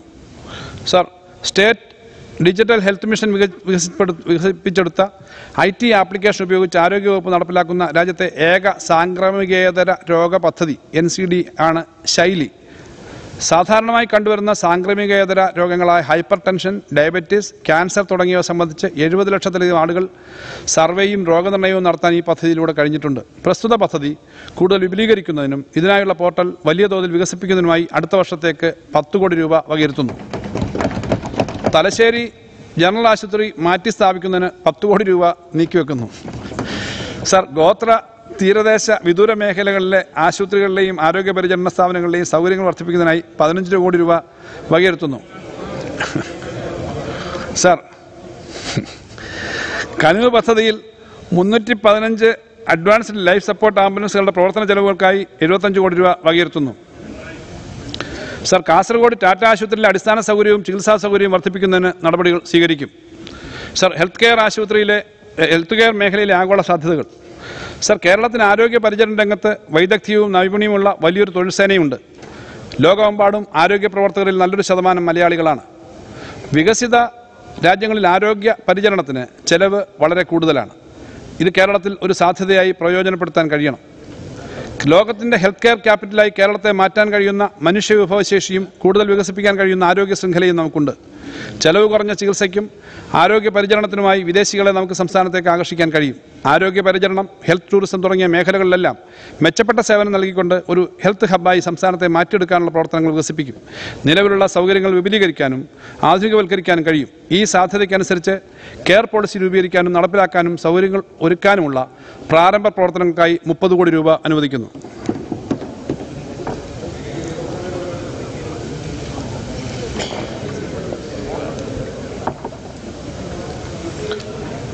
പേവിഷത്തിനെതിരെ തദ്ദേശീയ വാക്സിൻ. സർ നമ്മുടെ സംസ്ഥാനത്ത് തദ്ദേശീയമായ ഓറൽ റാബിസ് വാക്സിൻ വികസിപ്പിക്കുന്നതിനൊരു സംരംഭം ആരംഭിക്കും. തിരുവനന്തപുരത്ത് institute of advance വൈറോളജിയുടെയും Kerala veterinary and animal science സർവകലാശാലയ്ക്ക് കീഴിലുള്ള വിവിധ സ്ഥാപനങ്ങളുടെയും കൂട്ടായ പ്രവർത്തനത്തിലൂടെയായും ആയിരിക്കും വാക്സിൻ വികസിപ്പിക്കുക. ഈ പദ്ധതിക്കായിട്ട് അഞ്ച് കോടി രൂപ നീക്കിവെക്കുന്നു. ന്യൂബോൺ സ്ക്രീനിംഗ് പദ്ധതിയുടെ തുടർപ്രവർത്തനത്തിനായി ഒന്ന് പോയിന്റ് അഞ്ച് കോടി രൂപ അനുവദിക്കുന്നു. നാഷണൽ ഹെൽത്ത് മിഷന് വേണ്ടി കുടുംബക്ഷേമ പരിപാടികൾക്ക് അനുബന്ധ അടിസ്ഥാന സൗകര്യ പരിപാലനത്തിനുമായി നൂറ്റി മുപ്പത്തിനാല് പോയിന്റ് എട്ട് പൂജ്യം കോടി രൂപയുടെ അഞ്ഞൂറ് കോടി രൂപ സംസ്ഥാന വിഹിതമായി വകയിരുത്തുന്നു. കേന്ദ്രവിഹിതമായി എഴുന്നൂറ്റമ്പത് കോടി രൂപ പ്രതീക്ഷിക്കുന്നു. ഈ ഹെൽത്ത് പ്രോഗ്രാമിനായി മുപ്പത് കോടി രൂപ വകയിരുത്തുന്നു. സർ കാരുണ്യ ആരോഗ്യ സുരക്ഷാ പദ്ധതിക്ക് അഞ്ഞൂറ്റി എഴുപത്തി നാല് പോയിന്റ് അഞ്ച് കോടി രൂപ വകയിരുത്തുന്നു. ഇത് മുൻവർഷത്തേക്കാൾ എഴുപത്തിനാല് പോയിന്റ് അഞ്ച് കോടി രൂപ അധികമാണ്. സർ രണ്ടായിരത്തി ഇരുപത്തി മൂന്ന് ഇരുപത്തിനാല് സാമ്പത്തിക വർഷം മുതൽ കാരുണ്യ ആരോഗ്യ സുരക്ഷാ പദ്ധതിയുടെ ഭാഗമായ ഭാഗമായി സംസ്ഥാന ആരോഗ്യ ഏജൻസി മുഖേന താലോലം കുട്ടികൾക്കായുള്ള ക്യാൻസർ സുരക്ഷാ പദ്ധതി കുട്ടികളുടെ കോൺക്ലിയർ ഇംപ്ലാന്റേഷൻ എന്നീ പദ്ധതികളും നടപ്പാക്കുന്നതാണ്. ഭക്ഷ്യസുരക്ഷാ മേഖലയിലെ അനലറ്റിക്കൽ ലബോറട്ടറികൾ ശക്തിപ്പെടുത്തുന്നതായി ഏഴ് പോയിന്റ് അഞ്ച് കോടി രൂപ വകയിരുത്തുന്നു. സേഫ് ഫുഡ് സർ സുരക്ഷിത ഭക്ഷണം ഉറപ്പാക്കാനും ഭക്ഷ്യവിധ വിഷബാധ തടയാനും ഭക്ഷണത്തിന്റെ ഗുണനിലവാരം ഉയർത്താനുമുള്ള വിവിധ ഇടപെടലുകൾക്ക് പരിശോധനകൾക്കുമായി ഏഴ് കോടി രൂപ അധികമായി അനുവദിക്കുന്നു. സർ ആരോഗ്യ വിദ്യാഭ്യാസ മേഖലയിൽ വിവിധ വികസന പ്രവർത്തനങ്ങൾക്കായി നാനൂറ്റി അറുപത്തി മൂന്ന് പോയിന്റ് ഏഴ് അഞ്ച് കോടി- കോടി രൂപ വകയിരുത്തുന്നു. വിവിധ സർക്കാർ മെഡിക്കൽ കോളേജുകൾ Thiruvananthapuram regional institute of ophthalmology Thiruvananthapuram pharmaceutical science college എന്നിവയുടെ വികസന പ്രവർത്തനങ്ങൾക്കായി ഇരുന്നൂറ്റി മുപ്പത്തേഴ് പോയിന്റ് ഏഴ് രണ്ട് ഏഴ് കോടി രൂപ അനുവദിക്കുന്നു. മെഡിക്കൽ ക്യാൻസർ ചികിത്സാ വിഭാഗത്തിനായി തിരുവനന്തപുരം മെഡിക്കൽ കോളേജിൽ പെറ്റ് സി ടി സ്കാനർ വാങ്ങുന്നതിന് പതിനഞ്ച് കോടി രൂപ വകയിരുത്തുന്നു. ഹിംഹാൻസിന് കോഴിക്കോടിന് മൂന്ന് പോയിന്റ് ആറ് കോടി രൂപ വകയിരുത്തുന്നു. ഇത് മുൻ വർഷത്തെക്കാളും രണ്ട് പോയിന്റ് ആറ് അഞ്ച് കോടി രൂപ അധികമാണ്. സർ എം ജി യൂണിവേഴ്സിറ്റിയുമായി ബന്ധപ്പെട്ട് പ്രവർത്തിക്കുന്ന centre for professional and advanced studies C PAS പുതിയ നഴ്സിംഗ് കോളേജിൽ ആരംഭിക്കുന്നതിനായി മൂന്ന് കോടി രൂപ ധനസഹായം അനുവദിക്കുന്നു. ആയുർവേദ സിദ്ധ യുനാനി നാച്ചുറോപ്പതി എന്നീ ചികിത്സാ ശാഖകൾ ഉൾപ്പെടുന്ന ഭാരതീയ ചികിത്സാ വകുപ്പിന് രണ്ടായിരത്തി ഇരുപത്തി മൂന്ന് ഇരുപത്തിനാല് വർഷം നാൽപ്പത്തൊമ്പത് പോയിന്റ് പൂജ്യം അഞ്ച് കോടി രൂപ അനുവദിക്കുന്നു. ഇത് മുൻ വർഷത്തെക്കാളും അഞ്ച് കോടി രൂപ അധികമാണ്. ഭാരതീയ ചികിത്സാ വകുപ്പിന് കീഴിലുള്ള സ്ഥാപനങ്ങളുടെ ശാക്തീകരണത്തിനായി ഇരുപത്തിനാല് കോടി രൂപ നീക്കിവെക്കുന്നു. തിരുവനന്തപുരം തൃപ്പൂണിത്തുറ കണ്ണൂർ ആയുർവേദ മെഡിക്കൽ കോളേജുകൾക്ക് ഇരുപത് പോയിന്റ് ഒന്ന് അഞ്ച് കോടി രൂപ വകയിരുത്തുന്നു. സർ ഹോമിയോപ്പതി വകുപ്പിന്റെ ശാക്തീകരണ പ്രവർത്തനങ്ങൾക്ക് ഇരുപത്തഞ്ച് പോയിന്റ് ഒന്ന് അഞ്ച് കോടി രൂപ വക- വകയിരുത്തുന്നു. നാഷണൽ മിഷൻ ഓൺ ആയുഷ് ഹോമിയോയുടെ പ്രവർത്തനങ്ങൾക്ക് സംസ്ഥാന വിഹിതമായി അഞ്ച് കോടി രൂപ വകയിരുത്തുന്നു. ഹോമിയോ മെഡിക്കൽ വിദ്യാഭ്യാസത്തിന് എട്ട് പോയിന്റ് ഒമ്പത് പൂജ്യം കോടി രൂപ വകയിരുത്തുന്നു. ശുദ്ധജല വിതരണവും മലിനജല നിവാരണവും. സർ ഇരുപത്തി മൂന്ന് ഇരുപത്തിനാല് വർഷം കുടിവെള്ള വിതരണത്തിനും മലിനജല സംസ്കരണത്തിനുമായി തൊള്ളായിരത്തി ഒമ്പത് പോയിന്റ് അഞ്ച് ഒന്ന് കോടി രൂപ വകയിരുത്തുന്നു. NABARD R I D F വായ്പ ഉപയോഗിച്ച് മലിനജല സംസ്കരണ മേഖലയിൽ അടിസ്ഥാന സൗകര്യം നടത്താൻ വികസനം നടത്താൻ കഴിയും. ഇതിനായിട്ട് അഞ്ച് സ്കീമുകൾക്കായിട്ട് അൻപത് കോടി രൂപ അനുവദിക്കുന്നു. നഗര ജലവിതരണ പദ്ധതികളുടെ പുനരുദ്ധാരണത്തിന് നാൽപ്പത്തഞ്ച് കോടി രൂപ വകയിരുത്തുന്നു. ജൽജീവൻ മിഷൻ നടപ്പിൽ പദ്ധതി നടപ്പിലാക്കുന്നതിനായി സംസ്ഥാന വിഹിതമായ അഞ്ഞൂറ് കോടി രൂപ കേരള വാട്ടർ അതോറിറ്റിക്കും ജൽജീവൻ ജീവൻ മിഷനുമായിട്ട് വകയിരുത്തുന്നു. പഴക്കമുള്ളതും കേടായതുമായ പൈപ്പ് ലൈനുകൾ മാറ്റി സ്ഥാപിക്കാൻ അമ്പത് കോടി രൂപ വകയിരുത്തുന്നു. തിരുവനന്തപുരം കൊച്ചി കോർപ്പറേഷനുകളിൽ നടപ്പിലാക്കുന്ന നഗര ജലവിതരണ മെച്ചപ്പെടുത്തൽ പദ്ധതിക്കായിട്ട് നൂറ് കോടി രൂപ വകയിരുത്തുന്നു. മഴവെള്ള കൊയ്ത്ത് പരിപാടിക്ക് ഭൂഗർഭ ജല റീചാർജിനുമായി പത്ത് കോടി രൂപ നീക്കിവെക്കുന്നു. തദ്ദേശ സ്വയംഭരണ സ്ഥാപനങ്ങളുടെ സഹായത്തോടുകൂടി ജലനിധി പദ്ധതികൾ പുനരുദ്ധരിക്കുന്നതിനായി മുപ്പത് പോയിന്റ് ഒമ്പത് കോടി രൂപ വകയിരുത്തുന്നു. സർ ഭവന നിർമ്മാണ ബോർഡ് നടപ്പാക്കുന്ന ഗൃഹശ്രീ ഭവന പദ്ധതിയിലൂടെ നാനൂറ്റി പതിനഞ്ച് വീടുകൾക്ക് സബ്സിഡി ലഭ്യമാക്കുന്നതിന് പന്ത്രണ്ട് പോയിന്റ് നാല് അഞ്ച് കോടി രൂപ അനുവദിക്കുന്നു. ഇത് ഇരുപത്തിരണ്ട് ഇരുപത്തിമൂന്ന് വർഷത്തേക്കാൾ ഇരുപത്തിനാല് ശതമാനം അധികമാണ്. ഗൃഹസ്ഥിയുടെ സബ്സിഡി തുക രണ്ട് ലക്ഷത്തിൽ നിന്നും മൂന്ന് ലക്ഷമായി വർദ്ധിപ്പിക്കുന്നു. ഭവന നിർമ്മാണ ബോർഡിന്റെ E W S L I G ഭവന പദ്ധതിക്കായി ഇരുപത്തിമൂന്ന് ഇരുപത്തിനാല് സാമ്പത്തിക വർഷം പത്ത് കോടി രൂപ അനുവദിക്കുന്നു. മെഡിക്കൽ കോളേജുകളോട് ചേർന്ന് രോഗികൾക്ക് കൂട്ടിരിപ്പുകാർക്കും താമസിക്കാനുതകുന്ന തരത്തിൽ കെട്ടിടം നിർമ്മിക്കുന്നതിന് ആശ്വാസ് വാടക ഭവന പദ്ധതിക്ക് നാല് കോടി രൂപ അനുവദിക്കുന്നു. കേരള സംസ്ഥാന ഭവന നിർമ്മാണ ബോർഡിന് കീഴിൽ സർക്കാർ ഉദ്യോഗസ്ഥർക്ക് വാടകയ്ക്ക് ഉപയോഗിക്കാവുന്ന ഫ്ളാറ്റ് കോട്ടേഴ്സ് സമുച്ചയങ്ങൾ നിർമ്മിക്കുന്നതിന് ഒമ്പത് പോയിന്റ് അഞ്ച് കോടി രൂപ അനുവദിക്കുന്നു. കേരള സംസ്ഥാന ഭവന നിർമ്മാണ ബോർഡിന് കീഴിൽ കോഴിക്കോട് മെഡിക്കൽ കോളേജിന് സമീപം വനിതാ പി ജി ഹോസ്റ്റൽ നിർമ്മിക്കുന്നതിനായി ഒരു കോടി രൂപ അനുവദിക്കുന്നു. നഗരവികസനം. സംസ്ഥാനത്തെ നഗരവികസന പരിപാടികൾക്കായി ആയിരത്തി അൻപത്തഞ്ച് പോയിന്റ് മൂന്ന് ഒന്ന് കോടി രൂപ വകയിരുത്തുന്നു. നഗര തദ്ദേശ ഭരണ സ്ഥാപനങ്ങളിലെ ഖരമാലിന്യ നിർമ്മാർജന പ്രോജക്റ്റുകൾ നടപ്പിലാക്കാൻ ലക്ഷ്യമിട്ടുകൊണ്ടുള്ള ശുചിത്വ കേരളം പദ്ധതിക്കായി ഇരുപത്തിരണ്ട് കോടി രൂപ നീക്കിവെക്കുന്നു. നഗരമേഖലയിൽ നടപ്പാക്കുന്ന വിദേശ സഹായ പദ്ധതിയായ കേരള ഖരമാലിന്യ സംസ്കരണ പ്രോജക്ടിന്റെ ഭാഗമായി സ്ഥാപന വികസനം ശേഷി വികസനം പ്രൊജക്ട് മാനേജ്മെന്റ് പ്രാദേശിക ഖരമാലിന്യ സംസ്കരണ സംവിധാനങ്ങൾ സ്ഥാപിക്കാൻ നൂറ്റി മുപ്പത്തൊന്ന് പോയിന്റ് എട്ട് എട്ട് കോടി രൂപ വകയിരുത്തുന്നു. വാർത്താ വിതരണവും പ്ര- പ്രചരണവും. വാർത്താവിതരണവും പ്രചരണവും മേഖലയ്ക്ക് നാൽപ്പത് പോയിന്റ് നാല് മൂന്ന് കോടി രൂപ വകയിരുത്തുന്നു. മീഡിയ അക്കാദമി സംഘടിപ്പിക്കുന്ന മീഡിയ സാക്ഷരതാ പരിപാടിക്ക് അൻപത് ലക്ഷം രൂപ അനുവദിക്കുന്നു. ടാഗോർ തിയേറ്ററിന്റെ ആധുനികവൽക്കരണത്തിന് രണ്ടര രണ്ട് പോയിന്റ് അഞ്ച് കോടി രൂപ നീക്കിവെക്കുന്നു. തൊഴിലും തൊഴിലാളി ക്ഷേമവും തൊഴിലും തൊഴിലാളി ക്ഷേമവും മേഖലയ്ക്കായി അഞ്ഞൂറ്റി നാല് പോയിന്റ് ഏഴ് ആറ് കോടി രൂപ വകയിരുത്തുന്നു. ഇത് മുൻവർഷത്തേക്കാൾ ഇരുപത്തിരണ്ട് പോയിന്റ് ആറ് പൂജ്യം കോടി രൂപ അധികമാണ്. തോട്ട തോട്ടം തൊഴിലാളികളുടെ ദുരിതാശ്വാസ നിധി പദ്ധതിക്കായി ഒന്നേ പോയിന്റ് ഒന്ന് കോടി രൂപ ഉയർത്തുന്നു തോട്ടം തൊഴിലാളികളുടെ താമസ സൗകര്യങ്ങൾ ലയം മെച്ചപ്പെടുത്തുന്നതിന് ഈ വർഷവും പത്ത് കോടി രൂപ അനുവദിക്കുന്നു. അസംഘടിത മേഖലയിലെ ദിവസവേതന തൊഴിലാളികൾ അവശത അവശത അനുഭവിക്കുന്നവർക്ക് അനുവദിക്കുന്ന മരം കയറ്റം തൊഴിലാളികൾക്കുള്ള ആനുകൂല്യം എന്നീ ഘടകങ്ങൾക്കായി എട്ട് കോടി രൂപ നീക്കിവെക്കുന്നു. പരമ്പരാഗത തൊഴിൽ മേഖലകളായ ബീഡി ഖാദി മുളബന്ധനം സംസ്ക- ഉം, മത്സ്യബന്ധനവും സംസ്കരണവും കശുവണ്ടി കയർ തഴപ്പായ കരകൗശല നിർമ്മാണം മുതലായവയിൽ തൊഴിൽ ചെയ്യുന്ന തൊഴിലാളികൾക്ക് ആയിരത്തി ഇരുന്നൂറ്റമ്പത് കോടി രൂപ ആയിരത്തി ഇരുന്നൂറ്റമ്പത് രൂപ നിരക്കിൽ ധനസഹായം നൽകുന്നതിനുള്ള പദ്ധതിക്കായി തൊണ്ണൂറ് കോടി രൂപ വകയിരുത്തുന്നു. ഇത് മുൻവർഷത്തേക്കാൾ നാല് കോടി രൂപ അധികമാണ്. Kerala academy for skills and എക്സലൻസിന്റെ case വിവിധ പദ്ധതികൾക്കായിട്ട് മുപ്പത്തേഴ് കോടി രൂപ വകയിരുത്തുന്നു. ഏറ്റവും പുതിയ മാനദണ്ഡങ്ങൾക്കനുസൃതമായി ഐ ഐ ടി ഐകളുടെ അടിസ്ഥാന സൗകര്യങ്ങൾ നവീകരിക്കുന്നതിനായി മുപ്പത് പോയിന്റ് അഞ്ച് കോടി രൂപ വകയിരുത്തുന്നു. വിവിധ പദ്ധതികൾക്കായി വ്യാവസായിക വ്യാവസായിക പരിശീലന വകുപ്പിന് നൂറ്റിയെട്ട് പോയിന്റ് നാല് ആറ് കോടി രൂപ അനുവദിക്കുന്നു. കാസർഗോഡ് കണ്ണൂർ വയനാട് മലപ്പുറം ഇടുക്കി പത്തനംതിട്ട ജില്ലകളിൽ പുതിയ കരിയർ ഡെവലപ്മെന്റ് സെന്ററുകൾ ആരംഭിക്കുന്നതാണ്. ഫാക്ടറീസ് ആൻഡ് ബോയിലേഴ്സ് വകുപ്പിന് അഞ്ച് പോയിന്റ് മൂന്ന് കോടി അനുവദിക്കുന്നു. കണ്ണൂരിൽ post graduate and research centre in fire and safety സയൻസിന്റെ പ്രാഥമിക പ്രവർത്തനങ്ങൾക്കായി ഒരു കോടി രൂപ മാറ്റിവെക്കുന്നു. പട്ടികജാതി വികസനം. പട്ടികജാതി ഉപപദ്ധതിക്കായി രണ്ടായിരത്തി തൊള്ളായിരത്തി എഴുപത്തി ഒമ്പത് പോയിന്റ് നാല് പൂജ്യം കോടി രൂപയുടെ രൂപ വകയിരുത്തിയിട്ടുണ്ട്. ഇതിൽ പട്ടികജാതി വികസന വകുപ്പിനുള്ള ആയിരത്തി അറുന്നൂറ്റി മുപ്പത്തെട്ട് പോയിന്റ് ഒന്ന് കോടി രൂപയും തദ്ദേശ സ്വയംഭരണ സ്ഥാപനങ്ങളുള്ള ആയിരത്തി മുന്നൂറ്റി നാൽപ്പത്തൊന്ന് പോയിന്റ് മൂന്ന് കോടി രൂപയും ഉൾപ്പെടുന്നു. പട്ടികജാതി വിദ്യാർത്ഥികളുടെ വിദ്യാഭ്യാസ ധനസഹായം സഹായം നാനൂറ്റി ഇരുപത്തൊമ്പത് പോയിന്റ് ആറ് ഒന്ന് കോടി രൂപ വകയിരുത്തുന്നു. പാലക്കാട് മെഡിക്കൽ കോളേജ് നിർമ്മാണ പ്രവർത്തനങ്ങൾക്ക് എഴുപത് കോടി രൂപയും ഈ ആകെയുള്ള ബഡ്ജറ്റിൽ ഉൾപ്പെടുന്നു. ഇതിന്റെ ആകെ വിഹിതം ഈ മേഖല പട്ടികജാതി ആകെ വിഹിതം കഴിഞ്ഞ മുൻവർഷത്തേക്കാൾ നൂറ്റിനാല് കോടി രൂപ അധികമാണ്. പട്ടികജാതി വിദ്യാർത്ഥികൾക്ക് നൽകി വരുന്ന പോസ്റ്റ് മെട്രിക് സ്കോളർഷിപ്പിന്റെ സംസ്ഥാന വിഹിതമായി അറുപത്തഞ്ച് കോടി രൂപ വകയിരുത്തുന്നു. സർ ഒൻപതും പത്തും ക്ലാസ്സുകളിൽ പഠിക്കുന്ന പട്ടികജാതി വിദ്യാർത്ഥികൾക്കുള്ള പ്രീമെട്രിക് സ്കോളർഷിപ്പ് എന്ന പുതിയ പദ്ധതിക്ക് സംസ്ഥാന വിഹിതമായി ഏഴ് രണ്ട് കോടി രൂപ വകയിരുത്തുന്നു. ഇതിലേക്കുള്ള കേന്ദ്രവിഹിതമായി പത്ത് പോയിന്റ് എട്ട് കോടി രൂപ പ്രതീക്ഷിക്കുന്നു. പട്ടികജാതി യുവതി യുവാക്കളിലെ തൊഴിൽ പങ്കാളിത്തം വർദ്ധിപ്പിക്കുന്നതിനായി നൈപുണ്യ വികസന പരിപാടികൾ നടപ്പിലാക്കി വരുന്നു. ഇതിന് അൻപത് കോടി രൂപ വകയിരുത്തുന്നു. Thiruvananthapuram വെള്ളാങ്ങണിയിലുള്ള Ayyankali memorial model residential sports school ഉൾപ്പെടെ മോഡൽ റെസിഡൻഷ്യൽ സ്കൂളുകളുടെ നടത്തിപ്പിന് പതിമൂന്ന് കോടി രൂപ വകയിരുത്തുന്നു. സർ ഭൂരഹിതരായ പട്ടികജാതി കുടുംബങ്ങൾക്ക് വീട് നിർമ്മിക്കുന്നതിനും ഭൂമി വാങ്ങുന്നതിനുമായി നൂറ്റൻപത് കോടി രൂപ വകയിരുത്തുന്നു. ഈ പദ്ധതിയിലൂടെ ഏകദേശം അയ്യായിരം ഭൂരഹിത കുടുംബങ്ങളെയാണ് ഗുണഭോക്താക്കളാക്കാൻ ഉദ്ദേശിക്കുന്നത്. സർ ഭാഗികമായി നിർമ്മിച്ച ഭവനങ്ങളുടെ പൂർത്തീകരണത്തിനും ജീർണാവസ്ഥയിലുള്ള വീടുകളുടെ നവീകരണത്തിനും പഠനമുറികളുടെ നിർമ്മാണത്തിനുമായി ഇരുന്നൂറ്റി അഞ്ച് കോടി രൂപ വകയിരുത്തുന്നു.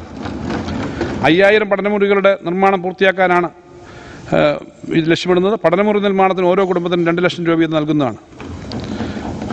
പട്ടികജാതി വിഭാഗത്തിലെ ദുർബല വിഭാഗങ്ങൾക്കുള്ള വികസന പരിപാടിയൊക്കെ അമ്പത് കോടി രൂപ വകയിരുത്തുന്നു. യുവതി പട്ടികജാതി യുവതികൾക്ക് വിവാഹധന സഹായം നൽകുന്നതിന് എൺപത്തിനാല് പോയിന്റ് മൂന്ന് ഒമ്പത് കോടി രൂപ നീക്കിവെക്കുന്നു. സർ ഡോക്ടർ അംബേദ്കർ ഗ്രാമവികസന പദ്ധതിക്കായി അറുപത് കോടി രൂപ വകയിരുത്തുന്നു. ഓരോ കോളനിക്കും പരമാവധി ഒരു കോടി രൂപ വീതം സഹായം നൽകുന്നതാണ്. അർഹരായ രോഗികൾക്കും വൃദ്ധർക്കും ആരോഗ്യ പരിചരണം നൽകുന്ന ആരോഗ്യ സുരക്ഷാ പരിപാടിക്കായി അൻപത് കോടി രൂപ വകയിരുത്തുന്നു. പട്ടികജാതി ഉപപദ്ധതിക്ക് കീഴിൽ മാനവോപശേഷി വികസനം അടിസ്ഥാന ആവശ്യങ്ങൾ സാമ്പത്തിക വികസനം തുടങ്ങിയവയ്ക്ക് പ്രത്യേക ഊന്നൽ നൽകിക്കൊണ്ട് നടപ്പാക്കുന്ന ക്രിട്ടിക്കൽ ഗ്യാപ്പ് ഫില്ലിംഗ് പദ്ധതികൾക്ക് കോർപ്പസ് ഫണ്ടായി നാൽപ്പത്തഞ്ച് കോടി രൂപ മാറ്റിവെക്കുന്നു. പട്ടികവർഗ വികസനം. സംസ്ഥാനത്തെ പട്ടികവർഗ ജനവിഭാഗത്തിന്റെ വികസനത്തിനായി രണ്ടായിരത്തി ഇരുപത്തി മൂന്ന് ഇരുപത്തിനാല് സാമ്പത്തിക വർഷത്തിൽ എണ്ണൂറ്റി അമ്പത്തി ഒൻപത് പോയിന്റ് അഞ്ച് കോടി രൂപ വകയിരുത്തുന്നു. ഇതിൽ അറുന്നൂറ്റി അൻപത്തി ഏഴ് പോയിന്റ് ഒമ്പത് അഞ്ച് കോടി രൂപ പട്ടികവർഗ വികസന വകുപ്പിനും ഇരുന്നൂറ്റി ഒന്ന് പോയിന്റ് അഞ്ച് അഞ്ച് കോടി രൂപ തദ്ദേശ സ്വയംഭരണ സ്ഥാപനങ്ങൾക്കും അനുവദിക്കുന്നു. പട്ടികവർഗ വിദ്യാർത്ഥികൾക്ക് പ്രോത്സാഹനവും സഹായവും പദ്ധതിയിൽ എട്ട് പോയിന്റ് ഏഴ് അഞ്ച് കോടി രൂപ നൽകുന്നു. വിദ്യാർത്ഥികൾക്കുള്ള ട്യൂട്ടോറിയൽ പദ്ധതിക്കും പട്ടികവർഗക്കാരുടെ കായിക പ്രോത്സാഹനത്തിനും അടക്കം വിവിധ പദ്ധതികൾക്കായിട്ട് മുപ്പത് കോടി രൂപ വകയിരുത്തുന്നു. നൈപുണ്യ വികസന പദ്ധതിക്ക് പത്ത് കോടി രൂപ വകയിരുത്തുന്നു. പട്ടികവർഗക്കാരുടെ വരുമാനദായക കാർഷിക ഉദ്യമം എന്ന പദ്ധതിക്ക് എട്ട് പോയിന്റ് അഞ്ച് കോടി രൂപ വകയിരുത്തുന്നു. സർ പട്ടികവർഗ കുടുംബങ്ങൾക്ക് അധിക തൊഴിൽ ദിനങ്ങൾ നൽകുന്നതിനായി Kerala tribal plus program M N M G N R E തൊഴിലുറപ്പ് പദ്ധതി പോലെ നൽകുന്ന നൂറ് ദിവസ തൊഴിലിന് പുറമെ കുടുംബങ്ങൾക്ക് നൂറ് ദിവസത്തെ അധിക തൊഴിൽ കൂടി നൽകുന്നു. ഈ പദ്ധതിക്കായി മുപ്പത്തിയഞ്ച് കോടി രൂപ വകയിരുത്തുന്നു. പദ്ധതിയുടെ തൊണ്ണൂറ് ശതമാനവും ഉപഭോക്താക്കൾ ഗുണഭോക്താക്കൾ വനിതകളായിരിക്കും. സർ പട്ടിക വികസന വകുപ്പ് നടത്തുന്ന സ്ഥാപനങ്ങൾക്കായി എഴുപത്തിരണ്ട് പോയിന്റ് മൂന്ന് രണ്ട് കോടി രൂപ വകയിരുത്തുന്നു. ഇതിൽ നിന്നും മാതൃകാ റെസിഡൻഷ്യൽ സ്കൂളുകളുടെ നടത്തിപ്പിനുള്ള ചെലവുകൾക്കായി അമ്പത്തഞ്ച് കോടി രൂപയും പോസ്റ്റ് മെട്രിക് ഹോസ്റ്റലുകളുടെ നടത്തിപ്പിനായി മൂന്ന് കോടി രൂപയും പ്രീ മെട്രിക് ഹോസ്റ്റലുകളുടെ പോസ്റ്റ് പോസ്റ്റ് മെട്രിക് ഹോസ്റ്റലുകളിൽ സൗകര്യങ്ങൾ മെച്ചപ്പെടുത്തുന്നതിനായിട്ട് ഏഴ് പോയിന്റ് പൂജ്യം രണ്ട് കോടി രൂപയും ഏകലവ്യ മാതൃകാ റെസിഡൻസ് സ്കൂളുകൾക്ക് സഹായമായി നാല് കോടി രൂപയും വകയിരുത്തുന്നു. സർ സിക്കിൾ സെൽ അനീമിക രോഗികൾക്കുള്ള സഹായ പദ്ധതിക്ക് രണ്ട് പോയിന്റ് അഞ്ച് കോടി രൂപ വകയിരുത്തുന്നു. ജന്നി ജന്മരക്ഷാ പദ്ധതിക്കായി പതിനേഴ് കോടി രൂപ വകയിരുത്തുന്നു. പരമ്പരാഗത പട്ടികവർഗ വൈദ്യന്മാർക്കുള്ള സാമ്പത്തിക സഹായം എന്ന പദ്ധതിക്കായി നാൽപ്പത് ലക്ഷം രൂപ വകയിരുത്തുന്നു. പട്ടികവർഗ മേഖലയിൽ ഭക്ഷണത്തിനുള്ള സഹായം എന്ന പദ്ധതിക്കായി ഇരുപത്തഞ്ച് കോടി രൂപ വകയിരുത്തുന്നു. സമഗ്ര പട്ടികവർഗ ആരോഗ്യ സംരക്ഷണ പരിപാടിക്ക് മുപ്പത് കോടി രൂപ വകയിരുത്തുന്നു. ഭവന നിർമ്മാണം അപൂർണമായ വീടുകളുടെ പൂർത്തീകരണ പദ്ധതിക്ക് അമ്പത്തേഴ് പോയിന്റ് രണ്ട് കോടി രൂപ വകയിരുത്തുന്നു. സർ വിവിധ പദ്ധതിക്കായിട്ടുള്ള കോർപ്പസ് ഫണ്ട് ഇനത്തിൽ നാൽപ്പത്തഞ്ച് കോടി രൂപ വകയിരുത്തുന്നു. സർ സംസ്ഥാനത്തെ പട്ടികവർഗ സങ്കേതങ്ങളിൽ അംബേദ്കർ സെറ്റിൽമെന്റ് വികസന പദ്ധതിക്കായിട്ട് അമ്പത് കോടി രൂപ നീക്കിവെക്കുന്നു ഭൂരഹിതരായ പട്ടികവർഗ പുനരധിവാസ പദ്ധതിക്കായി നാൽപ്പത്തഞ്ച് കോടി രൂപ വകയിരുത്തുന്നു. സർ പട്ടികവർഗ വികസന വകുപ്പിന്റെ പദ്ധതികളുടെ സുഗമമായ നടത്തിപ്പിന് പട്ടികവർഗ മേഖലകളിൽ പദ്ധതികൾ നടപ്പിലാക്കുന്നതിന് മാനവ വിഭവശേഷി പിന്തുണ എന്ന പദ്ധതിയിലൂടെ കൂടുതൽ ആളുകളെ പദ്ധതി വകുപ്പിന്റെ പ്രവർത്തനങ്ങളുടെ ഭാഗമാക്കുകയാണ്. ഇതിന് മുപ്പത്തിരണ്ട് പോയിന്റ് മൂന്ന് അഞ്ച് കോടി രൂപ വകയിരുത്തുന്നു. സർ ട്രൈബൽ പ്രൊമോട്ടർമാർക്ക് ഓണറേറിയം നൽകുന്നതിന് പത്തൊമ്പത് പോയിന്റ് ഒന്ന് മൂന്ന് കോടി രൂപ ഊരുകൂട്ടങ്ങളുടെ സംഘാടനത്തിന് രണ്ട് പോയിന്റ് അഞ്ച് കോടി രൂപ മാനേജ്മെന്റ് പരിശീലനം ഹെൽത്ത് മാനേജ്മെന്റ് പരിശീലനം എന്നതിലേക്ക് ഒന്ന് പോയിന്റ് മൂന്ന് കോടി രൂപ ഹോസ്റ്റലിലും മോഡൽ റെസിഡൻസ് സ്കൂളുകളിലെ കൗൺസിലർമാർക്ക് ഒന്ന് പോയിന്റ് അഞ്ച് കോടി രൂപ പട്ടികവർഗത്തിന് വേണ്ടി സാമൂഹ്യ പ്രവർത്തകരുടെ സേവനം ഉപയോഗപ്പെടുത്തുന്നതിന് ഒന്ന് പോയിന്റ് രണ്ട് ഒന്ന് കോടി രൂപയും ഗോത്രബന്ധു പദ്ധതിക്ക് ആറ് കോടി രൂപയും വകയിരുത്തുന്നു. മറ്റ് പിന്നാക്ക വിഭാഗങ്ങൾ. കേരള സംസ്ഥാന പിന്നോക്ക വികസന കോർപ്പറേഷൻ വിവിധ പ്രവർത്തനങ്ങൾക്കായി രണ്ടായിരത്തി ഇരുപത്തി മൂന്ന് ഇരുപത്തിനാല് വർഷം പതിനാറ് കോടി രൂപ വകയിരുത്തുന്നു പരിവർത്തിത ക്രൈസ്തവ ശുപാർശിത വിഭാഗ വിഭാഗ വികസന കോർപ്പറേഷന്റെ പ്രവർത്തനങ്ങൾക്കായി ആറ് കോടി രൂപ വകയിരുത്തുന്നു മറ്റ് പിന്നോക്ക വിഭാഗങ്ങളിലെ ഏറ്റവും പിന്നോക്കം നിൽക്കുന്ന സമുദായങ്ങൾക്കുള്ള പ്രീ മെട്രിക് സഹായമായി അഞ്ച് കോടി രൂപയും പോസ്റ്റ് മെട്രിക് സഹായമായി നാൽപ്പത് കോടി രൂപയും ഉൾപ്പെടെ വിദ്യാഭ്യാസത്തിനുള്ള പദ്ധതികൾക്കായി നാൽപ്പത്തഞ്ച് കോടി രൂപ വകയിരുത്തുന്നു ഒന്നാം തരം മുതൽ എട്ടാം തരം വരെ ഉള്ള മറ്റ് പിന്നോക്ക വിഭാഗം വിദ്യാർത്ഥികൾക്ക് പ്രീ മെട്രിക് സ്കോളർഷിപ്പ് നൽകുന്ന പദ്ധതി കേന്ദ്ര സർക്കാർ നിർത്തലാക്കിയ സാഹചര്യത്തിൽ പുതിയ സംസ്ഥാന പദ്ധതി പ്രഖ്യാപിക്കുന്നു. ഇതിന് ഇരുപത്തിയഞ്ച് കോടി രൂപ വകയിരുത്തുന്നു. മറ്റ് പിന്നോക്ക വിഭാഗങ്ങൾക്ക് പ്രീ മെട്രിക് പോസ്റ്റ് മെട്- മെട്രിക് സ്കോളർഷിപ്പുകൾ അനുവദിക്കുന്നതിന് സംസ്ഥാന വിഹിതമായി എട്ട് കോടി രൂപ വകയിരുത്തുന്നു. സംസ്ഥാന കളിമൺ പാത്ര കോർപ്പറേഷൻ നിർമ്മാണ ക്ഷേമ വികസന കോർപ്പറേഷൻ എഴുപത് ലക്ഷം രൂപ അനുവദിക്കുന്നു. ന്യൂനപക്ഷ ക്ഷേമം. സാർ ന്യൂനപക്ഷ വിഭാഗത്തിൽപ്പെട്ട എസ് എസ് എൽ സി മുതൽ ബിരുദാനന്തര തലം വരെയുള്ള സമർത്ഥരായ വിദ്യാർത്ഥികൾക്ക് സിവിൽ സർവീസ് മത്സരാർത്ഥികൾ വിദ്യാർത്ഥികൾക്കും സിവിൽ സർവീസ് മത്സരാർത്ഥികൾക്കും പ്രൊഫസർ ജോസഫ് ഉണ്ടശ്ശേരി സ്കോളർഷിപ്പ് അനുവദിക്കുന്നതിന് ആറ് പോയിന്റ് അഞ്ച് രണ്ട് കോടി രൂപ വകയിരുത്തുന്നു. സാർ കേരള സംസ്ഥാന ന്യൂനപക്ഷ വികസന ധനകാര്യ കോർപ്പറേഷൻ ഓഹരി ഓഹരി മൂലധനമായി പതിമൂന്ന് കോടി രൂപ വകയിരുത്തുന്നു. മുന്നോക്ക സമുദായ ക്ഷേമം. സംസ്ഥാന മുന്നോക്ക സമുദായ ക്ഷേമ കോർപ്പറേഷന് മുപ്പത്തിയെട്ട് പോയിന്റ് പൂജ്യം അഞ്ച് കോടി രൂപ വകയിരുത്തുന്നു. സാമൂഹ്യ സുരക്ഷിതത്വവും ക്ഷേമവും. സർ പോഷകാരവും ആഹാരം ഉൾപ്പെടെ സാമൂഹ്യ സുരക്ഷ സുരക്ഷയും ക്ഷേമവും എന്ന മേഖലയ്ക്ക് ആകെ എഴുന്നൂറ്റി എൺപത്തിയേഴ് പോയിന്റ് ഏഴ് ഒന്ന് കോടി രൂപ വകയിരുത്തുന്നു. ഇത് മുൻവർഷത്തേക്കാൾ പന്ത്രണ്ട് പോയിന്റ് ഏഴ് നാല് കോടി രൂപ അധികമാണ്. സർ ഭിന്നശേഷി വിഭാഗത്തിൽപ്പെട്ട പെട്ടവരുടെ നൈപുണ്യ വികസനം തൊഴിലധിഷ്ഠിത പുനരധിവാസം തൊഴിലും സാമ്പത്തിക സുരക്ഷിതത്വം തുടങ്ങിയ സമഗ്ര പദ്ധതികൾക്കായിട്ട് അഞ്ച് കോടി രൂപ വകയിരുത്തുന്നു.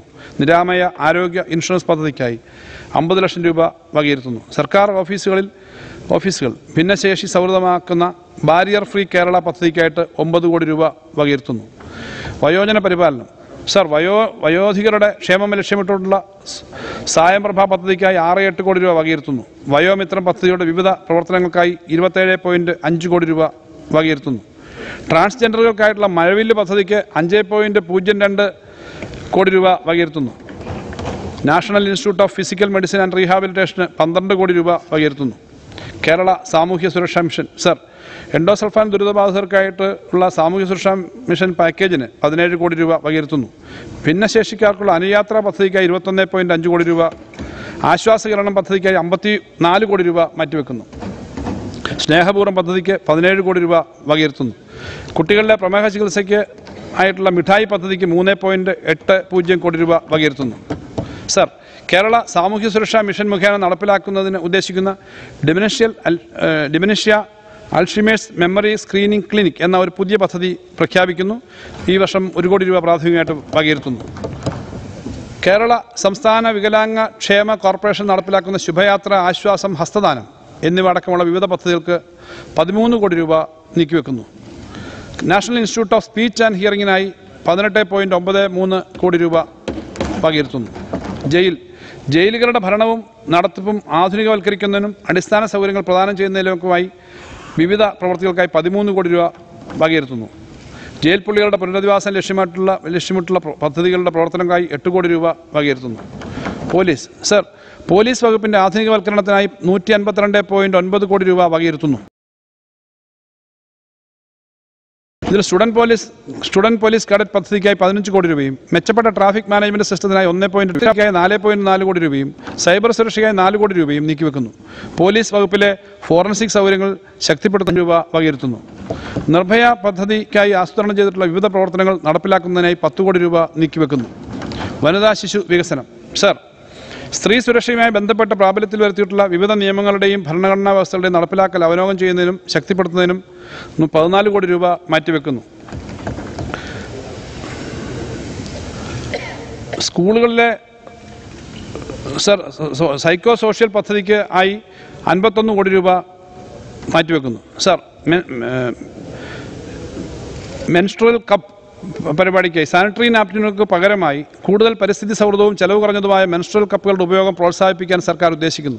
സ്കൂളുകൾ കോളേജുകൾ തൊഴിലിടങ്ങൾ എന്നിവിടങ്ങളിൽ സർക്കാർ തലത്തിൽ ബോധവൽക്കരണവും പ്രചരണവും സംഘടിപ്പിക്കും. ഇതിനായി വിപുലമായ പരിപാടിക്ക് പത്ത് കോടി രൂപ നീക്കിവെക്കുന്നു. ജെൻഡർ പാർക്കിന്റെ പ്രവർത്തനങ്ങൾക്കായി പത്ത് കോടി രൂപ വകയിരുത്തുന്നു. അംഗനവാടി കുട്ടികൾക്ക് പോഷകാഹാരം ഉറപ്പാക്കാൻ ആഴ്ചയിൽ രണ്ട് ദിവസം മുട്ടയും പാലും നൽകുന്ന പദ്ധതിയുടെ പരി- പരിപാടിക്കായി അറുപത്തിമൂന്ന് പോയിന്റ് അഞ്ച് കോടി രൂപ വകയിരുത്തുന്നു. സർ കൃഷികൾ ഡേ കെയർ സെന്ററുകൾ സർ സംസ്ഥാനത്തെ പുതിയ പുതിയ തൊഴിൽ സാഹചര്യത്തിൽ കൃഷികൾ കൂടുതലായി ആരംഭിക്കേണ്ടത് അത്യാവശ്യമാണ്. ഐ ടി വ്യവസായ രംഗത്തു രംഗത്തുള്ളവരുമാ രംഗത്തുള്ളവരുമായുള്ള ചർച്ചയിൽ വയോജനങ്ങൾക്ക് ഡേ കെയർ കൂടി ഉണ്ടാ കെയർ കേന്ദ്രങ്ങൾ കൂടി ഉണ്ടാവണം. ഈ തൊഴിൽശാലകൾക്ക് സമീപം എന്നൊരു അഭിപ്രായം ഉയർന്നു വരികയുണ്ടായി. തദ്ദേശ സ്ഥാപനങ്ങളുടെയും ജനകീയ കമ്മിറ്റികളുടെയും സഹകരണത്തോടെ ഡേ കെയർ സെന്ററുകൾ കൃഷികൾ ആരംഭിക്കാനുള്ള നടപടികൾ കൂടുതൽ ആരംഭിക്കാനുള്ള നടപടികൾ ആരംഭിക്കും. ഇതിനായി പത്ത് കോടി രൂപ മാറ്റിവെക്കുന്നു.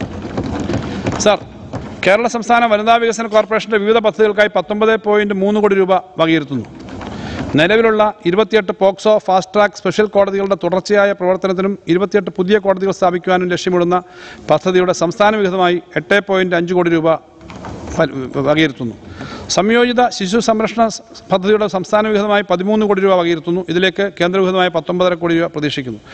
സംയോജിത ശിശു വികസന സേവനങ്ങൾ എന്ന പദ്ധതിക്കായി നൂറ്റി തൊണ്ണൂറ്റിനാല് പോയിന്റ് മൂന്ന് രണ്ട് കോടി രൂപ സംസ്ഥാന വിഹിതമായി വിലയിരുത്തുന്നു.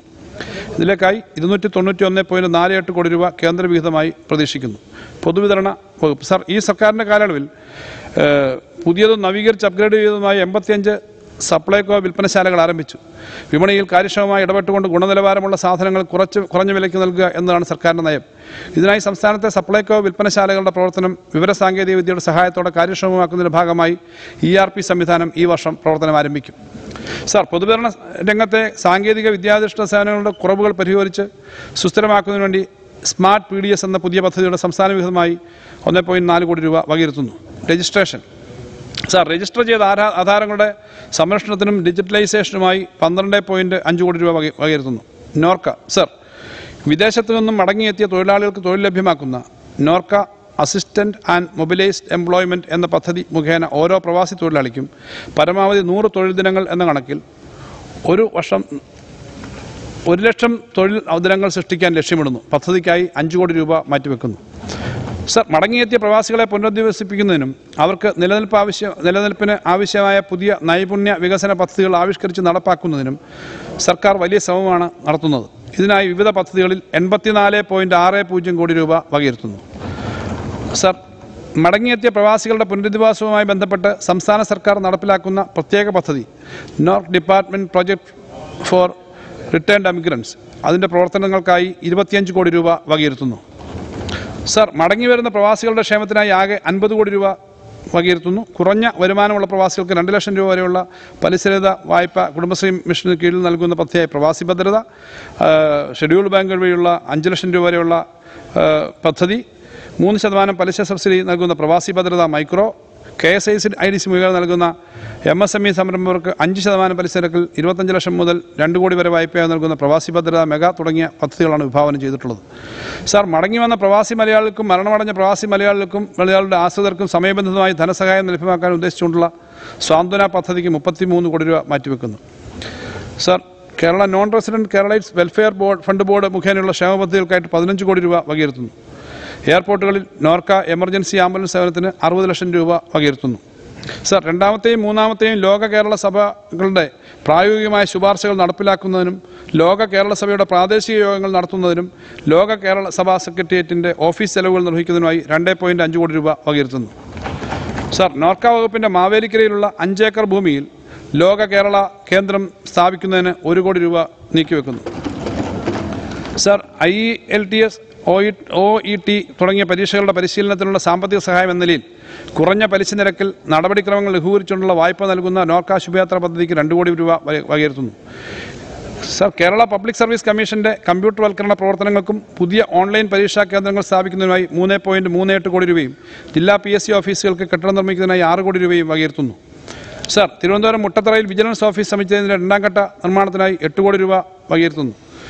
കോടതികൾ. സർ ഹൈക്കോടതിയെ ഒരു കടലാസ് രഹിത ഓഫീസാക്കി മാറ്റുന്നതിന് ലക്ഷ്യമിട്ടിട്ടുള്ള ഇ ഗവേണൻസ് പദ്ധതിക്ക് മൂന്ന് പോയിന്റ് അഞ്ച് കോടി രൂപ വകയിരുത്തുന്നു. താഴെ തലത്തിലുള്ള കോടതികളിലും ഇ ഗവേണൻസ് നടപടികൾ അടിയന്തരമായി പൂർത്തീകരിക്കാനുള്ള പദ്ധതികൾ സ്വീകരിക്കും. എക്സൈസ്. സർ മയക്കുമരുന്നിന്റെ ഉപയോഗത്തോട് അണിവിട വിട്ടുവീഴ്ചയില്ലാത്ത സീറോ ടോളറൻസ് നയമാണ് കേരളം സ്വീകരിക്കുന്നത്. മയക്കുമരുന്നിനെതിരെയുള്ള ഏകോപിതമായ പ്രവർത്തനങ്ങൾക്കായി പതിനഞ്ച് കോടി രൂപ അധികമായി നീക്കിവെക്കുന്നു. സർ കേരള സർക്കാരിന്റെ ലഹരി വിമുക്ത പ്രചരണ പരിപാടിയുടെ വിമുക്തി ഡി അഡിക്ഷൻ സെന്ററുകളുടെ പ്രവർത്തനങ്ങൾക്കായി ഒമ്പത് പോയിന്റ് നാല് മൂന്ന് കോടി രൂപ വകയിരുത്തുന്നു. റവന്യൂവും ഭൂരേഖയും. സർ റവന്യൂ ഓഫീസുകൾ സ്മാർട്ട് ഓഫീസുകളായി മാറ്റുന്ന പദ്ധതിക്ക് നാൽപ്പത്തെട്ട് കോടി രൂപയും വകുപ്പിന്റെ ആധുനികവൽക്കരണത്തിനും കമ്പ്യൂട്ടർവൽക്കരണത്തിനുമായി ഇരുപത്തിയാറ് പോയിന്റ് അഞ്ച് കോടി രൂപയും വകയിരുത്തുന്നു. സർ റവന്യൂ സർവേ രജിസ്ട്രേഷൻ തുടങ്ങിയ വകുപ്പുകൾ ഏകോപിപ്പിച്ചുകൊണ്ട് ഡിജിറ്റൽ റെക്കോർഡുകളുടെ സംഭരണവും വെബ് മീഡിയ വഴി പൊതുജനങ്ങൾക്ക് ഡാറ്റ പങ്കിടലും സാധ്യമാക്കേണ്ടതുണ്ട്. ഇപ്രകാരം കൃത്യതയാർന്ന ഡിജിറ്റൽ മാപ്പ് ലക്ഷ്യ- ലക്ഷ്യ- ലക്ഷ്യമാക്കുക എന്ന ലക്ഷ്യത്തോടെ ഭൂരേഖ സേവന സംവിധാനങ്ങളുടെ സംയോജനത്തിന് ഏഴ് പോയിന്റ് അഞ്ച് കോടി രൂപ വകയിരുത്തുന്നു. മേജർ ഇൻഫ്രാസ്ട്രക്ചർ പദ്ധതികൾ. സർ മേജർ അടിസ്ഥാന വികസന പദ്ധതികളുടെ ഫണ്ട് വിവിധ ബജറ്റ് ശീർഷകങ്ങളിൽ വെവ്വേറെ വകയിരുത്തുമ്പോൾ ഫണ്ടിന്റെ യഥാസമയമുള്ള വിനിയോഗത്തിൽ ഉണ്ടാകുന്ന പരിമിതികൾ ഒഴിവാക്കുന്നതിനായി ഇവയ്ക്കെല്ലാം കൂടി ഒറ്റ ശീർഷകത്തിൽ തുക വരുന്ന രീതിയാണ് അവലംബിച്ചു വരുന്നത്. ഇത്തരത്തിലുള്ള മുഖ്യ അടിസ്ഥാന വികസന പദ്ധതികൾക്ക് എല്ലാം കൂടി ആകെ മുന്നൂറ്റി അറുപത് കോടി രൂപ വകയിരുത്തുന്നു. നവകേരളം കർമ്മ പദ്ധതി. സർ ഹരിത കേരളം ആർദ്രം ലൈഫ് വിദ്യാകരണം എന്നീ നാല് മിഷനുകളും റീബിൽഡ് കേരള ഇനിഷ്യേറ്റീവും ഏകോപിപ്പിച്ച് ആരംഭിച്ചിട്ടുള്ള നവകേരള കർമ്മ പദ്ധതി രണ്ടിന്റെ പ്രവർത്തനങ്ങൾക്കായി പത്ത് കോടി രൂപ വകയിരുത്തുന്നു. സർ റീബിൽഡ് കേരള ഇനിഷ്യേറ്റീവ് പദ്ധതിയുടെ സുഗമവും സമയബന്ധിതവുമായ നടത്തിപ്പിനായി തൊള്ളായിരത്തി നാല് പോയിന്റ് എട്ട് മൂന്ന് കോടി രൂപ വകയിരുത്തുന്നു. സംസ്ഥാന ജി എസ് ടി വകുപ്പ്. സർ മുൻ ബജറ്റിൽ പ്രഖ്യാപിച്ചതനുസരിച്ച് സംസ്ഥാന ജി എസ് ടി വകുപ്പ് സമഗ്രമായി പുനഃസംഘടിപ്പിച്ച പുതിയ രീതിയിൽ പ്രവർത്തനം നടത്തി വരുന്നു പുനഃസംഘടനയുടെ ഭാഗമായി രൂപീകരിക്കപ്പെട്ടിട്ടുള്ള പുതിയ ഭരണ നിർവഹണത്തിന് അനിവാര്യമായ സോഫ്റ്റ്വെയറിനും സാങ്കേതിക വികസനത്തിനുമായി പത്ത് കോടി രൂപ വകയിരുത്തുന്നു. ജി എസ് ടി വകുപ്പിന്റെ കാര്യക്ഷമമായ പ്രവർത്തനത്തിന് എല്ലാ ഉദ്യോഗസ്ഥർക്കും വിദഗ്ധ പരിശീലനവും അനിവാര്യമാണ്. ഇതിനായിട്ട് മൂന്ന് കോടി രൂപ നീക്കിവെക്കുന്നു. കേരള സംസ്ഥാന ഇൻഷുറൻസ് വകുപ്പ്. സർ സർക്കാർ അർദ്ധ സർക്കാർ പൊതുമേഖലാ സഹകരണ സ്ഥാപനങ്ങൾ സർവകലാശാല മറ്റ് സ്വയംഭരണ സ്ഥാപനങ്ങൾ എന്നിവിടങ്ങളിലെ ജീവനക്കാർക്കായി നിലവിൽ ഇൻഷുറൻസ് വകുപ്പ് നടപ്പിലാക്കിയിട്ടുള്ള G P A I S അപകട ഇൻഷുറൻസ് പദ്ധതിയിലെ അപകടം മൂലമുള്ള മരണത്തിന് പരിരക്ഷ പത്ത് ലക്ഷം രൂപയിൽ നിന്ന് പതിനഞ്ച് ലക്ഷം രൂപ വാഗ്ദത്ത തുകയായി ഉയർത്തുകയും അല്ലാതെയുള്ള മരണത്തിന് സമാശ്വാസമായി അഞ്ച് ലക്ഷം രൂപയുടെ അധിക പരിരക്ഷ ഉറപ്പുവരുത്തുകയും ചെയ്യും. ഇതിനായി നിലവിലുള്ള പ്രതിവർഷ പ്രീമിയം അഞ്ഞൂറ് രൂപയിൽ നിന്ന് ആയിരം രൂപയായി ഉയർത്തുന്നു. G P I S G P A I S പദ്ധതി പ്രകാരം പരിഷ്കരിച്ച് ജീവൻ രക്ഷ എന്ന പുതിയ പദ്ധതി പ്രഖ്യാപിക്കുന്നു. സർ അംഗനവാടി പ്രവർത്തകർക്കായി ആക്സിഡന്റ് ഇൻഷുറൻസും ലൈഫ് ഇൻഷുറൻസും ഉൾപ്പെടുത്തി അങ്കണം എന്ന പേരിൽ ഒരു പദ്ധതി പ്രഖ്യാപിക്കുന്നു. വാർഷിക പ്രീമിയം മുന്നൂറ്റി അറുപത് രൂപ നിരക്കിൽ അപകട മരണത്തിന് രണ്ട് ലക്ഷം രൂപയും ആത്മഹത്യ അല്ലാതെയുള്ള മറ്റു മരണങ്ങൾക്ക് ഒരു ലക്ഷം രൂപയും ഇൻഷുറൻസ് പരിരക്ഷ അങ്കണത്തിലൂടെ ഉറപ്പുവരുത്തുന്നു. കേരള സ്റ്റേറ്റ് ഓഡിറ്റ് വകുപ്പ്. സർ കേരള സ്റ്റേറ്റ് ഓഡിറ്റ് വകുപ്പ് രൂപം നൽകിയ audit information and management system AIMS A M S എന്ന സോഫ്റ്റ്വെയർ കൂടുതൽ നവീകരിക്കുന്നതിനായി രണ്ട് പോയിന്റ് മൂന്ന് കോടി രൂപ വകയിരുത്തുന്നു. സർ ട്രഷറി വകുപ്പ് ട്രഷറി കെട്ടിടങ്ങളുടെ അടിസ്ഥാന സൗകര്യ വികസനത്തിനും ഐ എഫ് എം എസ് സോഫ്റ്റ്വെയറിന്റെ സെർവറുകൾക്കുമായി പന്ത്രണ്ട് പോയിന്റ് പൂജ്യം അഞ്ച് കോടി രൂപ വകയിരുത്തുന്നു. ട്രഷറികളിൽ നടക്കുന്ന ക്രയവിക്രയങ്ങൾ സംബന്ധിച്ച് accountant general finance inspection wing treasury internal audit വിഭാഗം തുടങ്ങി വിവിധ ഏജൻസികൾ ട്രഷറികൾ സന്ദർശിക്കാതെ ഓൺലൈനായി തന്നെ പരിശോധന സാധ്യമാകുന്ന ഓൺലൈൻ ഓഡിറ്റ് മൊഡ്യൂൾ തയ്യാറാക്കുന്നതാണ്. ട്രഷറി കൈകാര്യം ചെയ്യുന്ന ചെയ്തു വരുന്ന ആറ് ലക്ഷത്തിലധികം പെൻഷൻ റെക്കോർഡുകൾ അടുത്ത സാമ്പത്തിക വർഷത്തിനുള്ളിൽ ഡിജിറ്റലൈസ് ചെയ്യും. Personnel administrative resource management system SPARK version two നടപ്പിലാക്കുന്നതിന് ധനകാര്യ വകുപ്പിന് രണ്ട് കോടി രൂപ വകയിരുത്തുന്നു. മെഡിസപ്പ് സംസ്ഥാനത്തെ പതിനൊന്ന് ലക്ഷത്തോളം വരുന്ന സർക്കാർ ഉദ്യോഗസ്ഥർക്കും പെൻഷൻകാർക്കുമായി നടപ്പിലാക്കിയ ആരോഗ്യ ഇൻഷുറൻസ് പദ്ധതിയാണ് മെഡിസപ്പ്. സർ സംസ്ഥാനത്തിന് അകത്തും പുറത്തുമുള്ള നാനൂറ്റി എൺപത് ആശുപത്രികൾ മെഡിസപ്പുമായി കരാറിൽ ഏർപ്പെട്ടിട്ടുണ്ട്.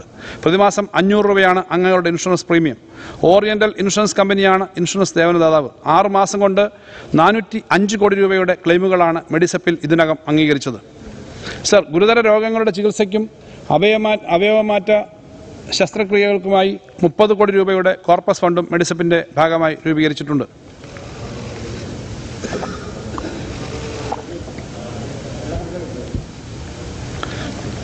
കിഫ്ബി സംസ്ഥാനത്തിന്റെ അടിസ്ഥാന സൗകര്യ വികസനത്തിന് അത്ഭുതകരമായ വേഗം നൽകിയ സ്ഥാപനമാണ് കിഫ്ബി. സർ പതിറ്റാണ്ടുകൾക്കപ്പുറത്ത് മാത്രം സാധ്യമായിരുന്ന വികസനങ്ങൾ യാഥാർത്ഥ്യമാക്കാൻ കിഫ്ബിയിലൂടെ കേരളത്തിന് കഴിഞ്ഞു. നിലവിൽ എഴുപത്തിനാലായിരത്തി ഒൻപത് പോയിന്റ് അഞ്ച് അഞ്ച് കോടി രൂപയുടെ തൊള്ളായിരത്തി തൊണ്ണൂറ്റി മൂന്ന് ബൃഹത് പദ്ധതികൾക്ക് കിഫ്ബി അംഗീകാരം നൽകിയിട്ടുണ്ട്. ഇവയിൽ അൻപത്തിനാലായിരം കോടി രൂപയുടെ തൊള്ളായിരത്തി എൺപത്തി പദ്ധതികൾ നിർവഹണത്തിന്റെ വിവിധ ഘട്ടങ്ങളിലാണ്. ഇവയിൽ ആറായിരത്തി ഇരുന്നൂറ്റൊന്ന് കോടി രൂപയുടെ പദ്ധതികളുടെ നിർമ്മാണം പൂർത്തിയായിട്ടുണ്ട്. ഇരുപത്തിനാലായിരത്തി തൊള്ളായിരത്തി മുപ്പത്തൊന്ന് കോടി രൂപയുടെ അഞ്ഞൂറ്റി നാൽപ്പത്തി മൂന്ന് ടെൻഡർ നടപടികൾ പൂർത്തീകരിച്ചവയും മൂവായിരത്തി അറുപത്തിനാല് കോടി രൂപയുടെ അമ്പത്തഞ്ച് പദ്ധതികൾ ടെൻഡർ ചെയ്തവയുമാണ്. രണ്ടായിരത്തി പതിനേഴ് വർഷത്തിൽ കിഫ്ബി പദ്ധതികൾക്കായിട്ട് ചെലവഴിച്ചത് നാനൂറ്റി നാൽപ്പത്തിരണ്ട് പോയിന്റ് ആറ് ഏഴ് കോടി രൂപയും രണ്ടായിരത്തി പതിനെട്ട് പത്തൊമ്പതിൽ ആയിരത്തി അറുപത്തൊമ്പത് കോടി രൂപയും രണ്ടായിരത്തി പത്തൊമ്പത് ഇരുപതിൽ മൂവായിരത്തി അഞ്ഞൂറ്റി രണ്ട് പോയിന്റ് അഞ്ച് കോടി രൂപയും രണ്ടായിരത്തി ഇരുപത് ഇരുപത്തൊന്നിൽ അയ്യായിരത്തി നാനൂറ്റി എൺപത്തിനാല് പോയിന്റ് എട്ട് ഒന്ന് കോടി രൂപയും രണ്ടായിരത്തി ഇരുപത്തിയൊന്ന് ഇരുപത്തിരണ്ടിൽ എണ്ണായിരത്തി നാനൂറ്റി അമ്പത്തി ഒമ്പത് പോയിന്റ് ആറ് ഏഴ് കോടി രൂപയും ഇരുപത്തിരണ്ട് ഇരുപത്തിമൂന്നിൽ മൂവായിരത്തി എണ്ണൂറ്റി നാൽപ്പത്തിരണ്ട് പോയിന്റ് എട്ട് ഒമ്പത് കോടി രൂപയുമാണ്. നാലിതുവരെ നാളിതുവരെ ഇരുപത്തി രണ്ടായിരത്തി എണ്ണൂറ്റി ഒന്ന് കോടിയിലധികം രൂപ വിവിധ പദ്ധതികളിലേക്കായി കിഫ്ബി നൽകിക്കഴിഞ്ഞു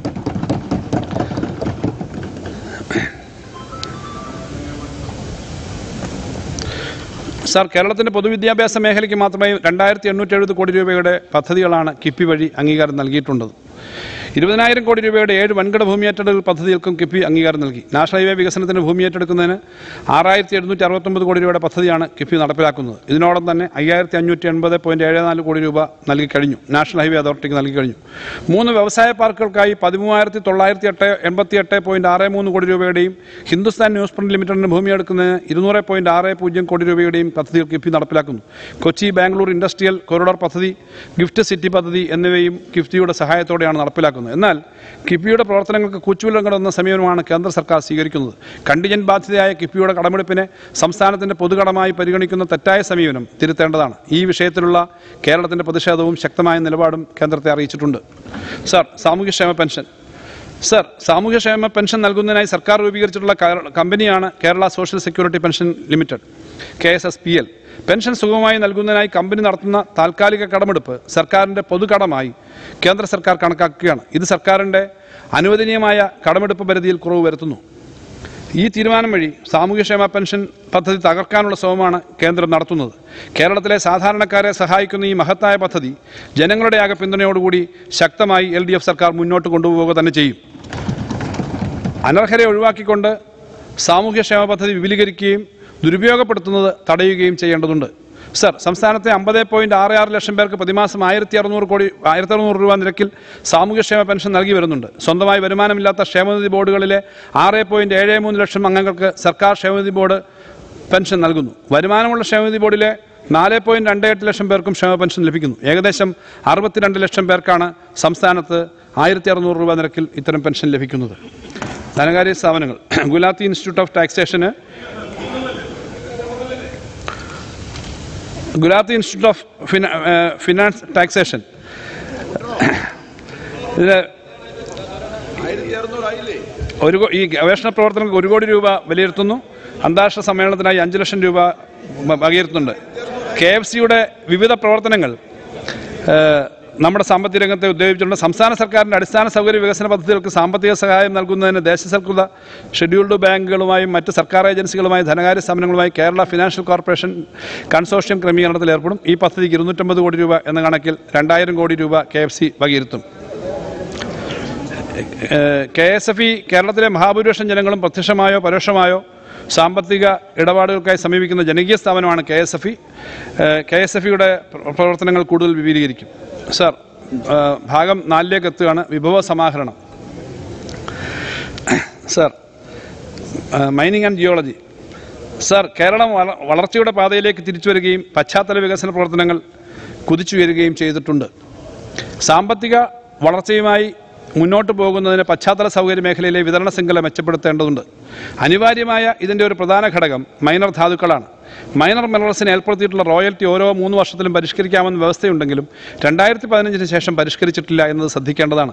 റോയൽറ്റി പരിഷ്കരണം പിഴ ഈടാക്കൽ ശാസ്ത്രീയമായ അളവ് പരിശോധിക്കൽ എന്നിവ വരുമാനം വർദ്ധിപ്പിക്കും. വിപണിയിലെ പ്രവണതകൾക്കനുസൃതമായി ഇവ ശാസ്ത്രീയമായി പരി- പരിഷ്കരിക്കാനാണ് ഉദ്ദേശിക്കുന്നത്. Mining and sir mining and geology മേഖലയിൽ ചുവടെ പറയുന്ന ഏഴ് മാറ്റങ്ങളാണ് നടപ്പാക്കാൻ ഉദ്ദേശിക്കുന്നത്. ഒന്ന് മൈനർ ധാതുക്കളുടെ എല്ലാ വിഭാഗങ്ങളിലും റോയൽറ്റി പരിഷ്കരണം. രണ്ട് പാറകളുടെ തരവും വലുപ്പവും അടിസ്ഥാനമാക്കി ഗ്രാനൈറ്റ് ഡയമെൻഷണൽ കല്ലുകൾ എന്നിവയ്ക്ക് വ്യത്യസ്ത വില സംവിധാനം. മൂന്ന് ധാതുക്കളുടെ മൂല്യത്തിന്റെ അടിസ്ഥാനത്തിൽ സീനിയറേജും റോയൽറ്റിയും സംയോജിപ്പിച്ച് ഒറ്റ നിരക്ക്. നാല് അനധികൃത ഖനനവും അനുബന്ധ പ്രവർത്തനങ്ങളും തടയുന്നതിന് കർശന നടപടികൾ സ്വീകരിക്കുന്നതിന്റെ ഭാഗമായി പിഴ നിരക്കുകളുടെ പരിഷ്കരണം. അഞ്ച് റോയൽറ്റി പേയ്മെന്റ് ചരക്ക് വാഹനത്തിന്റെ ഭാരമോ വഹിക്കാനുള്ള ശേഷിയോ അടിസ്ഥാനമാക്കി തീരുമാനിക്കുന്നതിന് പകരം യഥാർത്ഥ ഉപയോഗത്തെ അടിസ്ഥാനമാക്കി നിശ്ചയിക്കും. ആറ് സർക്കാർ ഭൂമിയുടെ പാട്ടവാടക ഭൂമിയുടെ ന്യായവിലയെ അടിസ്ഥാനമാക്കിയുള്ളതാവും. ഏഴാമതായി നിലവിലുള്ള കോമ്പൗണ്ടിംഗ് സമ്പ്രദായം നിർത്തലാക്കി അളവിനെ അടിസ്ഥാനമാക്കി റോയൽറ്റി കണക്കാക്കും. സർ മേൽപ്പറഞ്ഞ നടപടികളിലൂടെ നികുതി നികുതിയേതര ഇതര വിഭാഗത്തിൽ അറുന്നൂറ് കോടി രൂപയാണ് പ്രതീക്ഷിക്കുന്നത്. തദ്ദേശ സ്വയംഭരണ വകുപ്പ്. സർ തദ്ദേശ സ്വയംഭരണ സ്ഥാപനങ്ങൾ ഈടാക്കുന്ന കെട്ടിട നികുതി പരിഷ് കെട്ടിട നികുതി പരിഷ്കരണം കുറേ കാലങ്ങളായി നടപ്പാക്കിയിട്ടില്ല. കെട്ടിട നികുതി അപേക്ഷാ ഫീസ് പരിശോധനാ ഫീസ് ഗാർഹിക ഗാർഹികേതര കെട്ടിടങ്ങൾ നിർമ്മിക്കുന്നതിനുള്ള പെർമിറ്റ് ഫീസ് എന്നിവ പരിഷ്കരിക്കാൻ ഉദ്ദേശിക്കുന്നു. ഒരു വ്യക്തിയുടെ ഉടമസ്ഥതയിലുള്ള ഒന്നിലധികം വീടുകൾക്ക് വീടുകൾക്കും പുതുതായി നിർമ്മിച്ചതും ദീർഘകാലമായി ഒഴിഞ്ഞുകിടക്കുന്നതുമായ വീടുകൾക്കും പ്രത്യേകമായി നികുതി ചുമത്തുന്നതിനുള്ള അനുയോജ്യമായ രീതി നടപ്പിലാക്കും. ഇക്കാര്യത്തിൽ ഒരു സമഗ്രമായ പരിഷ്കരണം തദ്ദേശ സ്വയംഭരണ വകുപ്പ് നടപ്പിലാക്കും. മേൽപ്പറഞ്ഞ നടപടികളിലൂടെ കുറഞ്ഞത് ആയിരം കോടി രൂപയെങ്കിലും തദ്ദേശ സ്ഥാപനങ്ങൾക്ക് അധിക തനത് ഫണ്ടായിട്ട് ലഭിക്കേണ്ടതാണ്. ജലസേചനം. ജലസേചനം. സർ മേൽപ്പറഞ്ഞ നടപടികളിലൂടെ കുറഞ്ഞത് ആയിരം കോടി രൂപയെങ്കിലും തദ്ദേശ സ്ഥാപനങ്ങൾക്ക് അധിക തനത് ഫണ്ടായി ലഭിക്കുമെന്ന് പ്രതീക്ഷിക്കുന്നു. ജലസേചനം. സർ സർക്കാരിലേക്ക് പരമാവധി വരുമാനം വരുന്ന രീതിയിൽ അണക്കെട്ടുകളിൽ നിന്നും മണൽ ചെളി മുതലായവ ഖനനം ചെയ്യുന്നതിനുള്ള നൂതനമായ സംവിധാനം കൊണ്ടുവരും. തോട്ടപ്പള്ളി സ്പിൽവേയിൽ നിന്ന് മണൽ നീക്കം ചെയ്ത ഇനത്തിൽ പത്ത് കോടിയിലധികം രൂപ സർക്കാരിന്റെ വിഹിതമായി ലഭിച്ചിട്ടുണ്ട്. ഈ മാതൃക ഡാമുകൾ ഉൾപ്പെടെയുള്ള മറ്റു മേഖലകളിലേക്കും വ്യാപിക്കുന്നതിലൂടെ ഗണ്യമായ വരുമാനം പ്രതീക്ഷിക്കുന്നു. ഇതിനായി റവന്യൂ ഷെയറിംഗ് മോഡൽ അടിസ്ഥാനമാക്കി ഒരു സമഗ്രമായ പദ്ധതി ജലസേചന വകുപ്പ് കൊണ്ടുവരുന്നതാണ്. വൈദ്യുതി തീരുവ. സർ വൈദ്യുതി തീരുവ K S E B L ഈടാക്കുകയും കൈവശം വെച്ചു വരികയും ചെയ്യുന്ന പ്രക്രിയ രണ്ടായിരത്തി ഇരുപത്തി മൂന്ന് ഒക്ടോബർ മുപ്പത്തൊന്നോടെ അവസാനിക്കുന്നതാണ്. അതിനുശേഷം ഈ തുക സർക്കാർ അക്കൗണ്ടിലേക്ക് അടയ്ക്കുന്നതാണ്. ഇത് സർക്കാരിലേക്കുള്ള വരുമാനം വർദ്ധിപ്പിക്കുമെന്ന് പ്രതീക്ഷിക്കുന്നു. വാണിജ്യ വ്യാവസായിക യൂണിറ്റുകൾക്ക് ബാധകമായ വൈദ്യുതി തീരുവ അഞ്ച് ശതമാനമായി വർദ്ധിപ്പിക്കുന്നു. ഇതുവഴി ഇരുന്നൂറ് കോടി രൂപയുടെ അധിക വരുമാനം പ്രതീക്ഷിക്കുന്നു. ജുഡീഷ്യൽ കോടതി ഫീസ്. സർ കഴിഞ്ഞ രണ്ട് പതിറ്റാണ്ടായി ജുഡീഷ്യൽ കോർട്ട് ഫീസ് സ്റ്റാമ്പുകളുടെ നിരക്കുകൾ പരിഷ്കരിച്ചിട്ടില്ല. ആയത് വർദ്ധിപ്പിക്കുന്നതിനായി ആയിരത്തി തൊള്ളായിരത്തി അമ്പത്തി ഒമ്പതിലെ Kerala court fee and suit valuation ആക്ടും ബന്ധപ്പെട്ട ചട്ടങ്ങളും ഭേദഗതി ചെയ്യും. മാനനഷ്ടം സിവിൽ നിയമലംഘനം എന്നിവയുമായി ബന്ധപ്പെട്ട കേസുകൾ കോടതി ഫീസ് ക്ലെയിം തുകയുടെ ഒരു ശതമാനമായി നിജപ്പെടുത്തും. സർ മറ്റ് കോടതി വ്യവഹാരങ്ങൾക്കും ഒരു ശതമാനം അധികമായി കോർട്ട് ഫീ ഈടാക്കുന്ന തരത്തിൽ ആയിരത്തി തൊള്ളായിരത്തി അമ്പത്തി ഒമ്പതിലെ court fee Kerala court fees and suit valuation നിയമം ഭേദഗതി ചെയ്യും. സാധാരണ പൗരന്മാരുടെ സൗകര്യാർത്ഥം കോടതി ഫീസുകൾ ഈ സ്റ്റാമ്പിങ്ങിന്റെ പരിധിയിൽ കൊണ്ടുവരും. സർ മേൽപ്പറഞ്ഞ നടപടികളിലൂടെ ഏകദേശം അമ്പത് കോടി രൂപയുടെ അധിക വരുമാനം പ്രതീക്ഷിക്കുന്നു. Motor vehicle. സർ പുതുതായി വാങ്ങുന്ന രണ്ട് ലക്ഷം വരെയുള്ള മോട്ടോർ സൈക്കിളുകളുടെ ഒറ്റത്തവണ നികുതിയിൽ രണ്ട് ശതമാനം വർധനവ് വരുത്തുന്നു. ഇതുവഴി തൊണ്ണൂറ്റിരണ്ട് കോടി രൂപയുടെ അധിക വരുമാനം പ്രതീക്ഷിക്കുന്നു. സർ പുതുതായി വാങ്ങുന്ന മോട്ടോർ കാറുകളുടെയും സ്വകാര്യ ആവശ്യങ്ങൾക്ക് ഉപയോഗിക്കുന്ന പ്രൈവറ്റ് സർവീസ് വാഹനങ്ങളുടെയും നിരക്കിൽ താഴെ പറയുന്ന പ്രകാരം വർധനവ് വരുത്തുന്നു. അഞ്ച് ലക്ഷം വരെയുള്ള വിലയുള്ളവയ്ക്ക് വരെയുള്ളവയ്ക്ക് ഒരു ശതമാനം വർധനവ്. അഞ്ച് ലക്ഷം മുതൽ പതിനഞ്ച് ലക്ഷം വരെ വിലയുള്ളവർക്ക് രണ്ട് ശതമാനം വർധനവ്. പതിനഞ്ച് ലക്ഷം മുതൽ ഇരുപത് ലക്ഷം വരെയുള്ള വാഹനങ്ങൾക്ക് ഒരു ശതമാനം വർധനവ്. ഇരുപത് ലക്ഷം മുതൽ മുപ്പത് ലക്ഷം വരെയുള്ള വാഹനങ്ങൾക്ക് ഒരു ശതമാനം വർധനവ്. മുപ്പത് ലക്ഷത്തിന് മുകളിൽ വിലയുള്ള വാഹനങ്ങൾക്ക് ഒരു ശതമാനം വർധനവ്. ഇതുവഴി മുന്നൂറ്റി നാൽപ്പത് കോടി രൂപയുടെ അധിക വരുമാനം അധിക വരുമാനം പ്രതീക്ഷിക്കുന്നു. സർ പുതുതായി വാങ്ങുന്ന electric motor cab electric tourist motor cab sir പുതുതായി വാങ്ങുന്ന electric motor cab electric tourist motor cab എന്നിവയ്ക്ക് നിലവിൽ വാഹന വിലയുടെ ആറ് ശതമാനം മുതൽ ഇരുപത് ശതമാനം വരെയുള്ള തുകയാണ് ഒറ്റത്തവണ നികുതിയായി വരുന്നത്. അന്തരീക്ഷ മലിനീകരണം പരമാവധി കുറയ്ക്കുന്നതിനും പൊതുഗതാഗതം പ്രോത്സാഹിപ്പിക്കുന്നതിനുമായി ഇത്തരം വാഹനങ്ങളുടെ ഒറ്റത്തവണ നികുതി ഇലക്ട്രിക് സ്വകാര്യ വാഹനങ്ങളുടെ നികുതിക്ക് തുല്യമായ വാഹനവിലയുടെ അഞ്ച് ശതമാനമായി കുറയ്ക്കുന്നു. പതിനഞ്ച് വർഷത്തെ ഒറ്റത്തവണ നികുതി അടയ്ക്കുന്ന എല്ലാത്തരം ഇലക്ട്രിക് വാഹനങ്ങളുടെയും നികുതി നിരക്ക് വാഹനവിലയുടെ അഞ്ച് ശതമാനമായി നിക- നികുതി നിജപ്പെടുത്തിയതിനാൽ ഇത്തരം വാഹനങ്ങൾക്ക് ആദ്യ അഞ്ച് വർഷത്തേക്ക് നൽകിയിരുന്ന അൻപത് ശതമാനം നികുതി ഇളവ് ഒഴിവാക്കുകയാണ്. സർ കോവിഡ് പ്രതിസന്ധി മൂലം ബുദ്ധിമുട്ടുകൾ അനുഭവിച്ചു വരുന്ന കോൺട്രാക്ട് കാരേജ് സ്റ്റേജ് കാരേജ് വാഹന ഉടമകൾക്ക് ആശ്വാസം പകരാനും പൊതുഗതാഗതം ശക്തിപ്പെടുത്തുന്നതിനുമായി ഇത്തരം വാഹനങ്ങളുടെ നികുതിയിൽ പത്ത് ശതമാനം വരെ കുറവ് വരുത്തുകയാണ്. ഇതുവഴി സർക്കാരിന് ഇരുപത്തെട്ട് കോടി രൂപയുടെ നഷ്ടമുണ്ടാകുമെന്ന് പ്രതീക്ഷിക്കുന്നു. സർ രണ്ടായിരത്തി ഏഴിൽ നിലവിൽ വന്ന കേരള റോഡ് സേഫ്റ്റി ആക്ടിലെ സെക്ഷൻ പത്ത് പ്രകാരം പുതുതായി രജിസ്റ്റർ ചെയ്യുന്ന വാഹനങ്ങളിൽ നിന്നും രജിസ്ട്രേഷൻ സമയത്ത് ഈടാക്കി വരുന്ന ഒറ്റത്തവണ സെസ് താഴെ പറയും പ്രകാരം വർദ്ധിപ്പിക്കുന്നതാണ്. ഇരുചക്ര വാഹനങ്ങൾക്കുള്ള നിലവിലുള്ള നിരക്കായ അമ്പത് രൂപയിൽ നിന്ന് നൂറ് രൂപയായി വർദ്ധിപ്പിക്കുന്നു. ലൈറ്റ് മോട്ടോർ വാഹനങ്ങൾക്ക് നിലവിലുള്ള നിരക്കായ നൂറ് രൂപയിൽ നിന്ന് ഇരുന്നൂറ് രൂപയായി വർദ്ധിപ്പിക്കുന്നു.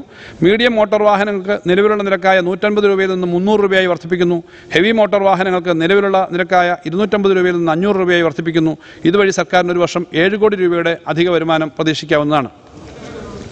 കൂടുതൽ സർ കൂടുതൽ ഫാൻസി നമ്പർ സെറ്റുകൾ അവതരിപ്പിക്കാനും പെർമിറ്റ് ഫീസും അപ്പീൽ ഫീസും വർദ്ധിപ്പിക്കാനും നടപടിയെടുക്കും. സർ മോട്ടോർ വാഹന വകുപ്പിൽ കുടിശ്ശിക നികുതി അടയ്ക്കുന്നതിന് മുൻവർഷങ്ങളിൽ ഏർപ്പെടുത്തിയിരുന്ന ഒറ്റത്തവണ തീർപ്പാക്കൽ പദ്ധതി ഈ വർഷവും തുടരുന്നതാണ്. സർ മാനസിക വെല്ലുവിളിയും വെല്ലുവിളിയുള്ള വിദ്യാർത്ഥികളും ഭിന്നശേഷി സെറിബ്രൽ പാൾസി കാഴ്ചശേഷി ഇല്ലാത്തവർ തുടങ്ങിയ വിഭാഗത്തിലുള്ള വിദ്യാർത്ഥികളും പഠിക്കുന്ന അൺഎയ്ഡഡ് മേഖലകളിൽ പ്രവർത്തിക്കുന്ന സ്പെഷ്യൽ സ്കൂളുകളുടെ പേരിൽ രജിസ്റ്റർ ചെയ്തിട്ടുള്ള എഡ്യൂക്കേഷൻ ഇൻസ്റ്റിറ്റ്യൂഷൻ ബസ്സുകളുടെ നികുതി സർക്കാർ മേഖലയിലെ വിദ്യാഭ്യാസ സ്ഥാപനങ്ങളുടെ പേരിൽ രജിസ്റ്റർ ചെയ്തിട്ടുള്ള എഡ്യൂക്കേഷൻ ഇൻസ്റ്റിറ്റ്യൂഷൻ ബസ്സുകളുടെ നികുതിക്ക് തുല്യമായി കുറയ്ക്കുന്നതാണ്. സർ മാനസിക വെല്ലുവിളി ഭിന്നശേഷി കാഴ്ചശേഷി ഇല്ലാത്തവർ ബധിരർ മൂകർ എന്നീ വിഭാഗത്തിലുള്ള വിദ്യാർത്ഥികളെയും അനാഥർ പ്രായമായവർ എന്നിവരെയും ലെപ്രസി ക്ഷയം എന്നീ രോഗബാധിതരെയും സംരക്ഷിക്കുന്ന ചാരിറ്റബിൾ ഓർഗനൈസേഷൻ റീഹാബിലിറ്റേഷൻ സെന്ററുകൾ എന്നിവയുടെ പേരിൽ രജിസ്റ്റർ ചെയ്യപ്പെട്ടതും അവരുടെ യാത്രയ്ക്കായി ഉപയോഗിക്കുന്ന സ്വകാര്യ സർവീസ് വാഹനങ്ങൾ വാഹനങ്ങൾക്ക് സർക്കാർ സ്കൂളുകളുടെ പേരിൽ രജിസ്റ്റർ ചെയ്യപ്പെട്ട വിദ്യാഭ്യാസ സ്ഥാപനങ്ങളിലെ ബസ്സുകളുടെ നികുതി നിരക്കുമായി ഏകീകരിക്കുന്നതാണ്. എക്സൈസ്. സർ കേരളത്തിൽ മദ്യ ഉൽപ്പാദനത്തിന് എക്സൈസ് വകുപ്പ് ലൈസൻസ് നൽകിയിട്ടുണ്ടെങ്കിലും മദ്യ ഉൽപ്പാദനത്തിന് ആവശ്യമായ അസംസ്കൃത വസ്തുവായ എക്സ്ട്രാ ന്യൂട്രൽ ആൽക്കഹോൾ സംസ്ഥാനത്തിന് പുറത്തു നിന്നാണ് കൊണ്ടുവരുന്നത്. ഓരോ വർഷവും ശരാശരി അഞ്ച് കോടി litre extra neutral alcohol E N A മറ്റ് സംസ്ഥാനങ്ങളിൽ നിന്നും ഇറക്കുമതി ചെയ്യുന്നു. സംസ്ഥാനത്ത് എക്സ്ട്രാ ന്യൂട്രൽ ആൽക്കഹോൾ ഉൽപ്പാദിപ്പിക്കുക വഴി പുതിയ തൊഴിലവസരങ്ങൾ സൃഷ്ടിക്കുന്നതിനും സഹായ സൃഷ്ടിക്കുന്നതിന് സഹായകരമാകും. സംസ്ഥാനത്തിനകത്ത് എക്സ്ട്രാ ന്യൂട്രൽ ആൽക്കഹോൾ ഉൽപ്പാദനം പ്രോത്സാഹിപ്പിക്കുന്നതിന് സർക്കാർ നടപടികൾ സ്വീകരിക്കുന്നതാണ്. സർ അബ്കാരി കുടിശ്ശികനത്തിൽ ഇരുന്നൂറ്റി എൺപത്തി ആറ് കോടി രൂപ സർക്കാരിലേക്ക് പിടിഞ്ഞു പിരിഞ്ഞു കിട്ടേണ്ടതായിട്ടുണ്ട്. ഇതിൽ ബഹുഭൂരിപക്ഷവും ആയിരത്തി തൊള്ളായിരത്തി നാൽപ്പത്തി ഒമ്പത് അമ്പത് മുതൽ രണ്ടായിരത്തി ഒന്ന് രണ്ടായിരത്തി രണ്ട് വരെയുള്ള കാലയളവിലെ കുടിശ്ശികകളാണ്. കുടിശ്ശികക്കാർ പലരും മര മരണപ്പെട്ടു പോയിട്ടുള്ളതാണ്. കൂടാതെ ആർ ആർ നടപടികളുമായി ബന്ധപ്പെട്ട് വിവിധ കോടതികളിലായി നിരവധി കേസുകൾ നിലനിൽക്കുന്നു. ആയത് തീർപ്പാക്കുന്നതിലെ കാലതാമസവും സ്റ്റേ ഉത്തരവും കുടിശ്ശിക പിരിവിൽ കാലതാമസം ഉണ്ടാക്കുന്നു. അബ്കാരി കുടിശ്ശിക തീർക്കുന്ന തീർപ്പാക്കുന്നതിന് സഹായകരമായ പുതിയൊരു ആംനസ്റ്റി പദ്ധതി പ്രഖ്യാപിക്കുന്നു. സർ സർക്കാർ കേരളത്തിലെ ധാന്യ സർക്കാർ കേരളത്തിലെ ധാന്യങ്ങൾ ഒഴികെയുള്ള കാർഷിക ഉൽപ്പന്നങ്ങളിൽ നിന്നും ഹോട്ടി വൈൻ ഉൽപ്പാദിപ്പിക്കുന്ന അനുവാദം നൽകി. ഉത്തരവായിട്ടുണ്ട്. കർഷകർക്ക് വളരെയേറെ പ്രയോജനപ്പെടുന്ന ഹോട്ടി വൈൻ പ്രോത്സാഹിപ്പിക്കുന്നതിന് നിലവിൽ ഇന്ത്യൻ നിർമ്മിത വൈനിന്റെ അതേ നികുതി തന്നെ ഹോട്ടി വൈനും ബാധകമാക്കുന്നതാണ്. സംസ്ഥാന G S T sir G S T sir G S T നിയമങ്ങൾക്കനുസൃതമായി സംസ്ഥാന ചരക്ക് സേവന നികുതി വകുപ്പിന്റെ പുനഃസംഘടന പത്ത് ഒന്ന് രണ്ടായിരത്തി ഇരുപത്തി മൂന്ന് മുതൽ പ്രാബല്യത്തിൽ വന്നു.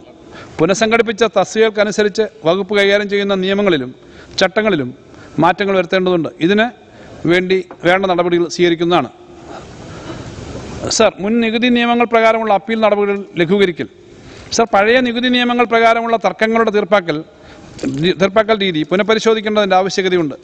തർക്കമുള്ള തുകകൾക്ക് പലപ്പോഴും നിയമപരമായ പുനഃപരിശോധന ആവശ്യമായതിനാൽ നിയമാനുസൃത അപ്പീലുകൾ ഫയൽ ചെയ്യുന്ന പ്രക്രിയ ലഘൂകരിക്കണമെന്ന ആവശ്യവും ഉയരുന്നുണ്ട്. നടപടിക്രമങ്ങൾ ലഘൂകരിക്കുന്നതിനായി താഴെ പറയുന്നവ നടപ്പാക്കും.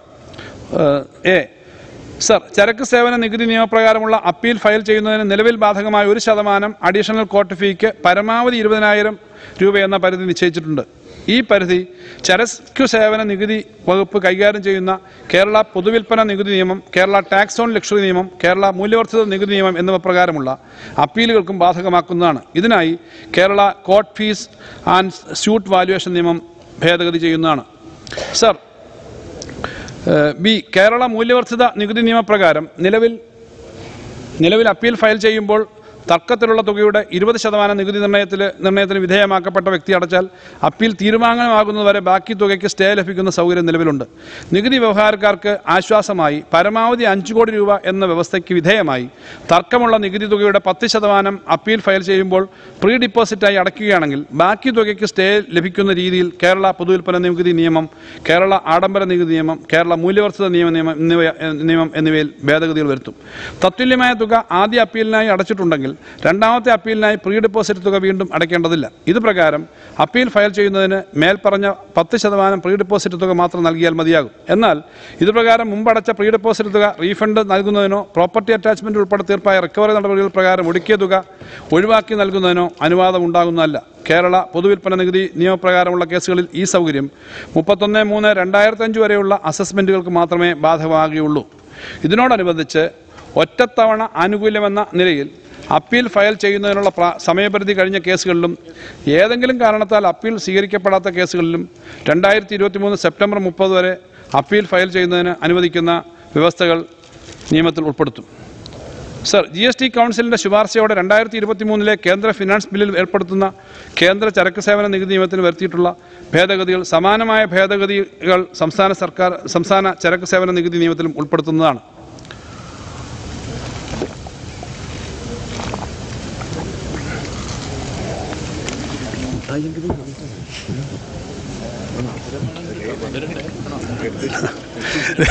രജിസ്ട്രേഷൻ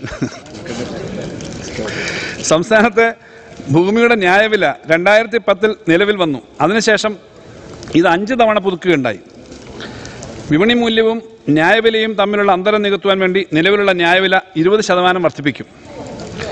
സർ വിവിധ കാരണങ്ങളാൽ വിപണി മൂല്യം വർദ്ധിച്ച പ്രദേശങ്ങളിലെ ഭൂമിയുടെ ന്യായവില മുപ്പത് ശതമാനം വരെ വർദ്ധിപ്പിക്കുന്നതിനായി രണ്ടായിരത്തി ഇരുപത്തിരണ്ടിൽ ഫിനാൻസ് ആക്ടിലൂടെ നിയമനിർമ്മാണം നടപ്പിലാക്കിയ സാഹചര്യത്തിൽ അതുപ്രകാരം വർധനവ് വരുത്തേണ്ട മേഖലകളെ നിർണയിക്കുന്നതിനായി വിശദമായ പഠനം നടത്തി മാനദണ്ഡങ്ങൾ കൊണ്ടുവരുന്നതാണ്.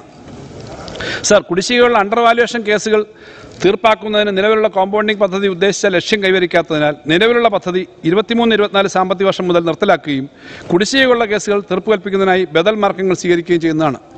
സർ റിയൽ എസ്റ്റേറ്റ് മേഖലയിലുണ്ടായ ആഗോള സാമ്പത്തിക മാന്ദ്യം കണക്കിലെടുത്ത് രണ്ടായിരത്തി പത്തിൽ ഈ മേഖലയ്ക്ക് ഉത്തേജനം നൽകുന്നതിനായി തദ്ദേശ സ്വയംഭരണ സ്ഥാപനങ്ങളിൽ നിന്നും കെട്ടിട നമ്പർ ലഭിച്ച ആറ് മാസത്തിനകം കൈമാറ്റം ചെയ്യുന്ന ഫ്ളാറ്റ് അപ്പാർട്ട്മെന്റ് എന്നിവയ്ക്ക് മുദ്രവില അഞ്ച് ശതമാനം കുറച്ചിരുന്നു. അഞ്ച് ശതമാനമായി കുറച്ചിരുന്നു. നിലവിലുള്ള മുദ്രവില നിരക്കുകൾ കണക്കിലെടുത്ത് അഞ്ച് ശതമാനം എന്നത് ഏഴ് ശതമാനമായി പുതുക്കി നിശ്ചയിക്കുന്നു. സർ ഒരു ആധാരം രജിസ്റ്റർ ചെയ്തതിന് ശേഷം മൂന്ന് മാസത്തിനകമോ ആറ് മാസത്തിനകമോ നടത്തപ്പെടുന്ന തീറാരാധങ്ങൾ തീർ ആധാരങ്ങൾക്ക് നിലവിലുള്ള അധിക മുദ്രവില നിരക്കുകൾ ഒഴിവാക്കുന്നതാണ്. സർ ഗഹാനുകളും ഗഹാൻ ഒഴിവുകുറികളും ഫയൽ ചെയ്യുന്നതിന് നൂറ് രൂപ നിരക്കിൽ സർവീസ് ചാർജ് ഏർപ്പെടുത്തുന്ന ഏർപ്പെടുത്തുന്നതാണ്. ഏർപ്പെടുത്താവുന്നതാണ്. സർ ആയിരത്തി തൊള്ളായിരത്തി മുപ്പത്തിരണ്ടിലെ ഇന്ത്യൻ പാർട്ണർഷിപ്പ് നിയമം ആയിരത്തി തൊള്ളായിരത്തി അമ്പത്തിയഞ്ചിലെ തിരുവിതാംകൂർ കൊച്ചി ശാസ്ത്ര സാഹിത്യ ധർമ്മസംഘങ്ങൾ എന്നീ നിയമങ്ങൾ പ്രകാരമുള്ള വിവിധ ഫീസ് നിരക്കുകൾ അവസാനമായി പരിഷ്കരിച്ചത് യഥാക്രമം രണ്ടായിരത്തി പതിമൂന്ന് രണ്ടായിരത്തി പതിനഞ്ച് വർഷങ്ങളിലാണ്. രണ്ടായിരത്തി ഇരുപത്തിമൂന്ന് ഇരുപത്തിനാല് സാമ്പത്തിക വർഷം മുതൽ ഇവ പരിഷ്കരിക്കുന്നതാണ്. ഇതോടൊപ്പം തന്നെ സംഘങ്ങൾക്ക് നൽകിയിരുന്ന നിലവിലുള്ള കോമ്പൗണ്ടിംഗ് പദ്ധതി പുതിയ സ്ലാബ് നിരക്കിൽ ഒരു വർഷം കൂടി ദീർഘിപ്പിക്കുന്നതാണ്. സർ ജോയിന്റ് ഡെവലപ്മെന്റ് ചെയ്യുന്നതിനായി പ്രത്യേകം അധികാരപ്പെടുത്തുന്ന മുക്താറുകളുടെ മുദ്രവില പരമാവധി ഒരു ലക്ഷം രൂപയായി നിജപ്പെടുത്താവുന്നതാണ്. സർ സറണ്ടർ ഓഫ് ലീസ് ആധാരങ്ങളുടെ രജിസ്ട്രേഷൻ ഫീസ് ആയിരം രൂപയായി കുറയ്ക്കുന്നതാണ്. റവന്യൂ. സർ പട്ടയഭൂമിയിൽ ഈടാക്കുന്ന വാർഷിക അടിസ്ഥാന ഭൂനികുതി വാണിജ്യ വ്യാവസായിക ഉപ- ഉപയോഗത്തെ അടിസ്ഥാനമാക്കി പരിഷ്കരിക്കുന്നത് പരിഗണിക്കും. സാമൂ സർ സാമൂഹ്യ സുരക്ഷാ സീഡ് ഫണ്ട്. സർ സമൂഹത്തിലെ ദുർബല വിഭാഗങ്ങൾ ഉൾപ്പെടെ ഉള്ളവരുടെ സാമൂഹ്യ സുരക്ഷ ഉറപ്പാക്കുക എന്നത് സർക്കാരിന്റെ പ്രധാന കർത്തവ്യമായി തുടരും. വിവിധ സാമൂഹ്യ ക്ഷേമനിധി ബോർഡുകളിൽ അംഗങ്ങളായ ആറ് പോയിന്റ് ഏഴ് ലക്ഷം പേർക്കുൾപ്പെടെ ഏകദേശം അൻപത്തിയേഴ് ലക്ഷത്തോളം ഗുണഭോക്താക്കൾക്ക് പൂർണമായും സർക്കാരാണ് പെൻഷൻ നൽകുന്നത്. പ്രതിവർഷം ഏകദേശം പതിനൊന്നായിരം കോടി രൂപ ഇതിനായി ആവശ്യമായി വരുന്നുണ്ട്. ഈ കടമ തുടർന്ന് നിർവഹിക്കുന്നതിനായി ഒരു സാമൂഹ്യ സുരക്ഷാ സീഡ് ഫണ്ട് മുഖേന അധിക ധനസമാഹരണം നടത്താൻ ഉദ്ദേശിക്കുന്നു. സർ അഞ്ഞൂറ് രൂപ വിലയുള്ള അഞ്ഞൂറ് രൂപ മുതൽ തൊള്ളായിരത്തി തൊണ്ണൂറ്റി ഒമ്പത് രൂപ വരെ വില വരുന്ന ഇന്ത്യൻ നിർമ്മിത വിദേശ മദ്യത്തിന് ഒരു ബോട്ടിലിന് ഇരുപത് രൂപ നിരക്കിലും ആയിരം രൂപ മുതൽ മുകളിലോട്ട് വില വരുന്ന മദ്യത്തിന് ബോട്ടിലിന് നാൽപ്പത് രൂപ നിരക്കിലും ഒരു സാമൂഹ്യ സുരക്ഷാ സെസ് ഏർപ്പെടുത്തുന്നു. നാനൂറ് കോടി രൂപ ഇതിലൂടെ അധികമായി പ്രതീക്ഷിക്കുന്നു. സർ കൂടാതെ പെട്രോൾ സർ സർ കൂടാതെ പെട്രോൾ ഡീസൽ എന്നിവയ്ക്ക് ലിറ്ററിന് രണ്ട് രൂപ നിരക്കിൽ സാമൂഹ്യ സുരക്ഷാ സെസ് ഏർപ്പെടുത്തുന്നു. ഇതിലൂടെ അധികമായി എഴുന്നൂറ്റമ്പത് കോടി രൂപ സാമൂഹ്യ സുരക്ഷാ സീറ്റ് ഫണ്ടിലേക്ക് പ്രതീക്ഷിക്കുന്നു. സർ സർ നവകേരളം മുന്നിൽ കണ്ടുകൊണ്ടുള്ള വികസന പ്രവർത്തനങ്ങളാണ് ഇടതുപക്ഷ ജനാധിപത്യ മുന്നണി സർക്കാർ വിഭാവനം ചെയ്യുന്നത്. കേരള കേരളത്തെ ഏതൊരു വികസിത രാജ്യത്തിനും സമാനമായ ജീവിത സൗകര്യങ്ങളിലേക്കും അടിസ്ഥാന സൗകര്യ വികസനത്തിലേക്കും നയിക്കുക എന്നതാണ് സർക്കാരിന്റെ ലക്ഷ്യം. സർ കഴിഞ്ഞ ബജറ്റുകളിലും ഈ ബജറ്റിലും സർക്കാർ പ്രഖ്യാപിച്ചത് ഭാവി കേരളത്തിന് മുതൽക്കൂട്ടാവുന്ന പദ്ധതികളാണ്. സർ കൃത്യമായ ലക്ഷ്യം മുൻനിർത്തി മുന്നോട്ട് പോകുമ്പോഴും സുഖകരമായ സാമ്പത്തിക സാഹചര്യത്തിലല്ല ലോകം എന്നതുകൂടി തിരിച്ചറിയേണ്ടതുണ്ട്. ഒരു നൂറ്റാണ്ടിനിടയിലെ ഏറ്റവും വലിയ സാമ്പത്തിക ബുദ്ധിമുട്ടിലൂടെയാണ് ലോകം കടന്നു പോകുന്നത് എന്ന് സാമ്പത്തിക സ്ഥാപനങ്ങളും പ്രമുഖ സാമ്പത്തിക പണ്ഡിതന്മാരും അഭിപ്രായപ്പെടുന്നുണ്ട്. മനുഷ്യ സർ മനുഷ്യനെ കേന്ദ്രീകരിക്കാതെ ലാഭം മാത്രം ലക്ഷ്യം വെക്കുന്ന പുതിയ ഭരണകൂട കാഴ്ചപ്പാടുകൾ കടുത്ത പ്രതിസന്ധി സൃഷ്ടിക്കുന്നുണ്ട്. ആയിരത്തി തൊള്ളായിരത്തി മുപ്പതുകളിലേക്ക് മുപ്പതുകളിലേതിന് സമാനമായ വംശീയതയുടെയും ആക്രമണങ്ങളുടെയും യുദ്ധങ്ങളുടെയും അന്തരീക്ഷം സംജാതമാകുമോ എന്ന് പോലും ആശങ്ക ഉയരുന്നു. സർ വികസിത രാജ്യമായ ബ്രിട്ടനിൽ പോലും രണ്ടു മാസത്തിനിടയിൽ മൂന്ന് പ്രധാനമന്ത്രിമാർ മാറി വന്നു. രാഷ്ട്രീയ അസ്ഥിരതയുടെ അടിസ്ഥാന കാരണം സാമ്പത്തിക പ്രതിസന്ധിയും തൊഴിലില്ലായ്മയുമാണ്. നമ്മുടെ അയൽ രാജ്യങ്ങളായ ശ്രീലങ്കയും പാകിസ്ഥാനും കടുത്ത സാമ്പത്തിക പ്രതിസന്ധിയിലേക്ക് വീണുപോയിരിക്കുന്നു. വൈദ്യുതി ഉൽപ്പാദിപ്പിക്കുന്നതിനായി ഡീസൽ ഇന്ധനം വാങ്ങാൻ പോലും കഴിയാത്ത തരത്തിലുള്ള പ്രതിസന്ധി പാകിസ്ഥാനിൽ ഉണ്ടായിരിക്കുന്നു സർ ശ്രദ്ധാപൂർവം ഓരോ ചുവടും മുന്നോട്ട് വെച്ചുകൊണ്ട് ഈ സവിശേഷ ഘട്ടത്തെ അതി- അതിജീവിക്കാനാവൂ. ഈ ലോക സാഹചര്യത്തിലും ജനക്ഷേമ ബദൽ നയങ്ങളുമായി മുന്നേറാൻ കേരളത്തിന് കഴിയുന്നു എന്നുള്ളത് അഭിമാനകരമാണ്. സർ കക്ഷി രാഷ്ട്രീയത്തിന് അതീതമായ എല്ലാ ഭിന്നതകളും മാറ്റിവെച്ച് നാം ഒന്നായി കേരളത്തിന് വേണ്ടി നിലകൊള്ളേണ്ട കാലമാണിത്. കേരളത്തിന്റെ സവിശേഷതകളും പ്രത്യേകതകളും സംരക്ഷിക്കാനുള്ള ഉത്തരവാദിത്വം നമുക്കുണ്ട്. കേരളത്തിലെ ഓരോ മനുഷ്യനെയും ചേർത്ത് പിടിക്കുക എന്നതാണ് എൽ ഡി എഫ് സർക്കാരിന്റെ നിലപാട്. ഓരോരുത്തരിലേക്കും വികസനവും ക്ഷേമവും എത്തിക്കാൻ പ്രതിജ്ഞാബദ്ധമായ സർക്കാരാണിത്. സാർ കേവലം ബജറ്റ് സാർ കേവലം ബജറ്റ് കേവലം കണക്കുകൾ മാത്രമല്ല. ഒരു സമീപന രേഖയാണ്. കൂടുതൽ പുരോഗതിയിലേക്കും വികസനത്തിലേക്കും നയിക്കാനുള്ള പ്രവർത്തന രേഖയായി ഈ ബജറ്റ് മാറുമെന്നാണ് എന്റെ പ്രതീക്ഷ. ഇനി ഞാൻ രണ്ടായിരത്തി ഇരുപത്തിരണ്ട് ഇരുപത്തി മൂന്നിലെ പുതുക്കിയ എസ്റ്റിമേറ്റുകളുടെയും ഇരുപത്തിമൂന്ന് ഇരുപത്തിനാല് വർഷത്തെ എസ്റ്റിമേറ്റുകളുടെയും സംക്ഷിപ്ത രൂപ അവതരിപ്പിക്കട്ടെ. സാർ പുതുക്കിയ ബജറ്റ് എസ്റ്റിമേ രണ്ടായിരത്തി ഇരുപത്തിരണ്ട് ഇരുപത്തി മൂന്നിലെ പുതുക്കിയ ബജറ്റ് എസ്റ്റിമേറ്റ് രൂപ കോടിയിൽ റവന്യൂ വരവ് ഒരു ലക്ഷത്തി ഇരുപത്തി ഒമ്പതിനായിരത്തി ഇരുന്നൂറ്റി അറുപത്തെട്ട് പോയിന്റ് ഒന്ന് അഞ്ച്.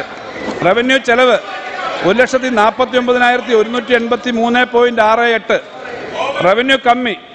മൈനസ് പത്തൊമ്പതിനായിരത്തി തൊള്ളായിരത്തി പതിനഞ്ച് പോയിന്റ് അഞ്ച് മൂന്ന്. മൂലധന ചെലവ് പതിനാലായിരത്തി എണ്ണൂറ്റി മുപ്പത്തി മൂന്ന് പോയിന്റ് മൂന്ന് നാല്. വായ്പകളും മുൻകൂറുകളും രണ്ടായിരത്തി പതിനഞ്ച് പോയിന്റ് പൂജ്യം എട്ട്. പൊതുക്കടം ഇരുപത്തയ്യായിരത്തി പൊതുകണക്ക്. ഇരുപത്തിയേഴ് പതിനൊന്നായിരത്തി ഇരുപത്തിയേഴ്. ആകെ കമ്മി. മൈനസ് ഇരുപത് പോയിന്റ് ഒമ്പത് പൂജ്യം. വർഷാരംഭ രൊക്കബാക്കി മൈനസ് ഇരുന്നൂറ്റി തൊണ്ണൂറ്റി മൂന്ന് പോയിന്റ് എട്ട് ആറ്. വർഷാന്ത രൊക്കബാക്കി മൈനസ് മൂന്ന് മൂന്ന് മുന്നൂറ്റി പതിനാല് പോയിന്റ് ഏഴ് ആറ്. രണ്ടായിരത്തി ഇരുപത്തി മൂന്ന് ഇരുപത്തിനാലിലെ ബജറ്റ് എസ്റ്റിമേറ്റ്. രൂപ കോടിയിൽ. റവന്യൂ വരവ് ഒരു ലക്ഷത്തി മുപ്പത്തയ്യായിരത്തി നാനൂറ്റി പതിനെട്ട് പോയിന്റ് ആറ് ഏഴ്. റവന്യൂ ചെലവ് ഒരു ലക്ഷത്തി അമ്പതിനാ അമ്പത്തൊമ്പതിനായിരത്തി മുന്നൂറ്റി അറുപത് പോയിന്റ് ഒമ്പത് ഒന്ന്. റവന്യൂ കമ്മി. മൈനസ് ഇരുപത്തി മൂവായിരത്തി തൊള്ളായിരത്തി നാൽപ്പത്തിരണ്ട് പോയിന്റ് രണ്ട് നാല്. മൂലധന ചെലവ് പതിനാലായിരത്തി അഞ്ഞൂറ്റി മുപ്പത്തൊമ്പത് പോയിന്റ് രണ്ട് മൂന്ന്. വായ്പകളും മുൻകൂറുകളും തനി പതിനൊന്ന് ആയിരത്തി ഒരുന്നൂറ്റി എൺപത് പോയിന്റ് ഏഴ് ആറ്. പൊതുകടം രണ്ടായിരത്തി ഇരുപത്തെണ്ണായിരത്തി അഞ്ഞൂറ്റി അമ്പത്തിരണ്ട് പോയിന്റ് ഏഴ് ഒമ്പത്. പുതുകണക്ക് പതിനൊന്നായിരത്തി എഴുപത്തി മൂന്ന് പോയിന്റ് ഒമ്പത് നാല്. ആകെ കമ്മി മൈനസ് മുപ്പത്തഞ്ച് പോയിന്റ് നാല് ഒമ്പത്. വർഷാരംഭ രൊക്ക ബാക്കി. മുന്നൂറ്റി പതിനാല് പോയിന്റ് ഏഴ് ആറ്. വർഷാന്ത രൊക്ക ബാക്കി. മുന്നൂറ്റി അമ്പത് പോയിന്റ് രണ്ട് അഞ്ച്. ഇപ്പോൾ പ്രഖ്യാപിച്ച അധിക ചെലവ് രണ്ടായിരത്തി അറുന്നൂറ്റി നാൽപ്പത് ഇപ്പോൾ പ്രഖ്യാപിച്ച അധിക ചെലവ് രണ്ടായിരത്തി അറുന്നൂറ്റി നാൽപ്പത് നികുതി ഇളവുകൾ മൈനസ് അമ്പത്. അധിക വിഭവ സമാഹരണം അധിക വിഭവ സമാഹരണം രണ്ടായിരത്തി തൊള്ളായിരത്തി അമ്പത്തി അഞ്ച് വർഷാന്ത രൊക്ക ബാക്കി. എൺപത്തിയഞ്ച് പോയിന്റ് രണ്ട് അഞ്ച്. സാർ രണ്ടായിരത്തി ഇരുപത്തി മൂന്ന് ഇരുപത്തിനാലിലെ ഈ ബജറ്റ് സഭയുടെ അംഗീകാരത്തിനായിട്ട് ഞാൻ സമർപ്പിക്കുന്നു. എല്ലാവർക്കും നന്ദി പറയുന്നു. ബജറ്റ് പ്രസംഗത്തിന്റെ കോപ്പി ബഹുമാനപ്പെട്ട അംഗങ്ങൾക്ക് ഇപ്പോൾ വിതരണം ചെയ്യുന്നതാണ്. ഒപ്പം കേരള ബജറ്റ് എന്ന ആപ്ലിക്കേഷനിലും ഈ ഡോക്യുമെന്റ് ലഭിക്കുന്നതാണ്. ബഹുമാനപ്പെട്ട അംഗങ്ങൾക്കും മറ്റും ഇത് ഡൗൺലോഡ് ചെയ്തെടുക്കാവുന്നതാണ്. കോപ്പി വിതരണം ചെയ്യുന്നതാണ്. റോജി നീ വന്നവരെ അറിയിക്കണ്ട.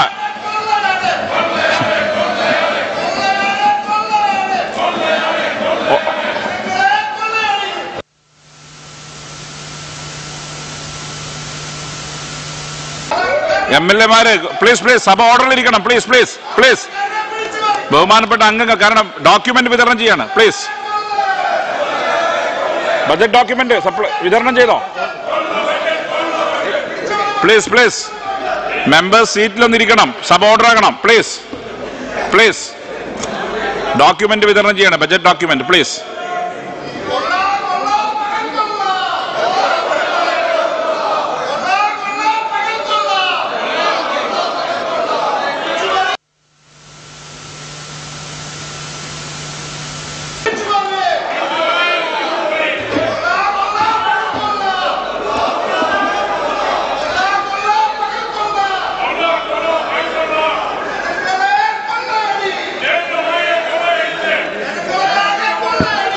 റോജി അവിടെ ഇരിക്കും please Shri Roji.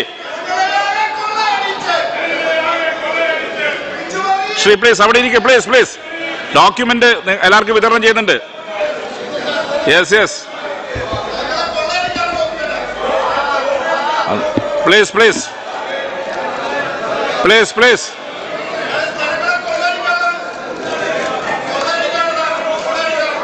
yes yes budget copy എല്ലാവർക്കും ലഭിച്ചിരിക്കുമെന്നാണ് പ്രതീക്ഷിക്കുന്നത്. ബഹുമാനപ്പെട്ട അംഗങ്ങൾക്ക് ബജറ്റ് കോപ്പി ലഭിച്ചിരിക്കുന്നതാണ് പ്രതീക്ഷിക്കുന്നത്. ബഹുമാനപ്പെട്ട അംഗങ്ങൾ ചെയറിലിരിക്കണം. ചെയറിലിരിക്കണം. സഭ വിരിഞ്ഞിട്ടില്ല. സഭ വിരിഞ്ഞിട്ടില്ല. അംഗങ്ങൾ ചെയറിലിരിക്കണം.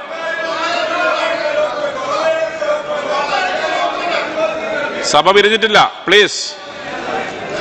Please please. വളരെ സീനിയർ ആയിട്ടുള്ള അംഗങ്ങളാണ് സഭയിൽ നടന്നു കളിക്കുന്നത് അത് ശരിയല്ല.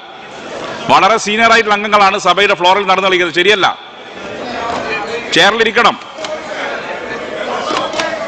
വളരെ സീനിയർ ആയിട്ടുള്ള മെമ്പേഴ്സ് ആണ് ഇൻഡിസിപ്ലിനായി പെരുമാറുന്നത്. ശരിയല്ല. പ്ലീസ് യെസ് യെസ് അപ്പം സഭയുടെ ബജറ്റ് കോപ്പി ഇപ്പോൾ ബഹുമാനപ്പെട്ട അംഗങ്ങൾക്ക് വിതരണം ചെയ്തു കഴിഞ്ഞു. അതോടൊപ്പം തന്നെ കേരള ബജറ്റ് എന്ന ഓൺലൈൻ ആപ്ലിക്കേഷനിൽ ഇതിന്റെ ഡോക്യുമെന്റ് ഡൗൺലോഡ് ചെയ്തെടുക്കാൻ സാധിക്കുന്നതാണ്. അതോടൊപ്പം ഇതിന്റെ മറ്റ് ഡോക്യുമെന്റ്സ് എം എൽ എമാരുടെ എം എൽ എ ഹോസ്റ്റലിലും ബഹുമാനപ്പെട്ട മന്ത്രിമാർക്ക് അവരുടെ ഓഫീസിനകത്തും എത്തിക്കുന്നതായിരിക്കും. ഓർഡർ ഓർഡർ സഭ ഇപ്പോൾ പിരിയുന്നതും തിങ്കളാഴ്ച രാവിലെ ഒൻപത് മണിക്ക് വീണ്ടും ചേരുന്നതുമാണ്.